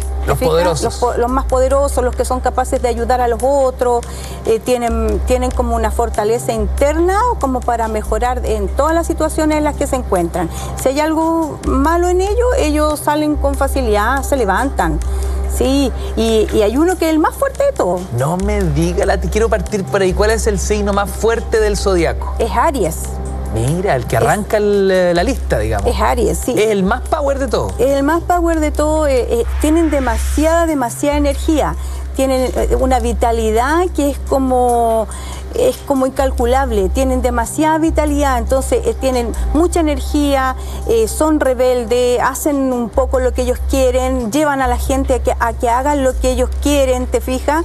Y lo que sí tienen es que dan opiniones a veces muy sin filtro y eso los hace no tener, tener enemigos, o sea, se crean enemigos con una facilidad única. Pero no les temen a eso. No, si ellos no, no le, como que no le temen a nada, o sea, eh, en, en est- en este caso ellos dan su opinión y ellos encuentran que eso está bien y lo dicen y no les importa porque ellos creen ser un poco dueños de la verdad. Aries me dijiste que es el número uno por lejos. ¿Quién le sigue? Leo. Leo, los leos son líderes innatos, son brillantes, eh, tienen un- una forma de expresarse, de, de- de trabajar, digamos, todas sus cualidades, como que, como que ellos se destacan. Tienen una personalidad que se destaca en, en cualquier parte. Cuando tú ves una persona muy luminosa, muy destacada, muy líder, muy gui- guiando a los demás, eh, es Leo. Pero tienen la capacidad de, de como de mandar grupos. Entonces pueden guiar a personas, pueden mandar grupos, podrían ser de, de una u otra manera un poquito autoritario. Te tiro dos Leo así, pero el voleo. Bill Clinton, Barack Obama. Mira. Dos ilustres Leo líderes, por ¿Te das supuesto. cuenta? Entonces, de verdad, ellos son un poquito autoritarios, sí. La Madonna, Mira, es un líder, pero autoritaria. Total, ella es autoritaria. entonces- Ella manda su fondo ahí. son un poquito tiránicos cuando quieren mandar. Ellos viven mandando a la gente. O sea, ellos viven en esta energía de, hoy hace esto, hoy tráeme acá, hoy. Entonces, es como que mandan. eh, ¿Me puedes pasar esto? Entonces, eh, viven mandando. O sea, como que les brota esta cosa de Delegan. dirigir, de- delegan. Y, Son directores de orquesta. Sí, ellos les gusta esta cosa de tratar de manejar un poquito a todo el mundo. Entonces, son así. En la casa haber varios Leo riéndose porque deben ser así. Deben ser, y deben ser, pues mis niños, sí, son así los leos, sea, su forma de ser les nace. Por eso que el león es el rey como de la selva, entonces ahí está como súper eh, simbolizado como el león, rey de la selva, bueno, los leos. Ahí está claro, y por eso un leoncito, su símbolo y todo, pues sí, ellos de verdad son los que mandan. Después de Aries y Leo, ¿qué otro signo fuerte está en el zodiaco? Los cáncer. Ya. Los cáncer. Mira, los cáncer son... ¿Por otras razones? Por otras razones. Ellos son muy seguros de sí mismos. Ellos se saben que tienen capacidades eh, muy talentosas como para, como para eh, ser fuertes. Ellos saben sus capacidades, son seguros de sus capacidades. Ellos les gusta mucho esta cosa de ser como el matria- la matriarca o el patriarca en sus entornos, en su familia, en sus trabajos. Son como los que dirigen en los trabajos, eh, los mandan a todos, les indican lo que hay que hacer, los contienen, por eso son muy fuertes. Entonces, cuando hay un problema, siempre un cáncer va a reaccionar de una manera que va a contener a los otros, los va a sacar adelante. Cuando alguien, si es mamá, y un hijo tiene problemas, lo saca adelante, le soluciona como sea el problema, no importa la forma, va a buscar solucionar el problema. El cuarto y último signo fuerte. Los escorpiones. Los escorpiones, ¿por qué razón? fuertes. Mira, lo que pasa es que ellos son de una personalidad fuerte, de carácter fuerte. Esto me habéis dicho la ti que eran medio vengativos, ¿no? Sí. Y si yo he aprendido acá ya, pues. Sí, sí, son medios vengativos. ¿Medio o harto vengativo? Ah, sí, son vengativos. ¿Sabes lo que pasa? Que cuando alguien los traiciona, ellos se encargan de crear un plan, un plan así, pero de, de- de venganza. Fíjate que planifican la venganza. son así de estar un tiempo ya. Me las va a pagar, me las va a pagar. Voy a hacer esto, voy a hacer esto. Te clavan la lanza para ti, grande. Gracias por acompañarnos, por su sintonía. Así es. Este gracias a todos. Vamos, que mañana es viernes, siga con intrusos. Y mañana nos vemos a partir de las 7 en punto de la mañana con más de oh, Hola Chile. Renata, actúa. Chao, Cami,